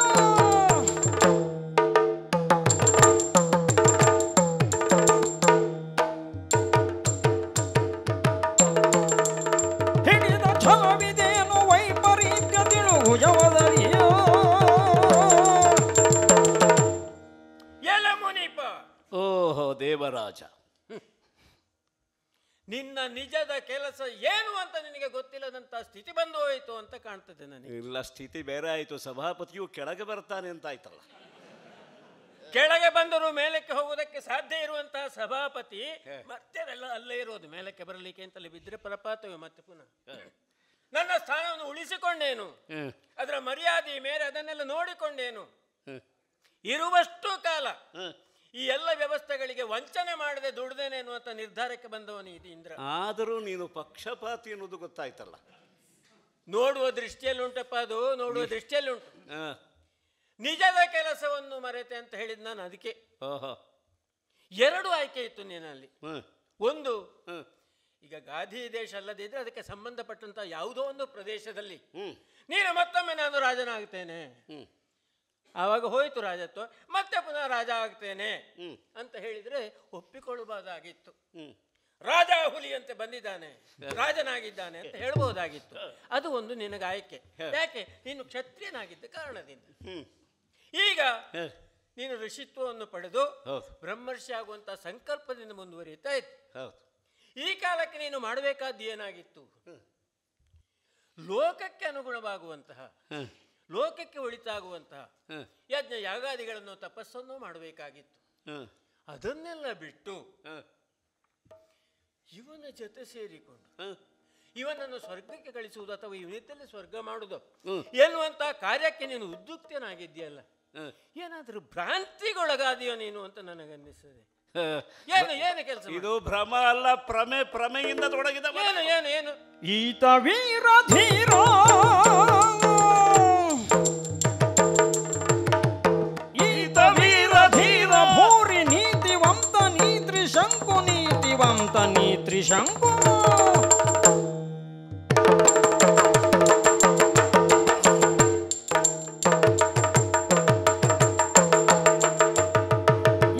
ನಿರವನರಿಯದಾಡಲೇ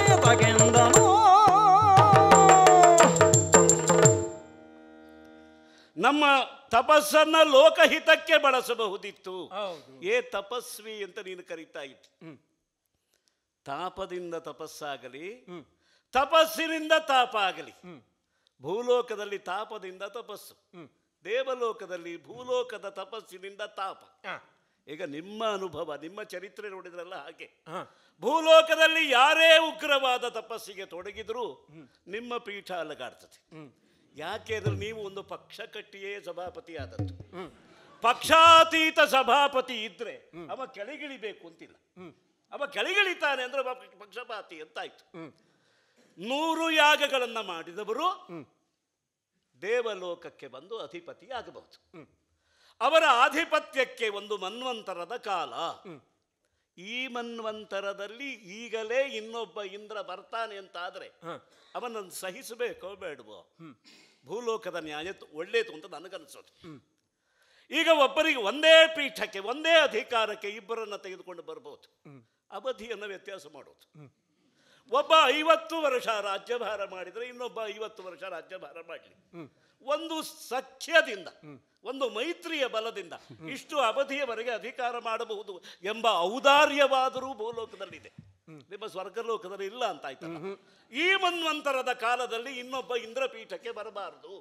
ಇಂದ್ರ ಪದವಿಯನ್ನ ಆಶ್ರಯಿಸ ಬರಬಾರದು ಅಂತ ಆದರೆ ನಮಗೆ ಆ ಸ್ವರ್ಗದ ಬಗ್ಗೆ ಜುಗುಪ್ಸೆ ಬರುವುದು ಈ ಕಾರಣಕ್ಕೆ. ಯಾಕೆ ಅಂದ್ರೆ ಆ ಅವಧಿಯಲ್ಲಿ ಇನ್ನೊಬ್ಬನನ್ನ ಸಹಿಸದೇ ಇರುವ ಒಂದು ಮೂಲ ವೃತ್ತಿ ಚಿತ್ತ ವೃತ್ತಿಯಲ್ಲಿ ಇದೆ ಅಂತ ಆದ ಮೇಲೆ ಅದು ಸ್ವರ್ಗವು ಅಂತ ನಮಗೆ ಪ್ರಶ್ನೆ ಬಂದಿತ್ತು. ಇರಲಿ.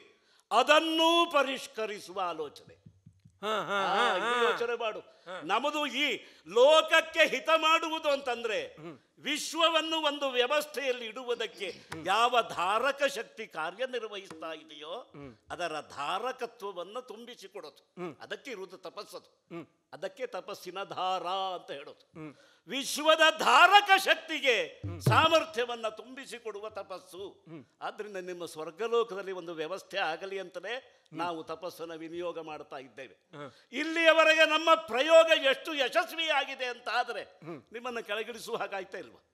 ಮೇಲಿದ್ದವರು ಕೆಳಗೆ ಬಂದು ಕಣ್ಣು ಬಿಡುವ ಹಾಗಾಯ್ತು ಬಿಡುಗಣ್ಣ ನೀವು ಕಣ್ಣು ಬಿಡ್ತಾನೆ ಇರಬೇಕು. ನಾವು ಇಂತಹ ಪ್ರಯೋಗ ಮಾಡುತ್ತಾನೆ ಇರಬೇಕು. ಈ ಪ್ರಯೋಗ ಫಲ ಕೊಡುವಾಗ ನೀವು ಕೇವಲ ಬಿಡುಗಣ್ಣರು ಮಾತ್ರ. ಅಂದ್ರೆ ಮುಚ್ಚುವುದಕ್ಕೆ ರೆಪ್ಪೆ ಇಲ್ಲ. ನಿಮಗೂ ಒಂದು ರಸಾನುಭವ ಕೊಡುವ ಬಿಡುಗಣ್ಣ ಪ್ರೇಕ್ಷಕರಾಗಿ ನಾವು ಮಾಡಿಬಿಟ್ವಲ್ಲ. ಇದು ನಮ್ಮ ಸಾಧನೆ. ಆದ್ದರಿಂದ ವಿಶ್ವರಂಗಭೂಮಿ ಇರುವುದು ದೇವಲೋಕದಲ್ಲ ಅಲ್ಲ ಈ ಪುಷ್ಕರ ಕ್ಷೇತ್ರದಲ್ಲಿ ಅಂತ ಆಯ್ತಾ ಇಲ್ಲ. ಆದ್ದರಿಂದ ವಿಶ್ವರಂಗಭೂಮಿಯ ನೇತಾರನಾಗಿ ನಾನು ಮಾಡ್ತಾ ಇರೋದು ಇದನ್ನ ಈ ಪ್ರಯೋಗವನ್ನ. ಈಗ ಈಗ ಇವನಲ್ಲಿ ಯಾವ ದೋಷ ಅಂತ ಹೇಳ್ತಿ? ಈ ನಮ್ಮ ಯಜಮಾನ ವೀರ ಧೀರ ಶೂರ ಸತ್ಯವ್ರತ. ಆಕ್ಷೇಪ ಮಾಡ್ತಾರೆ ತ್ರಿಶಂಕು. ತಪ್ಪು ಮಾಡದೆ ಸರಿಯಾ ಯಾವುದು ಅಂತ ಅರ್ಥ ಮಾಡಿಕೊಳ್ಳಿಕ್ಕಾಗೋದಿಲ್ಲ. ತಪ್ಪು ಮಾಡುವುದು ಅಪರಾಧ ಅಲ್ಲ, ಅಥವಾ ನ್ಯೂನತೆಯೂ ಅಲ್ಲ. ತಪ್ಪನ್ನು ಸರಿಪಡಿಸಿಕೊಳ್ಳುವುದು ಅಗ್ಗಳಿಕೆ. ಅದು ನಿಜವಾದ ಯೋಗ್ಯತೆ. ಆ ಯೋಗ್ಯತೆಯನ್ನ ಅವನಿಗೆ ನಾವು ಕೊಟ್ಟಿದ್ದೇವೆ. ಇಲ್ಲಿಯವರೆಗೆ ಅವನು ದೀಕ್ಷಿತನಾಗಿರುವಾಗ ದೀಕ್ಷಾ ಬಲದಿಂದ ತನ್ನ ಮನಸ್ಸನ್ನ ಪ್ರಾಣಗಳನ್ನ ಇಂದ್ರಿಯಗಳನ್ನ ದೇಹವನ್ನ ಶೋಧನೆ ಮಾಡಿಕೊಂಡಿದ್ದಾನೆ ಶುದ್ಧಿಗೆ ಸ್ಥಾನ ಇದೆ ಅಂತ ಆದ ಮೇಲೆ ಶುದ್ಧಿಯ ಜೊತೆಯಲ್ಲಿ ಸಿದ್ಧಿ ಬರಬೇಕು. ಆ ಸಿದ್ಧಿ ಬರುವುದಕ್ಕಾಗಿ ಈ ಪ್ರಯೋಗ ಮಾಡಿದ್ದೇವೆ. ಮತ್ತೆ ತಾರ್ಕಿಕವಾಗಿ ಯೋಚನೆ ಮಾಡಿದರೆ ಬಹುಶಃ ನಿಮಗೆ ಈಗ ಭ್ರಮೆ ಆಗಿದೆ ಅಂತ ನನಗನ್ಸುತ್ತೆ ಸುಖದಲ್ಲಿ ಇದ್ದವರಿಗೆ ಭ್ರಮೆ ಹೆಚ್ಚು ಯಾವಾಗಲೂ. ದುಡಿಯುವವರಿಗೆ ಭ್ರಮೆ ಇಲ್ಲ. ಪಡೆದವರಿಗೆ ಭ್ರಮೆ ಬರುವುದು ಯಾವಾಗಲೂ. ಇಲ್ಲಿಯವರೆಗೆ ನೀವು ಯಾವ ಸುಖವನ್ನ ಪಡೆದಿದ್ದೀರೋ ಅಂದ್ರೆ ಶ್ರಮವಿಲ್ಲದ ಭೋಗ ಎಲ್ಲೇ ಇದ್ರು ಅಲ್ಲಿ ಭ್ರಮೆ ಮಾತ್ರ ಇರೋದು ಭ್ರಮೆಗೆ ಅವಕಾಶ ಇಲ್ಲ. ಈ ದೇವಲೋಕದ ಭೋಗ ಎಲ್ಲ ಹಾಗೆ. ಶ್ರಮವಿಲ್ಲದ ಭೋಗ. ಶ್ರಮವಿಲ್ಲದ ಭೋಗ ಭೂಲೋಕದಲ್ಲಿದ್ರೆ ವ್ಯಾಧಿ ಬರ್ತದೆ. ದೇವಲೋಕದಲ್ಲಾದ್ರೆ ಆಧಿ ಬರ್ತದೆ. ಆಧಿ ಪರಾಹತರು ನೀವು. ಅಂದ್ರೆ ನಿಮಗೆ ಮಾನಸಿಕ ವ್ಯಾಧಿ ನಿಮ್ಮ ಬುದ್ಧಿ ಸರಿ ಇಲ್ಲ ಅಂತಾದ್ರೆ ನೆಟ್ಟಗೆ ಮಾಡ್ಲಿಕ್ಕೆ ನಾವಿದ್ದೇವೆ. ಬಂದದ್ದು ಯಾರ ಜೊತೆಯಲ್ಲಿ? ಈತ ಗುರುಜ ಶಾಪದಿಂದ.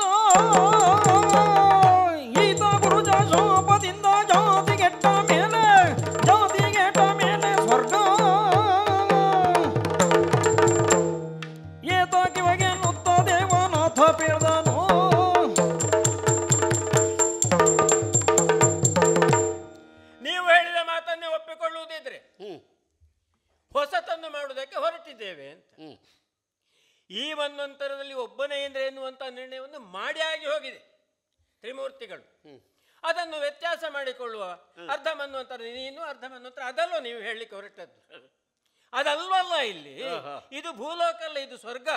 ಸ್ವರ್ಗಕ್ಕೆ ನಿಯಮ ಮಾಡುವಂತವ್ರು ಅವರು ಹೊರತು ಭೂಲೋಕದವರಲ್ಲ. ಅಲ್ಲ ಅದ್ರ ಬಗ್ಗೆ ಮಾತಾಡುವವ ನೀನು.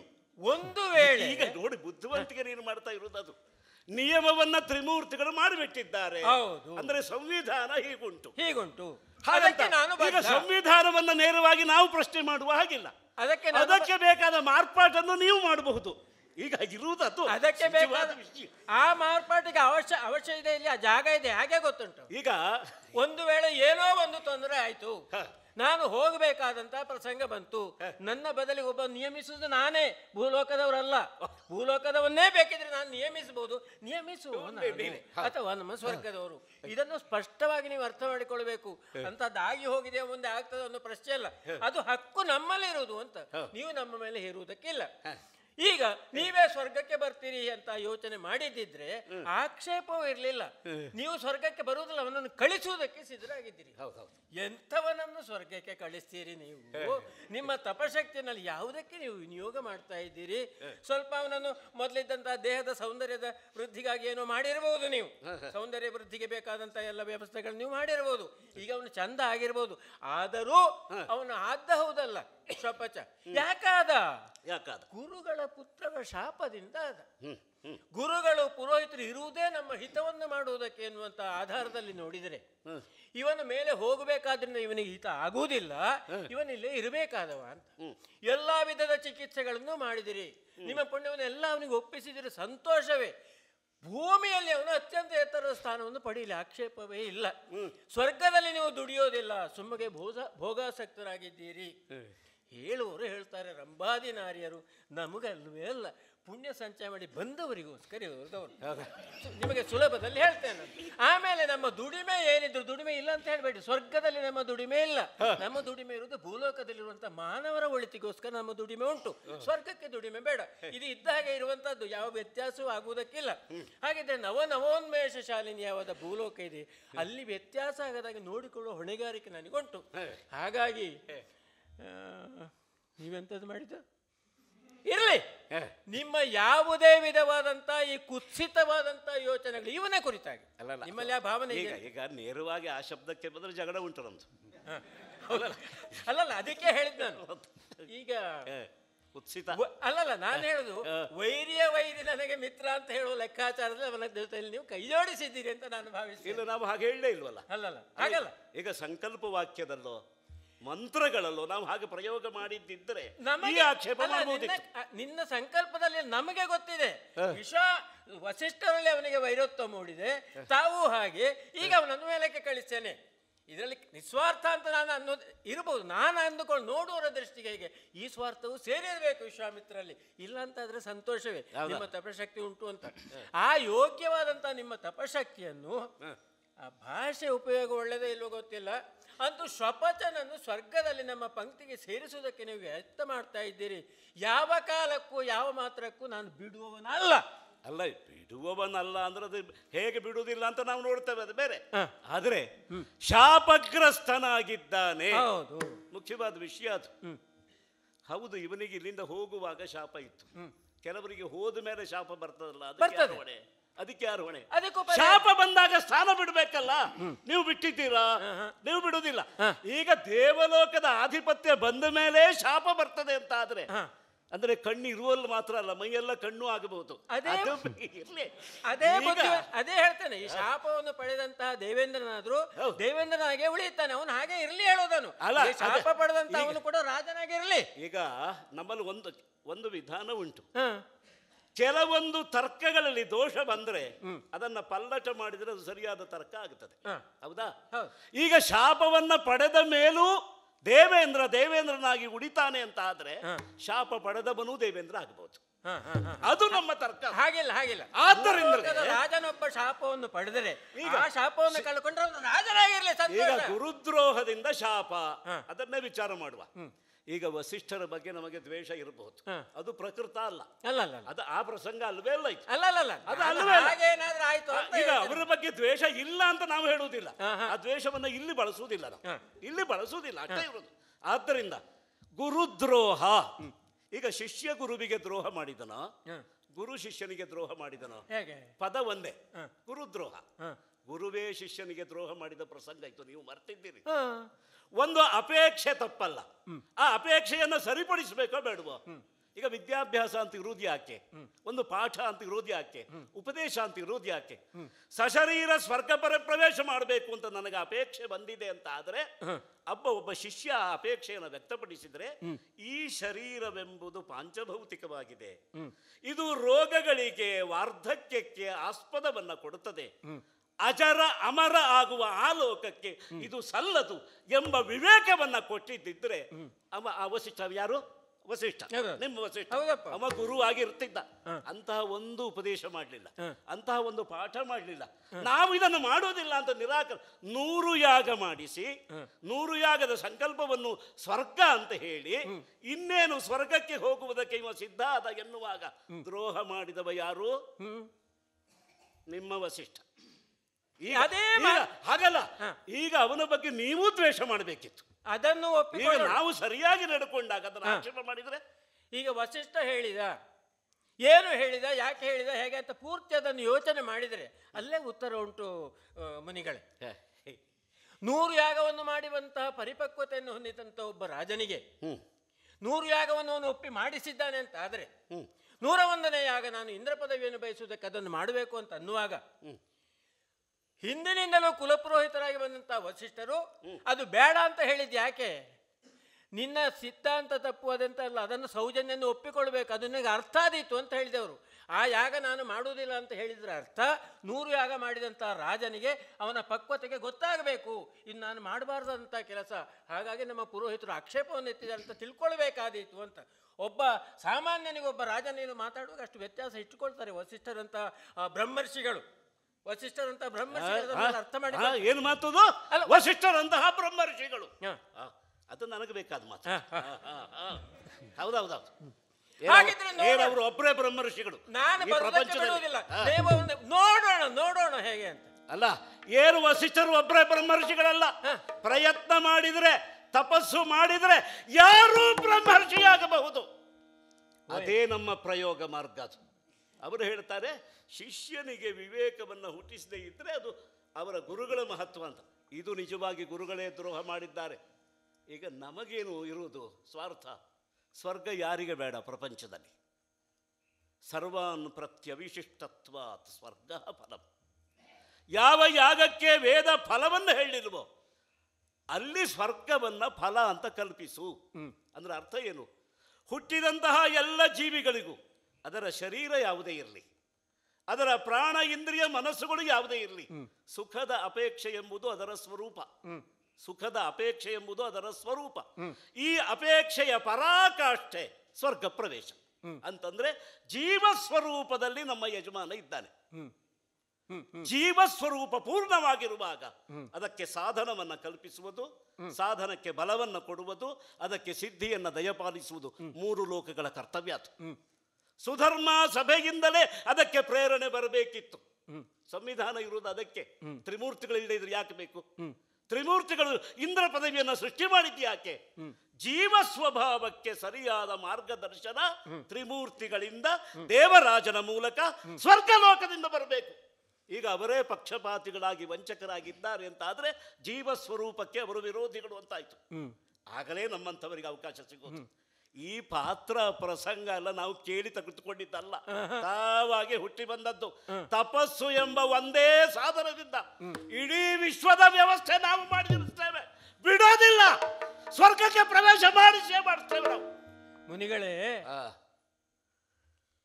ವಾದದಿಂದ ನಿರ್ಣಯಕ್ಕೆ ಬರುವುದಕ್ಕೆ ಸಾಧ್ಯ ಇಲ್ಲ ಅಂತ ಆಯಿತು. ಒಂದು ಪ್ರಶ್ನೆ ಕೊನೆಯದ್ದು. ಅವನಿಲ್ಲಿಗೆ ಬರುವುದಕ್ಕೆ ಅನರ್ಹಲ್ಲ ಎನ್ನುವಂಥ ತೀರ್ಮಾನ ನಾವು ಮಾಡಿದ್ದೇವೆ. ಈಗ ಎಲ್ಲಿ ಅವನನ್ನು ನಿಲ್ಲಿಸಿದ್ದೀರಿ? ಅಲ್ಲಿಂದ ಕೆಳಗಾದರೂ ಕೊಂಡು ಹೋಗ್ತೀರಾ? ಆಗೋದಿಲ್ಲ ಈಗ. ಈಗ ಅನರ್ಹ ಅಂತ ನೀವು ನಿರ್ಣಯ ಮಾಡಿದ್ದೀರಿ. ಅದೆಲ್ಲ ಬಿಡಿ. ಅಲ್ಲ ಈಗ ಸಾಧ್ಯ ಇದ್ರೆ ಚತುರ್ಮುಖ ಬ್ರಹ್ಮ ಚತುರ್ಬಾಹುಯುಕ್ತನಾದ ವಿಷ್ಣು. ಪ್ರಳಯ ಭಯಂಕರ ಶಂಕರ. ಅಂದ್ರೆ ಉಮಾಕಾಂತ. ಅವರನ್ನೇ ಕೇಳಿಯರು. ಯಾಕೆಂದ್ರೆ ಅವರೇ ಅತ್ಯಂತ ಉತ್ಕೃಷ್ಟರು. ನಮಗಿರುವ ಉಚ್ಚ ನ್ಯಾಯಾಲಯ ಅದೇ ಪರಮ ಉಚ್ಚ ನ್ಯಾಯಾಲಯ. ಅಲ್ಲಿಗೆ ಹೋಗುವುದಕ್ಕೆ ಅವಕಾಶ ಇದ್ರೆ ಹೋಗುತ್ತೇವೆ. ಇಲ್ಲದೇ ಇದ್ರೆ ಈ ಅನರ್ಹತೆಯನ್ನು ಇಲ್ಲಿಯೇ ನಿವಾರಿಸಿ ಅವನನ್ನು ಅರ್ಹ ಅಂತ ನಾವು ಮಾಡ್ತೇವೆ ಅಂದ್ರೆ ಸುಮ್ಮ ಈಗ ಕಾರಣ ಇಲ್ಲದೆ ನಾವು ಕಮಲ ಹಿಡ್ಕೊಂಡಿದ್ದಲ್ಲ. ಆಹುತಿ ಕೊಡ್ಲಿಕ್ಕೆ ಹಿಡ್ಕೊಂಡಿದ್ದದು. ಹೌದಪ್ಪ, ಗೊತ್ತಾಯ್ತು. ಕಮಲಾಕ್ಷರನ್ನ ಒಲಿಸಿ ಪೂರ್ಣಾಹುತಿ ಕೊಟ್ಟು. ಹ, ಲಕ್ಷ್ಮೀ ಪ್ರಸಾದ ಸಿದ್ಧಾರ್ಥಂ. ಜಗತ್ತಿನಲ್ಲಿರುವ ಪರಮಲಕ್ಷ್ಮಿ ಯಾವುದು? ಸ್ವರ್ಗಲಕ್ಷ್ಮಿ. ಅದರ ಪ್ರಸಾದ ಅನುಗ್ರಹ ಅವನಿಗೆ ಆಗೋದಕ್ಕೆ ಒಂದು ತಂತ್ರ ಮಾರ್ಗ ಕಮಲ ಹೋಮ. ಕೊನೆಗೆ ಉಳಿದದ್ದು. ಅದನ್ನು ಮಾಡ್ಲಿಕ್ಕೆ ಹೊರಟಿದ್ದ ಅದಕ್ಕೆ. ಒಂದು ಕ್ಷಣ ಯೋಚಿಸುವುದಕ್ಕೆ ನನಗೆ ಅವಕಾಶ ಕೊಟ್ರೆ ಹ. ಒಂದು ಸುಂದರವಾದಂತ ಸಮಾರೋಪ ನಾನು ಮಾಡ್ತೇನೆ. ಅಲ್ಲ ಹೌದಾ? ಈ ಪ್ರಕರಣಕ್ಕೆ. ಏನಾದ್ರೂ ಈಗ ಹೊಡೆದಾಟ ಬೇಡ. ಏನ್ ನಿಮ್ಮಲ್ಲಿ ನಮ್ಮಲ್ಲಿ ಏನು ಹೊಡೆದ ಒಳ್ಳೆ ಸಾಂದರ್ಭಿಕವಾಗಿ ಆಗಿ ಹೋಯ್ತು. ಆಗಿದ್ರೆ ಈಗ ನಮಗೂ ಧ್ವನಿ ಏರಿಸಿ ಮಾತಾಡಬೇಕು ಅಂತಿಲ್ಲ. ಹೋಗ್ಬೇಕು ಅಂತಿಲ್ಲ. ಈಗ ದೇವಲೋಕವೇ ಸಂಧಾನಕ್ಕೆ ಹೌದು. ಯಾಕೆ ಮಾಡಬಾರದು. ಆದ್ರೂ ಒಂದು ನಮ್ಮ ಯಜಮಾನಿಗೆ ಲಾಭ ಆಗ್ಬೇಕು. ಅದೆಲ್ಲ ನೋಡಿ ಅಷ್ಟಾದ್ರೂ ಒಪ್ಪಂದ ಮಾಡ್ಕೊಳ್ಳುವ. ಕುಶಿಕನಂದನನ ಖಾತಿಯನು ಪರಿಗರಿಸಿ ತಮ್ಮಯ ರೀತಿಗೆಡದವಗಿತ್ತ.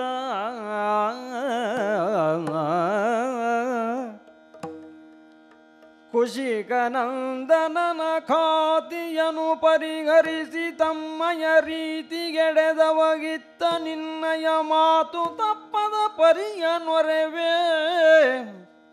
ನಿನ್ನಯ ಮಾತು ತಪ್ಪದ ಪರಿಯ ನೊರೆವೆನೆನುತ್ತ ಪೇಳಿದರು.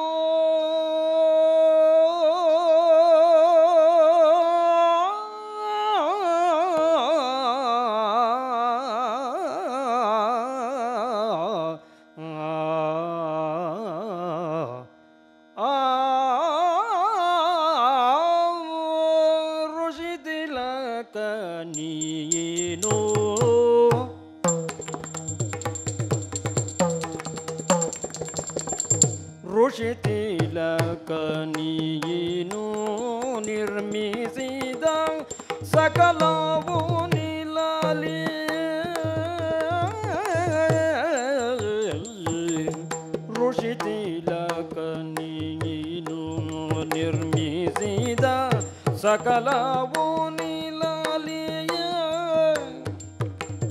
ಕುಸಿಯಾದಿನ್ನಾದರ ಸನಿಗಾದಲಿ ಕುಸಿಯಾದಿನ್ನಾದರ ಸನಿಗಾದಲಿ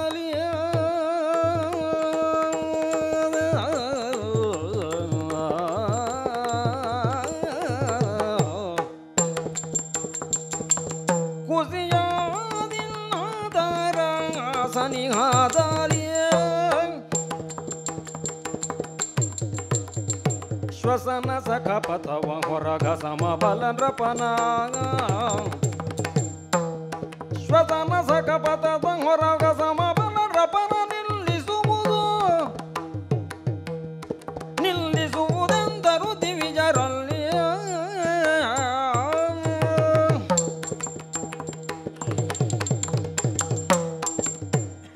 ಯಾಕೆ ನಾನು ಸಂಧಾನಕ್ಕೆ ಬಯಸಿದೆ? ಹ್ಮ್.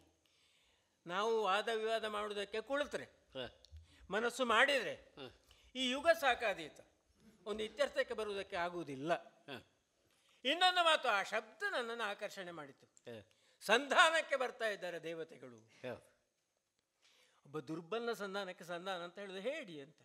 ಅವನು ಬಾಲ ಮಡುಚಿದ ಅಂತ ಒಂದು ಗಾದೆಯ ಮಾತಿನಲ್ಲಿ. ಇದು ಸಬಲನಾದವನು ಮಾಡುವಂತಹ ಸಂಧಾನ. ಆ ಕಡೆ ಒಳ್ಳೆ ಪ್ರಾಬಲ್ಯವೇ ಉಂಟು ಸಂಧಾನದಲ್ಲಿ ಹೇಗಾಗಬೇಕು? ಇತ್ತಂಡದವರಿಗೂ ನಷ್ಟ ಆಗಬಾರದು. ಆಗಬಾರ್ದು. ಅದಕ್ಕೆ ಸಂಧಾನ ಅಂತ ಹೆಸರು. ಈಗ ಭೂಲೋಕದಲ್ಲಾದರೆ. ಒಂದು ಕೋಟೆ ಉಂಟು. ಅದಕ್ಕಿಂತ ಮೇಲಿನ ಕೋಟೆ ನಾನು ಮಾಡ್ತೇನೆ. ಅದಕ್ಕಿಂತ ಮೇಲಿನ ಕೋಟೆ ಇನ್ನೊಬ್ಬ ಮಾಡ್ತಾನೆ. ಅಂತ ಹೊರಟ್ರೆ ತಪ್ಪಲ್ಲ. ಸ್ವರ್ಗದ ಮೇಲೆ ಒಂದು ಕೋಟೆಯನ್ನು ಮಾಡಿ ನಾನು ಮೇಲುಕೋಟೆಯಲ್ಲಿದ್ದೇನೆ ಅಂತ ಹೇಳಿದ್ರೆ ತಪ್ಪಾಗುತ್ತೆ. ಯಾಕಂದ್ರೆ ಮೇಲೆ ಇರುವುದೇ ಸ್ವರ್ಗ. ಅದಕ್ಕಿಂತ ಮೇಲೆ ಅಂತ ಶಿರಸ್ಸಿಗಿಂತ ಮೇಲೆ ಅಂತ. ಅಲ್ವಾ? ಅದು ಒಂದು. ಇನ್ನೊಂದು ನಿಮ್ಮಲ್ಲೇ ಕೇಳಿದ್ರೆ ಸ್ವರ್ಗವನ್ನು ಅವಧಿಯಾಗಿ ತೆಗೆದುಕೊಂಡ್ರೆ ಮೇಲುಕೋಟೆ ಬಿಡೋದು ಒಳ್ಳೇದು. ಅಲ್ವಾ? ಹಾಗಾಗಿ ಇನ್ನೊಂದು ನಿಮ್ಮಲ್ಲಿ ಸ್ಪಷ್ಟ ಕೇಳೋದು ನಾನು. ಕನ್ನಡಿಯ ಕನ್ನಡಿ ಮುಂದೆ ನಾವು ನಿಂತಿದ್ದೇವೆ. ಅದರಲ್ಲಿ ನಮ್ಮನ್ನು ಕಾಣ್ತಾ ಹಾಗೆ ನಾವು ಇದ್ದ ಹಾಗೆ ಕಾಣ್ತದೆ. ಅದನ್ನು ಬಿಂಬ ಅಂತ ಹೇಳುದು ಪ್ರತಿಬಿಂಬ. ಅಲ್ವಾ?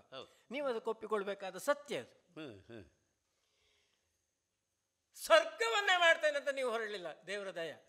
ಪ್ರತಿ ಸ್ವರ್ಗ ಮಾಡ್ತೇನೆ. ಪ್ರತಿ ಸ್ವರ್ಗ ಪ್ರತಿ ಸ್ವರ್ಗ ಯಾವತ್ತು ಸ್ವರ್ಗ ಆಗೋದಿಲ್ಲ. ಆಗ್ಲಿ ಪ್ರತಿ ಸ್ವರ್ಗ. ಅಂದ್ರೆ. ಸ್ವರ್ಗಕ್ಕಿಂತ ಹೆಚ್ಚಾಗ್ಬೋದು. ಆಗ್ಬಹುದಪ್ಪ ಆಗ್ಬೋದು ಆಗ್ಬೋದು. ಆಗ್ಬೋದು ಆಗ್ಬೋದು. ಆಗ್ಬೋದಪ್ಪ. ಪ್ರತಿಬಿಂಬ ನಮಗಿಂತ ಹೆಚ್ಚಾಗ್ತದೆ ಅಂತ ಅಲ್ಲ ಅನೇಕ ಸಾರಿ ದರ್ಪಣದ ಯೋಗ್ಯತೆಯಿಂದ ಬಹಳ ಚೆನ್ನಾಗಿ ಹೌದಪ್ಪ ಹಾಗೂ ಶಾಸ್ತ್ರ ವಾಕ್ಯ ಹಾಗೂ ಉಂಟು ಇಲ್ಲ ಅಂತಲೂ ಹೇಳಿದ್ ನಾನು. ಈಗ ಹೀಗೆ ಮಾಡುವ. ನಿಮ್ಮ ತಪಶಕ್ತಿಯನ್ನೆಲ್ಲ ಧಾರೆ ಎರೆದು. ಹ. ಅವನನ್ನು ಅಲ್ಲಿ ನೀವು ನಿಲ್ಲಿಸಿದ ಮೇಲೆ ಅದಕ್ಕಿಂತ ಕೆಳಗೆ ನಾನು ಇಳಿಸಿದೆ ಅಂತ ಆದ್ರೆ ಹ. ದೇವೇಂದ್ರನಾದಂತಹ ನಾನು ನಿಮ್ಮ ತಪಶಕ್ತಿಗೆ ಒಂದು ಬೆಲೆ ಕೊಡಲಿಲ್ಲ ಅಂತಲೂ ಆಗೋದಿಲ್ವೇ? ನಾಳಿನ ಜನಕ್ಕೆ ಆ ಒಂದು ಪಾಠ ಬರ್ತದೆ. ಅಲ್ಲ, ಅದಕ್ಕೆ ಹಾಗೂ ಆಗ ಕೂಡದು. ಅಲ್ಲ ಅದಕ್ಕಿಂತ ಕೆಳಗಿಳಿಸ್ಲಿಕ್ಕೆ ಆಗುವುದೂ ಇಲ್ಲ ಅದು. ಅಲ್ಲಲ್ಲ ಅದು ಆಗ ಕೂಡದು. ಒಪ್ಕೊಳ್ಳುವ. ಹಾಗ ಆಗ ಕೂಡದು. ಆಗ ಕೂಡದದು. ಹಾಗಾಗಿ ಅವನು ಪ್ರತಿಸ್ವರ್ಗದಲ್ಲೇ ಇರಲಿ. ಅದು ಅಲ್ಲೇ ಇರಲಿ ಅವ. ನಿಮ್ಮ ಶಿಷ್ಯ. ಈಗ ನಾನು ವಸಿಷ್ಠ ಶಿಷ್ಯ ಅಂತ ಹೇಳು ನಿಮ್ಮ ಶಿಷ್ಯ ನಮ್ಮ ಶಿಷ್ಯ ಹೌದು ಹೌದಪ್ಪ ನಿಮ್ಮ ಶಿಷ್ಯ ಅಲ್ಲೇ ಇರಲಿ. ಹೌದು. ಆದರೆ ಸ್ವರ್ಗವೇ ಆಗುವುದಕ್ಕೆ ಯಾಕೆ ಇಲ್ಲ. ವರಪ್ರದಾನ ಮಾಡುವಂತ ಯೋಗ್ಯತೆ ಅವನಿಗೆ ಬರಕೂಡದು. ದೊಡ್ಡದಲ್ಲ ಬೇಡ ಹವಿರ್ ಭೋಜನ ಅವನಿಗೆ ಆಗ ಕೂಡದು ಬೇಡ ಅವನಿಗೆ ಹಸಿವೆ ಆಗುವುದಿಲ್ಲ. ಅಲ್ಲ ಅವನಿಗೆ ಇನ್ನೆಲ್ಲಿ ಹೋಗ್ಬೇಕು ಅಂತ ಕಾಣಲಿಕ್ಕಿಲ್ಲ ಆದರೂ ಇಚ್ಛಾಗಮನ ಅವನಿಗೆ ಕೂಡ ಅಲ್ಲ ಇದಕ್ಕಿಂತ ದೊಡ್ಡ ಇಚ್ಛೆಯನ್ನು ಬರುವುದಿಲ್ಲ ಬರುವುದಿಲ್ಲ. ಬರುವುದಿಲ್ಲ ಎಲ್ಲಕ್ಕಿಂತ ಹೆಚ್ಚಾಗಿ ಶ್ವಸನ ಸಖನ ಈ ಆವರಣ ಅಂತ ಏನಿದೆಯೋ. ನಮ್ಮ ಈ ಸ್ವರ್ಗಕ್ಕೆ. ಅದರ ಒಳಗೆ ಅವನು ಬಾರದೇ ಇದ್ರೆ ಹ. ಎಲ್ಲರ ಮರ್ಯಾದೆ ಉಳಿಯುತ್ತದೆ. ಅಂದರೆ ಇದು ಒಳ್ಳೇದಾಯ್ತದೆ. ಈಗ ನಮಗೇನು ಇದು ಅನಿಷ್ಟವಲ್ಲ ಇದು ಒಳ್ಳೇದೇ. ಅಂದರೆ ಈಗ ನಿಮಗೆ ಲಾಭ ಅಂತ ಇಲ್ಲ ಹ, ಹ. ಹಾಗಂತ ನಷ್ಟವೂ ಇಲ್ಲ. ಇಲ್ಲ. ಹಾಗಂತ ನಮಗೆ ಲಾಭ ಆಗಿದೆ. ಆಗಿದೆ ಆಗಿದೆ. ನಮ್ಮ ಯಜಮಾನಿಗೆ ಲಾಭ ಆಗಿದೆ ಅವ ಭೂಲೋಕದಲ್ಲಿ ಇಲ್ಲ. ಈಗ ಅಂತರಿಕ್ಷದಲ್ಲಿ ತಲೆ ಕೆಳಗಾಗಿ ಇರಬಹುದವ.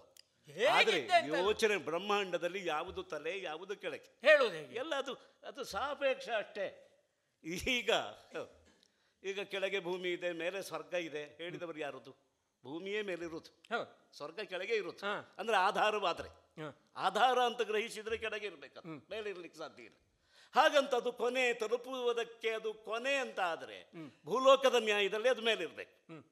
ಕೊನೆಯಲ್ಲಿ ತಲುಪುದಾದ್ರಿಂದ ಅಷ್ಟೇ ಅದು ಸಾಪೇಕ್ಷವಾಗಿರುವುದೇ ಹೊರತು. ಈಗ ಅಮ್ಮ ಕೆಳಗೂ ಅಲ್ಲ ಮೇಲೂ ಅಲ್ಲ. ವಿಶ್ವಪುರುಷನ ಕೊನೆಯನ್ನು ಯಾರು ನೋಡ್ಲಿಲ್ಲ ತುದಿಯನ್ನು ಯಾರು ನೋಡ್ಲಿಲ್ಲ.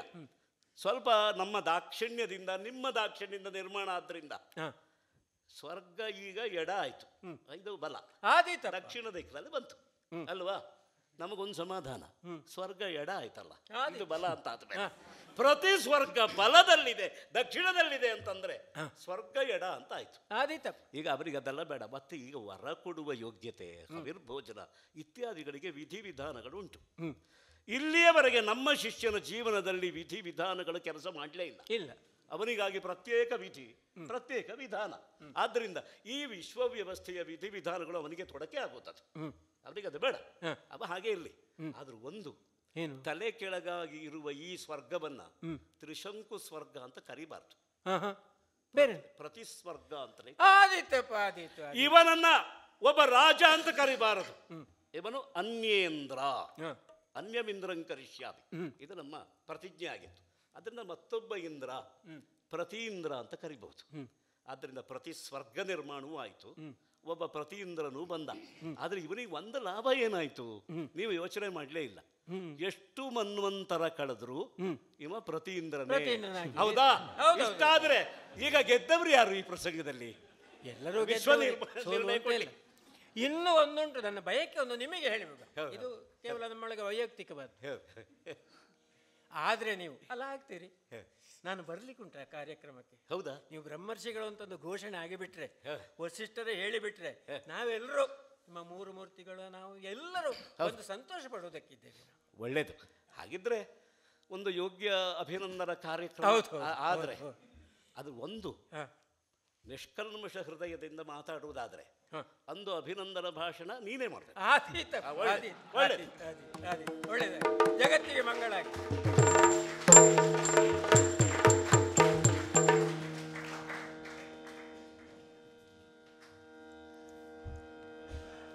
ಸೇವಕ ನೆಲವು ನಾನು.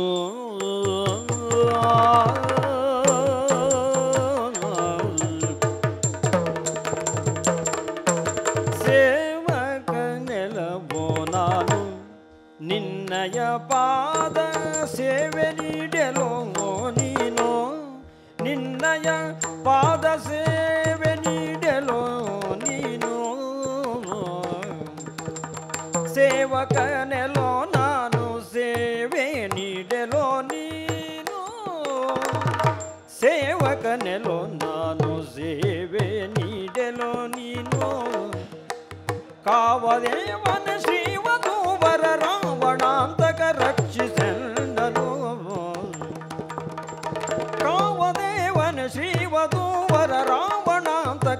She's in.